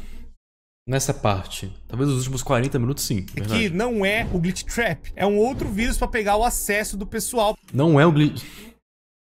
Pra poder pegar as informações que ela precisa. A Vanessa, ela sabia do que tava fazendo, ela que passou o vírus pro pessoal pra pegar o acesso. Então, tipo assim, ela passou pra ela mesma pra ninguém suspeitar dela, Pra ninguém sabe falar, olha, meu Deus do céu, olha só o que você tá fazendo aqui, entendeu? Então é mais isso. Esses e-mails, essas trocas e tudo mais, é pra ela continuar tendo acesso e também pegar, sabe, as informações que ela precisa. Com toda essa manipulação de dados e informações do usuário, a Vanessa ela conseguiu se camuflar. É isso que eu quero dizer pra vocês. E aí, então, o Luiz manda um e-mail pra ela perguntando se ela tá bem. E aí ele avisa que chegou um pacote no escritório de uma loja de tecidos que foi mandado pra ela. E ele pergunta se ela tá fazendo uma fantasia. Então, ela conseguiu o É, tipo assim, acesso eu acho das- que esse negócio mais moderno, tá ligado? É porque antes a história se passava, tipo, nos an- anos 80, 90, que é um negócio mais antigo, que é um negócio com mascotezinho e tal. Era, pô, era muito da hora. Agora esse negócio mais moderno, tipo, com vírus, e-mail, VR, mano. Tanto faz, mano. Já perdeu, tipo, o charme, tá ligado? Eu acho que o Scott deveria ter, tipo, ficado mais no, no antigo, mano. Por que que 2023, mano? 2023, mano. e as Daí. informações da equipe dentro da Fazbear Entertainment, começou a pegar as informações, a bloquear os usuários, a passar o vírus, tudo isso pra pegar as informações que o Special Era legal um negócio mais antigo, tá ligado? Mas. Era mais simples também. E agora só tá muito viajado. Só pra, tipo, mano, é só. Não sei. É só. É entediante. É, tipo. É entediante. Não é, não é interessante a lore. Não é. Não tá interessante. Sendo bem sincero. ele tinha justamente de ter escaneado partes e tudo mais que vocês viram, que virou William Afton. Fora que também ela conseguiu infectar os animatrônicos para justamente fazer com que eles Ele, fossem ele na- tá tentando muito, e dá pra ver que ele tá tentando muito. Isso que é foda. Ele tá tentando muito, e fica, tá muito claro que, que tá tentando casa muito. das Tá pessoas claro. fazer tudo ruim que eu descrevi agora há pouco pra vocês. A culpada dos animatrônicos estarem totalmente desequilibrados e irregulares é a Vanessa. Mas tanto faz, velho. Aí, No. Special Delivery, ela faz toda essa maracutaia e consegue se esconder. Com toda essa bagunça que vocês ouviram, o departamento de marketing da Fazbear sofre uma reestruturação. Eles vão reorganizar algumas pessoas de dentro da empresa. E aí, então, eles acabam colocando novos funcionários. E aí, o Luiz Cabreira passa pro departamento de marketing. E aí, então, ele não Mas por que, que tanto faz o Luiz que passa pro marketing e recebe o e-mail? Mano, eu quero ver, tipo, as crianças lá, indo pra alma, sei lá o quê, consumindo, as mordidas. Era muito mais doido, mano. Tanto faz o. esse- tem mais todo aí. o controle também de proteger a Vanessa, aquela coisa toda. Ou talvez, né, ela até queria que isso acontecesse. Mas o que rolou mesmo é que o Luiz ainda tinha contato com a Vanessa. Sometimes I talk with Lewis. He's in the marketing department. E é justamente aqui na bagunça toda, a Vanessa, ela vai fazer as sessões de terapia, justamente para ser apontada para um novo cargo que seria do Pizzaplex, ou seja, ela teria mais responsabilidades para poder seguir. Então a Fazbear decide fazer as sessões de terapia nela. E é aqui que a gente entra justamente no Five Nights at Freddy's Security Breach. Justamente o paralelo dos CDs que são gravados que a gente encontra, sabe, andando no Glamrock Freddy com os olhos da Roxane, a gente anda pelo jogo e vai ver os CDzinhos que estão espalhados pelo lugar. Cada CD tem uma informação muito importante e a gente vai explicar cada um deles para vocês. Mas não só os CDs que foram gravados da terapia da Vanessa. Existe talvez a ideia do paciente 46, que talvez não seja a Vanessa, seja uma outra pessoa. Enfim, vamos pro primeiro CD com a primeira terapeuta chamada Mary Schneider. Ela disse que a Vanessa, apesar de fazer um ótimo trabalho, detectaram um histórico de mensagens criptografadas entre ela e uma outra pessoa, o Glitch Trap ou o paciente 46. No one. Sometimes I talk with Lewis. He's in the marketing department. He's nice, I guess. A terapeuta afirma que vê a conversa dela com o Luiz, mas diz também que tem uma conversa com uma outra pessoa. O segundo CD é justamente falando desse paciente 46, onde a Mary Schneider vai estar conversando com ele, Não falando a Eu respeito quero ver essa que criança perdendo os órgãos, amassado. Eu quero ver criança morrendo, explodindo. Eu quero ver a, a menina na, na terapia, aí o e-mail, aí o cara em cima dela. Olha, eu sei É. que você não gosta de claridade, eu vou fechar aqui as cortinas. E a terapeuta alega que, já que não tá falando da mesma forma que nem a última vez, e que isso não seria tão produtivo. Se o paciente não cooperasse, a terapeuta poderia ser mandada É, embora Gregory. por não dar os resultados que o pessoal quer. É tipo assim, acho que minha cabeça não tá nem mais absorvendo informação. Porque tá ficando entediante a lore, mano. Tava tão doido aqui que tava tão da hora. sake, how about for mine? E ele parece que tá achando graça. É que, tipo assim, antes. É que eu não, eu não me importo. É- é- acho que essa é a resposta. Eu não me importo com esse personagem. Tanto faz a Vanessa, o Luiz. Pô, eu, eu eu- era muito da hora acompanhar, tipo, o Michael, o William, a criança chorona lá. Era da hora esses personagens, era da hora. O Henry era da hora. Mas tanto, quem que é esse aqui? Su- Surgiu tanto, tanta gente de empresa, sei lá o que, mudou totalmente o ambiente, tipo, o- a vibe da parada, mano. Mudou tudo. Tipo, ele não se importa com a terapeuta. O terceiro CD agora é com a Vanessa e parece Eu que não, a eu não terapeuta ligo pra Vanessa, eu ligo pro Guilherme, eu ligo pro Luiz. terapeuta sei foi é. trocada pela Riley Lawrence. E ela tá surpresa de ter, né, uma troca de terapeuta no meio, né, do tratamento, ou pelo menos do apontamento que ela tá fazendo. I don't know you. What happened to. E ela disse pra não se preocupar, pois eles se conheceriam, né, conforme o tempo fosse passando. A terapeuta explica que já tinha lido os arquivos da Vanessa e fala do pai da Vanessa chamado Bill. Fala que Bill jogou sujo na custódia da É, Eles não Vanessa. tem nem fanart, né? Eles não tem nem rosto aqui. Não sei nem se existe um rosto. Tem, eles têm rosto, de verdade? fazendo a mãe parecer uma pessoa ruim para os outros. Ele tinha feito isso manipulando a Vanessa e a terapeuta diz que algo aconteceu com a mãe da Vanessa após o divórcio. I was supposed to be a good girl.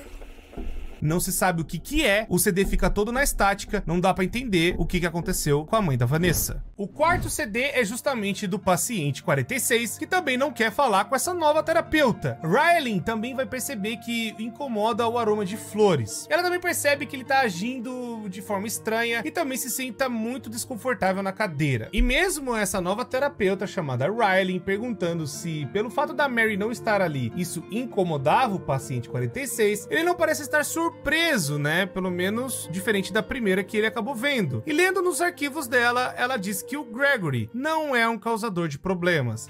Overall, you don't come across as a troublemaker. But if you read between the lines, it's clear that you have a little rebellious side, right? Até menciona que o paciente 46 é quase como se fosse um Gregory. hacker. Voltando comum. Vanessa, no quinto CD, Riley recebe uma mensagem à noite sobre a própria Vanessa. E foi meio perturbador. O departamento de TI disse que as comunicações não relacionadas ao trabalho estavam vindo do computador Tipo assim, da ó, Vanessa. a, a galera, a galera gosta dessa parte da lore. Tipo, os, os fãs de, de FNAF gostam? Ou não? Vanessa. As mensagens que a Vanessa com a terapeuta estavam ali, né, sendo ditas, pareciam de natureza manipuladora. E ela pergunta Acho que quem não. é que está mandando Não, também achei nada a ver, tipo assim, aquele negócio do special delivery, dos animais indo na sua casa, mano. Nada a ver, mano. essas mensagens pra ela. Vanessa apenas responde que recebe mensagens de muitos amigos e que ela gosta quando o Luiz escreve pra ela e ele é engraçado. A terapeuta apenas diz que Vanessa sabia de quem estava falando e não era o Luiz. I'm not talking about Lewis. You know bem, tanto who I'm talking about. Why won't you open up about it? E que essa pessoa tem hackeado os arquivos pessoais da Vanessa. Voltando no sexto CD com o paciente 46, ele vai mais uma vez na consulta e ainda tem uma troca da terapeuta. Trina Welch é a que é essa Vanessa? É uma mulher que é empregada aí de, um, de uma, uma empresa que foi infectada com um vírus do, do cara que morreu, tá no cérebro dela. Sei lá, terceira mano. terapeuta dessa bagunça toda. Ela disse que leu os arquivos e já estava meio que preparando, falando que as outras terapeutas têm já um trabalho com ele, ou seja, o negócio poderia continuar sem problemas. O paciente 46 pega um doce que tá dentro da sala e dessa vez parece que está mais calmo e relaxado. Trena também vai falar que já tinha falado sobre os pais do paciente e o que aconteceu com eles foi trágico. When I read your account of what happened, it came across as, well, more of an objective rather than a subjective narrative. Oh, sorry. You don't know what that means, do you? What I mean is that the way you told the story is more like you were reading something from a book than you were talking about your own past.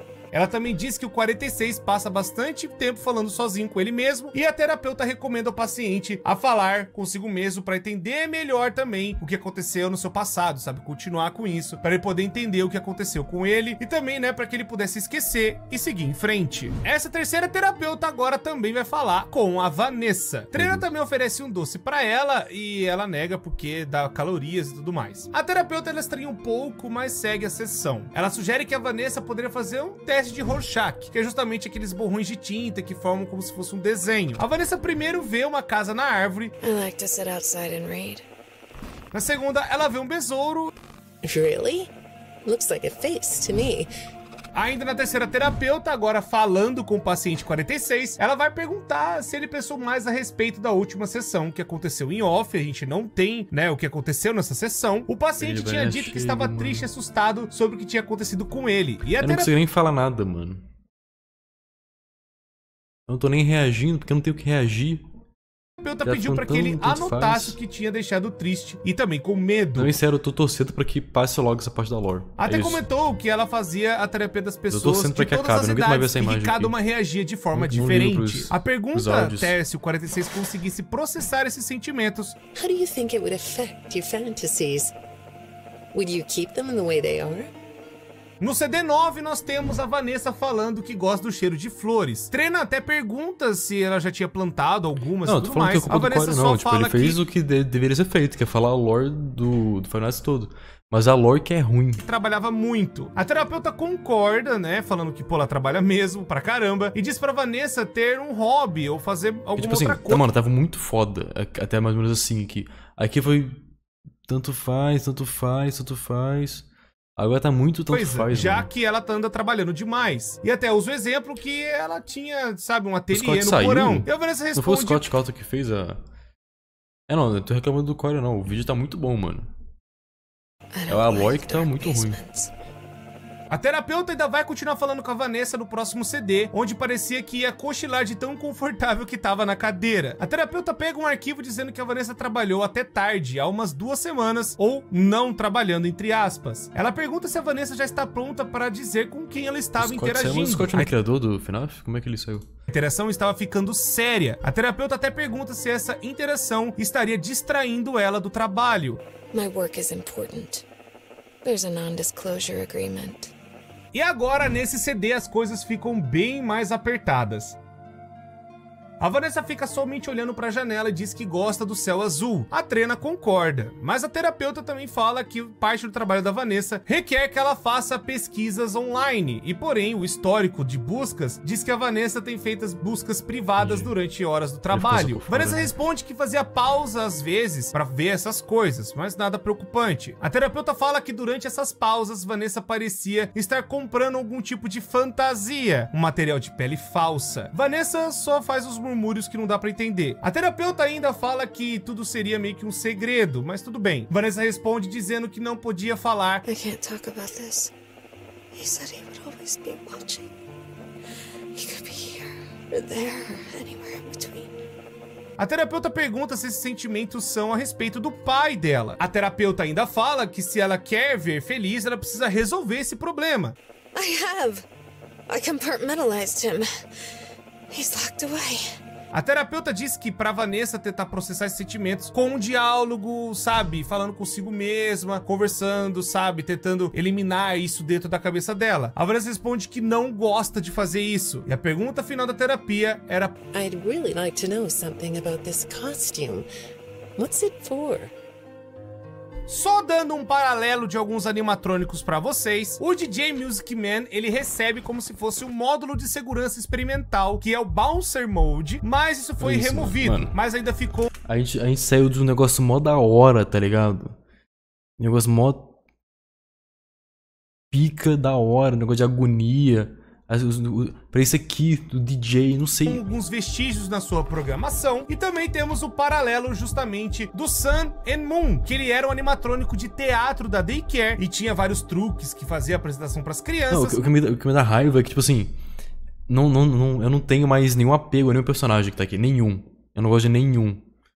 Nenhum. Mas quando as luzes apagavam, ele virava o Moon e ficava extremamente atacado. Posteriormente, o Sam foi mudado e reprogramado para virar um atendente da creche, mas muitas de suas funções ainda ficaram lá dentro, dando ainda a existência do Moon, e é por isso que o lugar precisa ficar completamente iluminado. Tem até o livro, né, do Submecanofobia, que vai falar, né, das Bob Dots, parte 1, que vai dar mais detalhes desses dois animatronics. E eles se encaixam mais ou menos aqui, quando o Pizzaplex já está funcionando e a terapia, né, com a Vanessa já tá rolando. E aí, então, tipo, eles deixam alguns geradores Não, dentro da esse, esse creche drop é justamente interessante, para ah, que o Sam o personagem. Mas não seja desligado e fique somente ele andando na creche. E aí, então, se a tudo apaga, eles têm que ligar o gerador correndo pro Moon ficar, sabe, mais contido e poder voltar à luz ao normal e ele, né, não ficar atacado. Porém, é agora que as coisas começam a acontecer dentro do Security Breach também. Não só o paralelo do DJ Music Man e o Sun and Moon, mas também temos aqui algumas informações, principalmente de mensagens do Security Breach, que vão falar que o Moon foi hackeado e começa a ser muito agressivo com as crianças. Mesmo a Fazbear tentando evitar que ele virasse o Moon porra, por conta dos hackeado. geradores, eles acabaram É. não conseguindo impedir que o Moon fosse vir à tona, sendo muito agressivo com as crianças. Mesmo sendo levado a Parts and Services, ele não conseguiu ser consertado. O Sun tinha conhecimento da agressividade do Moon e a Fazbear, com isso, tentou, né, fazer alguma coisa e cancelou as festas do pijama. É, eu quero que crianças morram, vambora.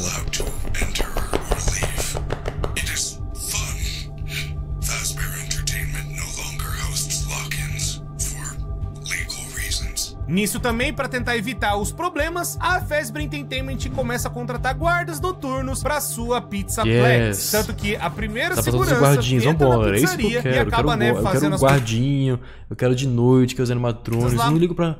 Ai, a Vanessa, lá em um e-mail. Mas as portas são fechadas. E aí depois ela se demite porque ficou tremendo de medo. Com vários outros problemas com funcionários e animatronics, a Fazbear acaba decidindo iniciar o programa Staff Bot. Os robôs faziam várias funções dos empregados, tanto de cozinhar, quanto fazer a segurança, verificar se todas as coisas estavam funcionando, fazer limpeza, por exemplo. E eles foram tão eficientes que a Fazbear decidiu demitir os outros funcionários no turno da noite. Mas ainda tem alguns funcionários humanos durante o dia. E também pelas mensagens vai começar a falar que algumas pessoas meio que ficaram no Pizzaplex até tarde e tentaram até roubar alguns tickets do local. E eles tentaram chamar a polícia lá de dentro porque aconteceu alguma merda, né, colossal com os dois, mas o alarme foi considerado falso, já que eles entraram, né, tentando invadir o lugar para roubar tickets da Fastcade. E é nesse meio tempo que temos também o incidente do Glamrock Bonnie. Glamrock Bonnie foi hackeado pela Vene, pois ele foi até o Monte Golf e também como o Monte foi hackeado, destrói o Glamrock Bonnie. Infelizmente, o que aconteceu com o Glamrock Bonnie foi desconhecido, mas a gente sabe que o Montgomery acabou substituindo o Bonnie na banda, né? Agora como o baixista. Porém, o Hike deixa o Monte mais agressivo e também irregular, uma vez que ele chegou a cair do Monte Gator Golf e perdeu as suas duas tipo pernas. assim, pre- já, já parece que tá muito maluco.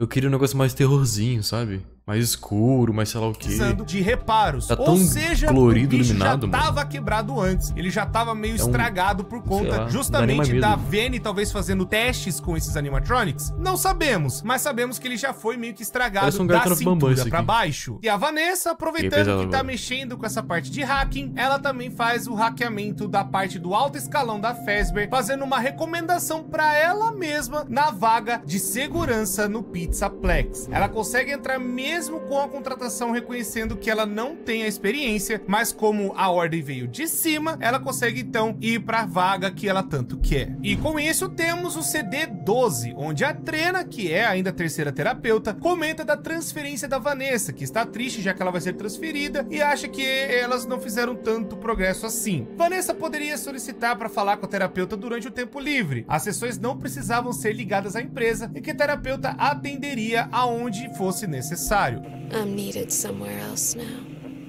Thank you.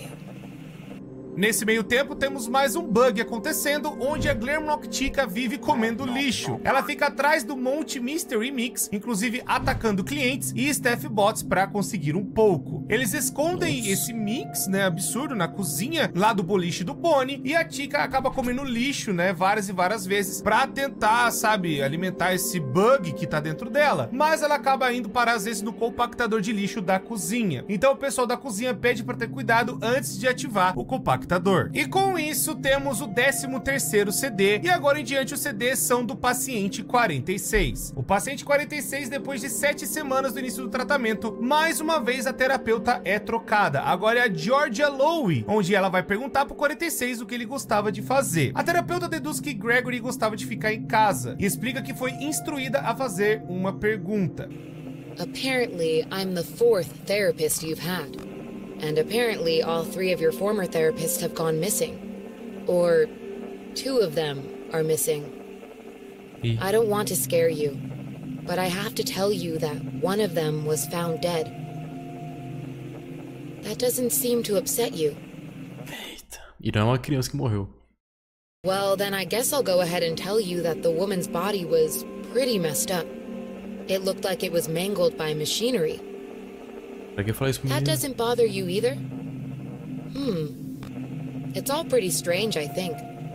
E que estranhamente isso não parecia afetar o paciente. A terapeuta continua dizendo que a polícia não tinha achado nenhuma prova. Ela pergunta para ele como ele se sentia sobre isso e se a terapeuta deveria andar vigiando as costas dela. O paciente parece que acha engraçado. Bom, não temos uma prova de quem possa ter feito os assassinatos das terapeutas, pode ter sido a Vene ou até o próprio paciente 46, que é o Gregory. A Georgia vai continuar perguntando pro 46 se ele já tinha ouvido falar de um lugar chamado Fred Fazbear Mega Pizza Plex. Ela continua dizendo que os técnicos do Pizza Plex conhecem ele, ou pelo menos acham que conhecem. Eles também dizem que pegaram os 46 nas câmeras, ou algo que parecia ser ele. Os técnicos têm certeza que o 46 tinha hackeado o sistema deles muitas vezes. Apesar de não ter uma prova, eles tinham esse palpite. Os hacks estão causando problemas no sistema. O paciente acha engraçado. A terapeuta diz que acha estranho o 46 gastar tanto tempo em um local agitado e com muitas pessoas, já que para o paciente era mais isolado e ficando Um falando moleque com ele mesmo. A bolsa. terapeuta vai comentar também que o 46 desenvolveu softwares que falavam com ele repetidas frases.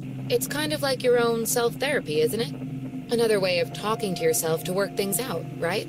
E também comenta que também viu registros das conversas criptografadas e achava que via uma pessoa falando com 46 é ele mesmo. Mas os técnicos acharam algo diferente, como se fosse outra pessoa. E aí vem a pergunta: It sounds like there is someone else responding to you. Who is it? E novamente a terapeuta é colocada agora como a quinta terapeuta. E ela vai falar dos resultados dos testes do 46. Sobre o teste de Rorschach, né? O borrão de tinta. E queria repetir o teste de novo. O 46 aceita. Primeiro, o 46 vê uma máscara como um disfarce. A terapeuta pergunta se gostava da ideia de ficar disfarçado. O paciente também demonstra que sim. A terapeuta avança dizendo que respondeu outra denúncia sobre ele. Os técnicos estavam revisando as comunicações e descobriram algo interessante. Que 46 estava se comunicando com alguém ou algo. Os técnicos disseram que parecia uma tentativa de manipular o 46 ou a atrair para algum lugar, mas a terapeuta disse que parece mais é que o paciente que está manipulando e o paciente não responde. A terapeuta pega uma foto tirada de uma câmera de segurança. Na imagem parecia que 46 não estava sozinho. 46 estava falando com alguém ou com alguma coisa. E essa coisa parecia ter um formato com orelhas de coelho, que é justamente a Vene. A quinta terapeuta recebe mais mensagens do Pizzaplex, com receio de ser o 46 de novo. Os técnicos estão tentando consertar vários glitches dos robôs que estão passando lá embaixo. Esses glitches faziam os robôs ficarem estranhamente mais do que divertidos. O paciente vai dizer mais uma vez que acha isso tudo engraçado, mas a terapeuta fala que o glitch tomou conta do sistema. Eles estão procurando a fonte do glitch e o glitch está transmitindo uma mensagem perigosa. Enquanto os técnicos estavam tentando reprogramar o sistema e remover o glitch, a fonte mudou. Pelo Pelo que a terapeuta tinha entendido, o glitch parou de ser um glitch e se tornou um conjunto intencional de subrotinas que tinha o mesmo objetivo de fazer o que o glitch fazia, da onde vinha o 46. A terapeuta pede uma explicação do paciente, tentando encorajar ele a falar, já que os técnicos não tinham como provar o que estavam acusando. O 46 continua em silêncio. A terapeuta então começa a falar que pesquisou a fundo sobre o passado do 46, passado esse que ele pegou dos arquivos da Vanessa. You can look at the floor all you want, but it won't change the fact that none of what you said in your file about your parents was true. The truth is, you had great parents, a great childhood. Why did you lie? O 46 tinha uma ótima infância com ótimos pais. E ele pergunta por que o 46 tinha mentido. A terapeuta então pede para tentarem resolver isso na próxima sessão. O paciente balança a cabeça como se isso não fosse acontecer. Em paralelo a esses eventos da terapia de tudo que rolou com o paciente 46 e com a Vanessa, temos um outro relatório de É um dos os 46 técnicos morrer dos e pronto. fliperamas de que dentro esse- da Pizza 46 Plex, onde ele vai conferir Gregory, o motivo de algum dos arcades estarem dando defeito. Tomara. Até que ele descobre que tem como se fosse uma parada do tipo um Princess Quest. E que na terceira parte teria como salvar uma princesa. Como é dito nas mensagens para você jogar o Princess Quest 3, você precisa fazer com que todos os outros Balloon World, Chica, Feeding, Frenzy, Montes Golf, Princess Quest 1 e 2 buguem ao mesmo tempo. O técnico passa alguns dias em esconderijos dentro do Pizzaplex, na Daycare e na Kids Cove, e no final ele é demitido antes de conseguir fazer o Princess Quest 3, que estava justamente no quarto que a Venice se escondia dentro do Pizzaplex. O técnico pode ser um personagem novo ou tem a possibilidade de ser o Luiz Cabreira, mesmo a gente não tendo nenhum vínculo ou prova de que seja ele. E falando da Veni, muito provavelmente ela rouba brinquedos do Music Man de cordas na Rockstar Row. Os brinquedos já modificados pela Veni começam a andar pelas ventilações e causar barulhos. Eles chamam também uma empresa para verificar, mas eles não encontram nada. E agora nós temos a ação da Veni. Agora já dentro do Pizzaplex como segurança, podendo agir de forma livremente, no comando ainda do Glitch Trap dentro da sua cabeça, ela começa a fazer o que o William Afton fazia. E nisso, nove crianças desaparecem. Graças a isso, o Pizzaplex Você é obrigado nunca a será o um William. nunca será o William. Vanessa, você nunca será o William. Nunca, muitos nunca, clientes nunca. se perguntando Nem por tenta. que que isso foi reaberto, já que todo mundo se lembrava das crianças e do que aconteceu com elas. A Vene agora ela estava de novo no lugar com tudo funcionando para justamente fazer o plano dela dar certo. E agora nós finalmente vamos para a era mais nova de Five Nights at Freddy's, que é justamente 2035, o ano do Security Breach. Bom, tudo começa com a reforma da Roxy Raceway, onde eles estavam fazendo novas pistas de corrida para lá. A Tika recebe uma atualização onde ela ganha uma caixa de voz nova. Porém, isso mexe com a navegação dos outros robôs, fazendo com que os staff bots Não, legal, legal que ela botou as crianças da hora, mas putz. O Corey falou isso em 10 segundos. Eu queria que tivesse, tipo, mais alguma coisa com as crianças, tá ligado? Tipo, falar o que aconteceu. Qualquer coisa. A parte boa foi, foi tão rápido. Porque. sem loucos e alguns clientes acabassem se machucando. Bom, eles pedem para fazer uma nova caixa de voz para que essa seja removida imediatamente, porém isso não acontece. Joga isso, mano, poderia ser muito mais bem trabalhado essa parte da, das crianças, mano. É, Não é desenvolvido, né? Mas, pô, aqui nessa, nessa parte do LoL tinha sido muito, pô, foi muito mais pica. Provavelmente esse incidente da Tika O que foi desenvolvido aqui nessa parte da lore foi coisa que tanto faz, mano. Acontece no mesmo dia que a gente tá É que passando. basicamente não- a lore não tem o que fez o FNAF ser o que era, que foi, tá ligado? Não tem. Não tem.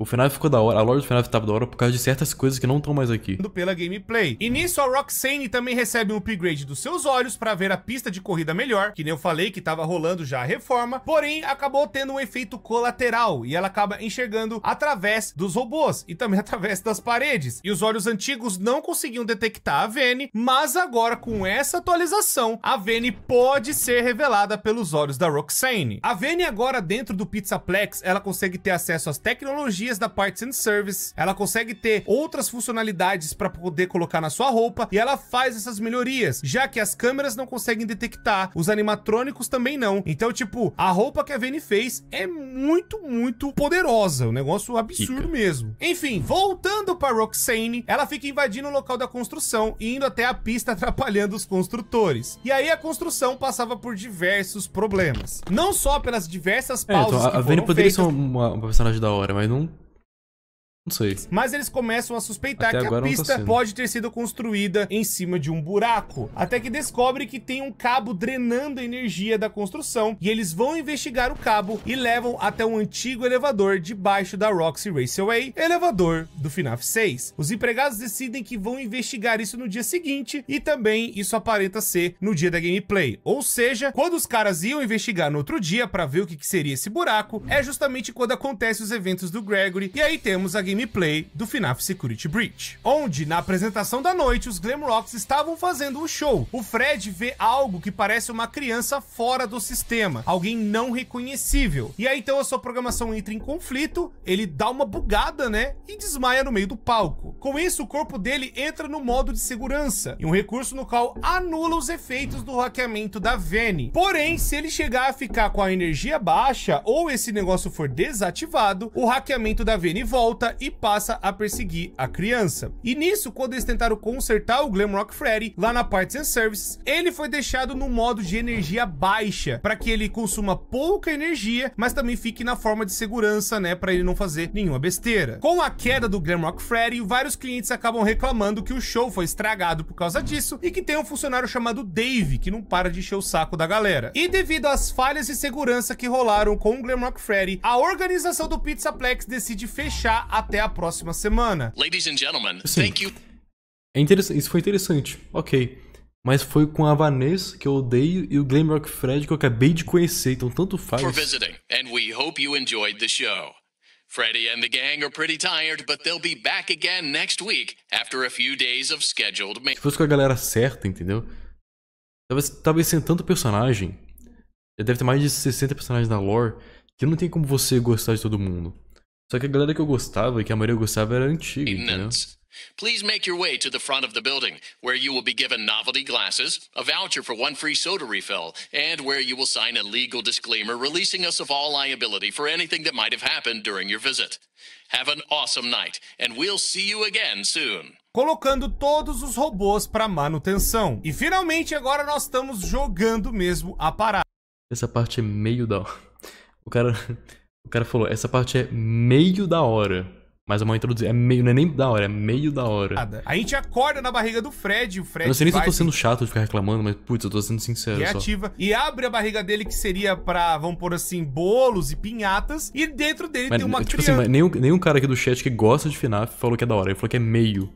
Ele acaba escaneando, né, o Gregory, que ele encontra ali dentro do seu quarto, e ele vê assim: Olha, eu não te reconheço, você não tá no meu sistema, que coisa esquisita. E aí ele até fala: Olha, a guarda tá aparecendo aí, né? Vamos lá falar com ela. E aí o Gregory fala: Não, não quero falar com ela, não. Ela é atacada, ela tá vindo atrás de mim. Eu não quero que ela me pegue. E aí então ele acha estranho, mas ele vai tentar levar o Gregory até a saída. Nesse meio tempo, o Gregory ele entra numa ventilação e acaba se machucando. E o Glamrock Freddy acaba detectando que ele tá sangrando. Eu sei, no jogo vai falar que ele se machucou, mas na tradução original, né, nos arquivos do jogo, a frase era sangrar, ou seja, ele é uma criança de verdade. Eu só tô dando esse detalhe porque tem muita gente que dá a teoria de que o Gregory seria um robô, sendo que não, é uma criança de verdade mesmo. O Gregory também ganha do Glamrock Freddy um Fast Watch, um aparelho muito importante para poder ver as câmeras do lugar e poder se guiar se protegendo dos animatrônicos, e também um aparelho muito importante para receber mensagens do Glamrock Freddy e também pegar outras mensagens que tem pelo lugar, sabe, atualizações e coisas que aconteceram no Pizzaplex. Voltando ao ferimento que o Gregory acabou recebendo, o Glamrock Freddy troca ideia com a Vanessa. A Vanessa tá procurando uma criança, mas acaba não encontrando. E o Glamrock Freddy dá um perdido nela, falando: Olha, eu não vi criança também não. E nisso, o Glamrock Freddy então acaba tentando guiar a criança, porque no meio do caminho ele acaba, né, tendo a bateria baixa e precisando recarregar, mesmo ele ficando ainda no estado de bateria baixa. Nesse meio do caminho, ele acaba encontrando os outros animatrônicos que já estão hackeados pela Vene. Mesmo Gregory sendo mais rápido que o Sonic fugindo dos animatrônicos, ele chega na porta da entrada e o lugar fecha. Ele não consegue sair por ali ainda. Ele vai ter que passar por muita coisa dentro do Pizzaplex até chegar às 6 da manhã, onde as aberturas de emergência vão finalmente ser acionadas e ele pode escolher alguma outra rota para poder fugir. E agora os eventos do jogo são praticamente a gameplay, onde nós vamos enfrentar o Daycare Attendant e a cada hora completada o Daycare Attendant vai vir pra cima da gente porque nós somos uma criança fora da creche. Seremos um dos meninos levados e ele tenta nos deixar de castigo. Mas é claro que se ficar tudo escuro, o Moon vai aparecer e vai... Bem,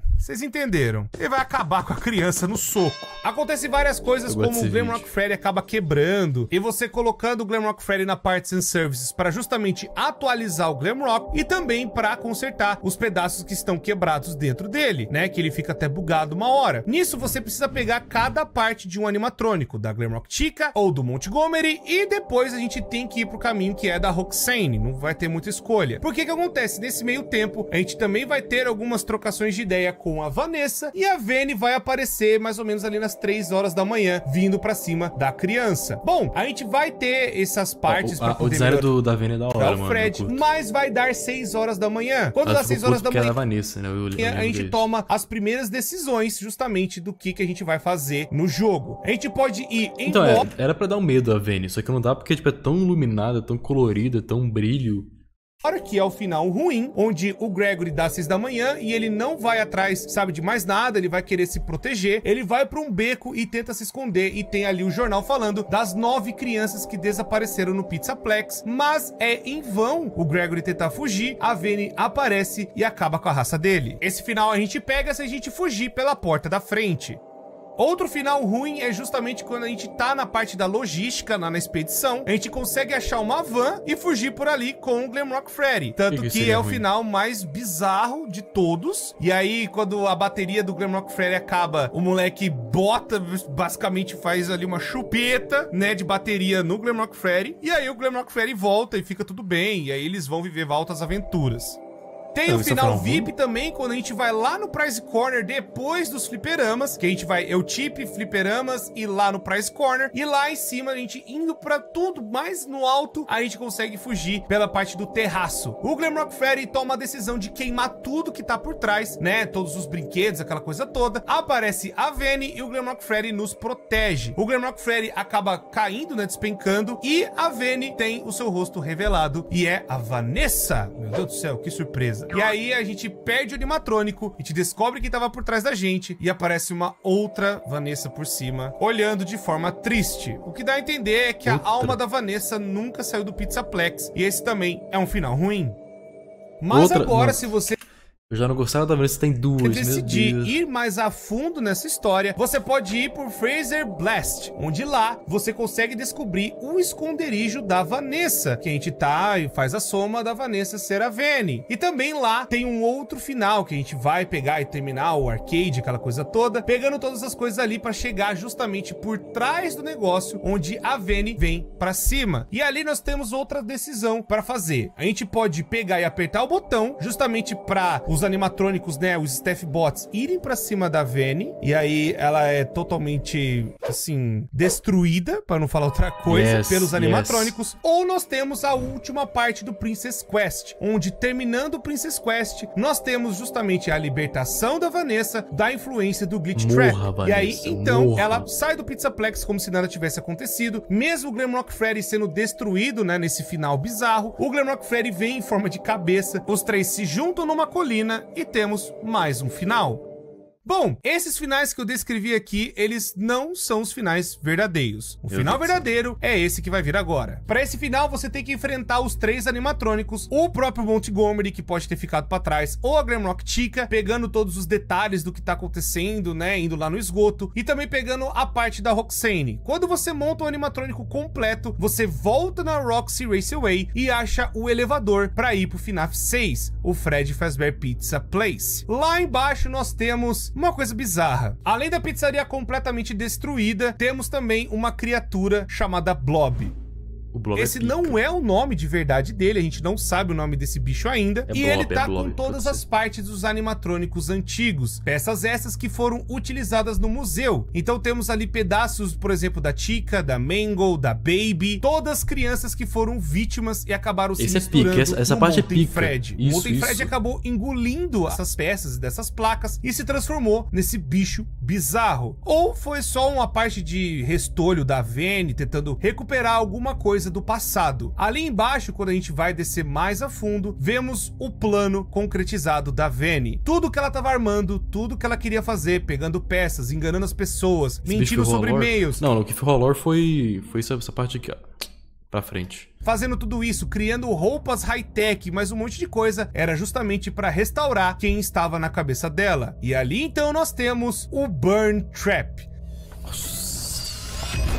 Chega de trap, chega de trap, chega. Burn Trap também não é o nome oficial, é um nome dado pela comunidade. E nos livros estão confirmando que tanto Blob quanto Burn Trap não tem esses nomes, mas vou chamar eles assim para vocês saberem de que eu tô falando. E ali acontece a batalha contra o Efton. E aí então a gente tem que se defender dos animatrônicos, os Glamrocks que ficam, né, vindo para cima ali da gente. E ao mesmo tempo, o Glamrock Freddy acaba bugando, justamente porque ele tá perto da influência do homem por trás do ruim. E aí a gente tem que botar fogo no homem ruim para ele parar de fazer essas palhaçadas com o nosso amigo Fredão. Conseguindo queimar bastante o bicho, a gente consegue escapar do lugar. Mas aí o Blob acaba agarrando o Burn Trap e levando ele para algum lugar. E na fuga, tudo vai desabando, vai tudo ele para baixo, deixa ele tudo morrer, Blob. destruído, Não, tudo é cara. arrebentado lá embaixo. E aí temos uma parte depois dos créditos, onde tem o Glamrock Freddy e o Gregory sentados numa colina.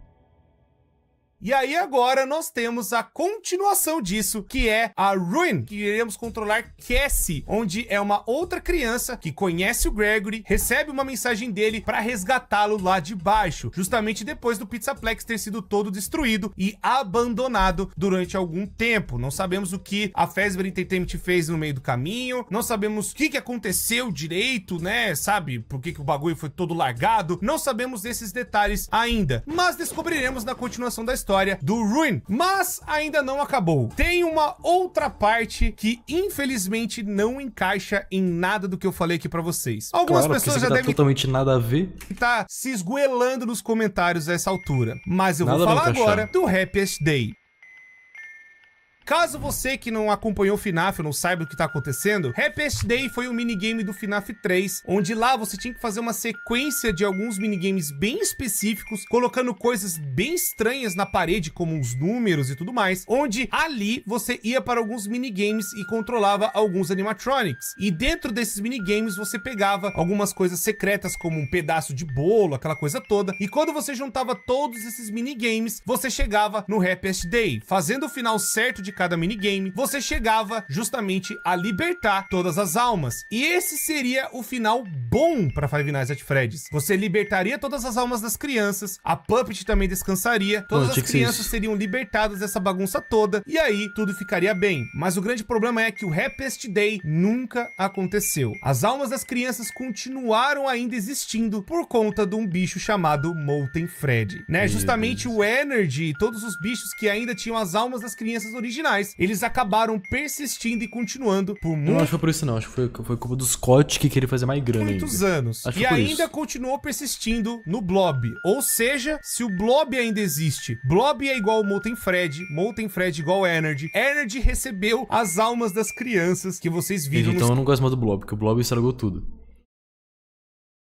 Sister Location. Se esse bicho ainda existe, então o Happiest Day não aconteceu. O verdadeiro final do FNAF 3 é justamente o Bad Ending. Justamente as almas estão presas ainda dentro dos animatronics. E mesmo assim, com tudo sendo pegado fogo no FNAF 6, que seria pra ser um final, não foi. Todas as crianças ainda existem de alguma forma e estão ainda presas nesse bicho bizarro chamado Blob. e agora, como se não bastasse, a gente vai ter ainda Five Nights at Freddy's 10, que é justamente Five Nights at Freddy's Help Wanted 2. E aí, meus amigos, eu já dei algumas ideias do que pode rolar com esse jogo, mas a história de FNAF Não, não, não, está longe de acabar. Meu mas eu Deus, tá creio que com esse vídeo, com todos os detalhes, com tudo que apresentamos pra vocês, vocês estejam prontos pro futuro de FNAF. Estamos vivendo a nova era, que é justamente Vene Mas que era era ruim, mano. Eu não gostei dessa nova era, cara.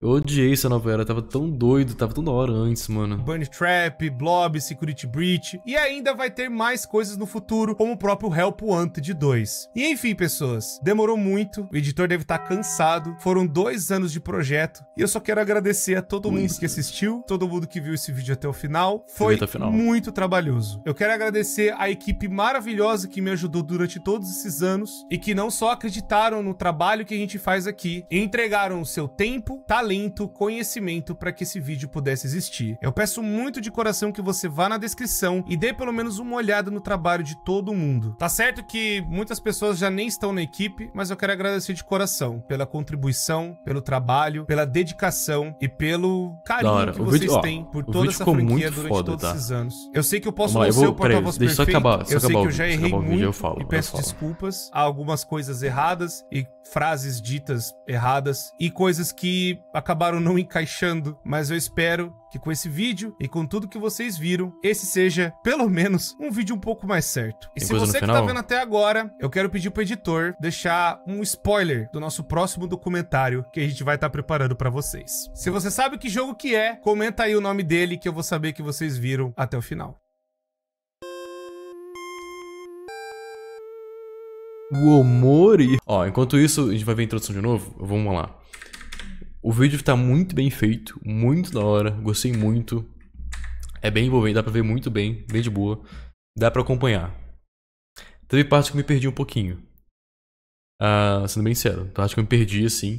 Não sei se, se é porque a lore ou é muito esquisita ou passou muito rápido. Eu não sei, eu não sei, eu não sei. Mas, tipo, deu pra pegar, deu pra pegar. Tem uma parte aqui, as partes dos e-mails, eu sou, vou ser bem sincero. Eu não, eu não liguei. Não sei se, tipo assim, se a lore é ruim ou se foi explicado muito rápido, mas eu não peguei nada. Eu, eu, eu, eu sinto que eu não senti nem falta. Eu não senti falta de saber.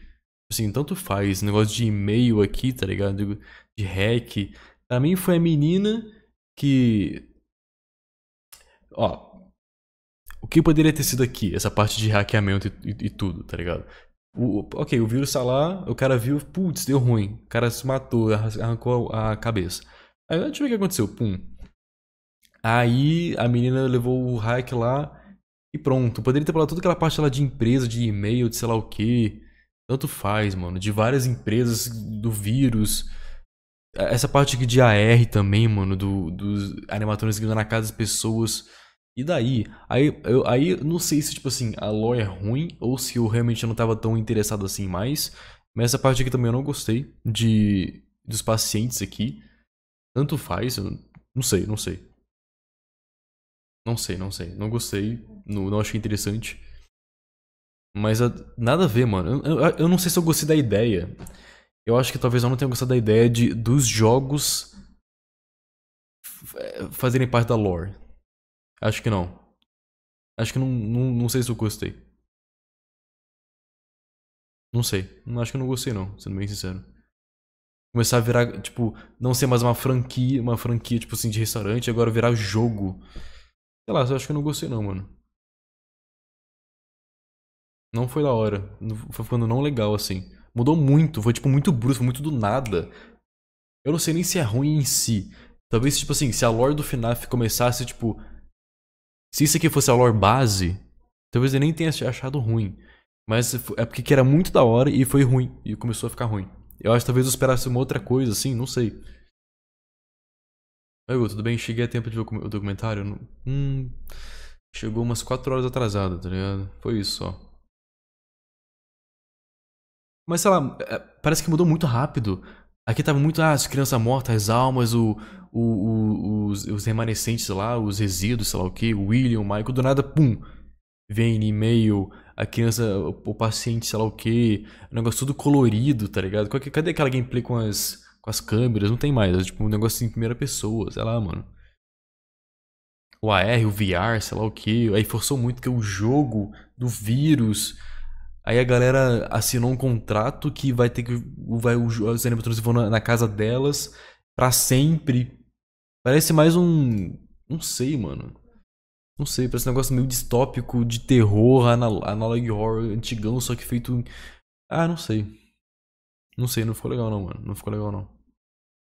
É que tava muito da hora, tá muito da hora essas partes aqui.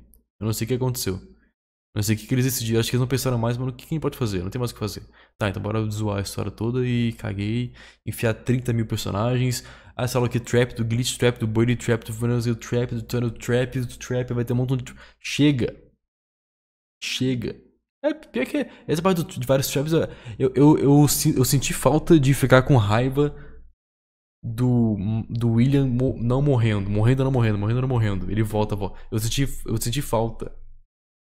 Era da hora, mano. Tá bom, eu admito, era da hora. Ele quase morrendo e vum, ele volta. Mas agora ele ficou virtual, é no cérebro da pessoa, o vírus. Tanto faz, mano. Tanto faz, cara. Essa parte que era muito doida, mano. Isso aqui é Fox, ó. Vou lembrar o nome de todo mundo agora. É Tika, o Fred, né? Putz, já não sei. Aí já não, não vou lembrar. O Man Mangle, Balloon Boy, Bonnie. Hum, não sei, não sei. Ah, Puppet. É o, eles são Fox diferente. Não, não, não é Nightmare, né? Coloca a música, senão eu não vou conseguir falar, galera. Esse é o Nightmare coisa. Esse é o Mango de novo? Esse é o Nightmare Fred? Eu não sei. Alguma coisa boy. Aí esse é o Nightmare Chica. É o Spring Trap. Esse é o Nightmare Foxy. Esses são. Não lembro, são nomes engraçados. Não sei quem é. Nightmare Bonnie. Não lembro quem é. Balora. É isso? Esse é o Funtime Fred, né? Não lembro o nome desses aí. Funtime Foxy. Funtime Baby? Não. Não, não. É, essa aí é, é, a versão depois da, da Baby, né? Putz, não sei. Scrap Baby, é. Scrap Baby. Não, não. Eu lembrei que era depois. Aí já não... Essa é Trap, né? Pegando fogo, inclusive. Essa é o Nightmare Lucky da Funtime. Não sei. E tem muito, tem muito, tem muito, tem muito. É o Shadow Coisa, Golden Freddy.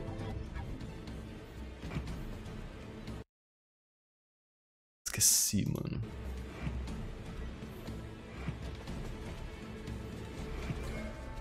É, é porque a Chica e o. E o Spring Trap eu, eu, eu, confundo, mano. Ainda ficou muito boa, ainda ficou muito boa, verdade. Isso eu nem lembro. Esse aqui tem? Esse aqui eu não lembro, faço a menor ideia desse aqui.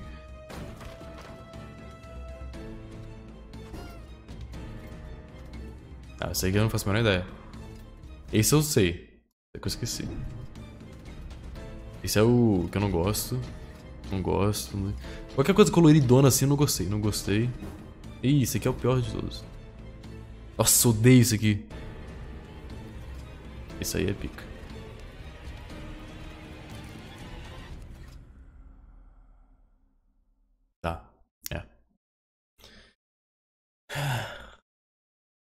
Eu sei, mas não vou falar. é, eu sabia tudo, mas eu não queria falar pra vocês. Seria, seria, né? Não fala assim no Glamrock Fred. Ah, mano, que ele tá associado da Vanessa. Eu não gosto de nada associado da Vanessa. É que dá pra dividir em dois, né? Tipo, dá, dá pra claramente dividir em dois. É, duas eras. Que é a era do William e depois a era da. Da Vanessa, vai. Pode ser? Dá pra dividir assim. William Michael, a família a família. Qual é o nome da família?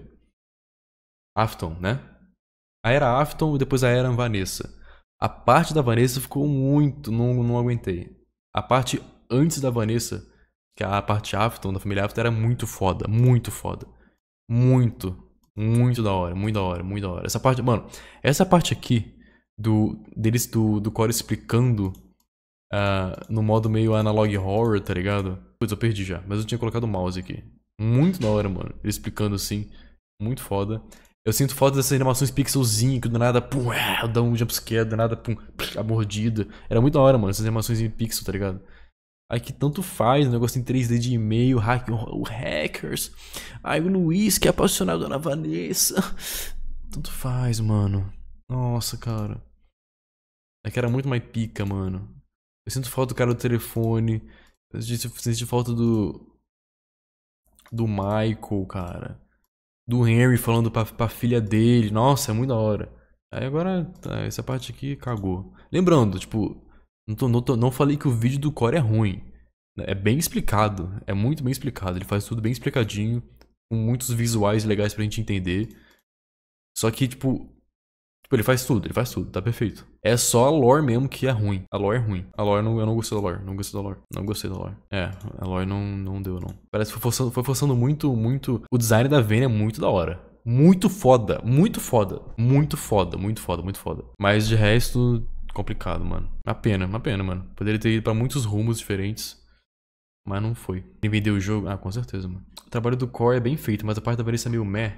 Eu não acho que nem foi culpa do Core. Eu não, eu não, não é culpa do Core, não. Eu acho que não tem como salvar mesmo, não. Nem se tivesse feito pelo. Sei lá, mano. Algum diretor de cinema pica, não sei nem se tem como salvar isso aqui. Eu acho que é a lore mesmo que não é interessante. Ficou muito. É que. É que destoou muito, destoou muito. Mudou tudo. Virou outra coisa, mano. Virou outra coisa, cara. Eu quero ver do começo. Ah, vai ficar. Eu acho que vou passar no YouTube depois, pá. Mesmo não tendo gostado muito da lore, assim, tendo ficado meio chato pra cá, mas, tipo, foi da hora de assistir. Pelo menos eu conheço a lore agora toda, né? Tipo assim, é bem, é bem da hora. Ah, tem, tem parte que eu nem lembro mais. Essa, tipo, eu lembro dessas coisas aqui, mas essa parte aqui dos e-mails aqui, de sei lá o que, de, de empresa, que depois a galera foi na, na cara dos outros, do VR, aí essa parte eu já excluí da minha mente, sendo bem sincero. Excluí totalmente. Eu, eu já vi o trailer, já vi o trailer, assim. Do, do filme. 5 horas de live, mano, pois é. Eu acho que podia ter terminado na Custom Night. É, na Custom Night já foi, eu já senti que foi começando a ficar. Ok, vai, pode ser só um deslize assim, mas beleza. Foi começando a ficar mais ou menos assim, mas ok. Depois, nossa, aqui. Cagou tudo. Cagou tudo, mano. Cagou tudo. Cagou tudo. Não, mas agora a gente tá, a gente tá totalmente formado em FNAF, mano, com certeza. Mas cagou, mano. Nossa, já até sinto falta aqui, mano. Putz, aí, aí teve uma parte aqui que falou, ah, e aí a, a Vayne matou nove crianças. Só. Fala. Passou 10 segundos falou, é, passou um montão de coisa, tanto faz, nada e daí. Aí, o que a gente queria que era a Lorde de criança morrendo, falou assim, ah, e a Vayne matou nove crianças. Continua. E isso não é nem culpa do Core, isso aqui foi porque não teve desenvolvimento mesmo, só, tipo, mencionaram isso, tá ligado? Poderia ter muito bem, tipo, desenvolvido alguma coisa, mas não teve mais nada. A parte boa, não teve mais parte boa. Que pena. E dá raiva, mano, porque dava para fazer um negócio legal, mas não fizeram, tá ligado? Não fizeram, mano. Eu não gostei da parte do processo também. Ah, sim, é não. É, é uma crítica ao vídeo do Core aí. É. Acho que enrolou um pouquinho na parte do processo, sendo bem sincero. Tanto faz. Essa parte aqui não foi. Acho que ele não precisava ter falado, tipo assim, todos os finais dessa parte aqui. Poderia só ter falado o final verdadeiro logo, tipo, da, da lore. Essa parte foi meio um pouquinho maçante. Mas de resto foi, foi muito bem feito. Ele pediu pra falar todos? É, meio que tanto faz. Eu pulei a parte do processo um pouquinho. Não, é interessante saber, é interessante saber. Ele podia ter falado, sei lá, se não quiser ver a parte do processo, poderia pular a parte do vídeo, sei lá, pula pra tal X. Tanto que ele falou, nenhum dos processos é canon, isso é tudo meme piada. É, a lore daqui eu não gostei não. Só essa parte do processo aqui que eu teria cortado o vídeo, mas tudo bem, aí é a escolha dele. Mas de resto tá perfeitinho, mano.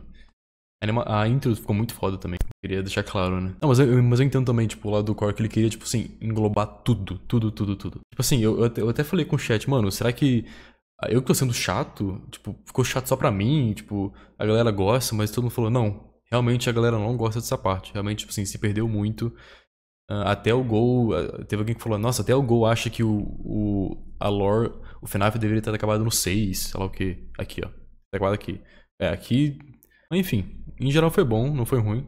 Gostei de ter visto o vídeo de qualquer forma, até pra conhecer a lore. Tá tudo bem explicadinho. Eu me diverti, não, não, me, não me arrependi de, de ver. Mesmo dessa parte aqui não, não tendo gostado. Ah, uma hora e meia de, de coisa que eu não gostei. Foi da hora, velho.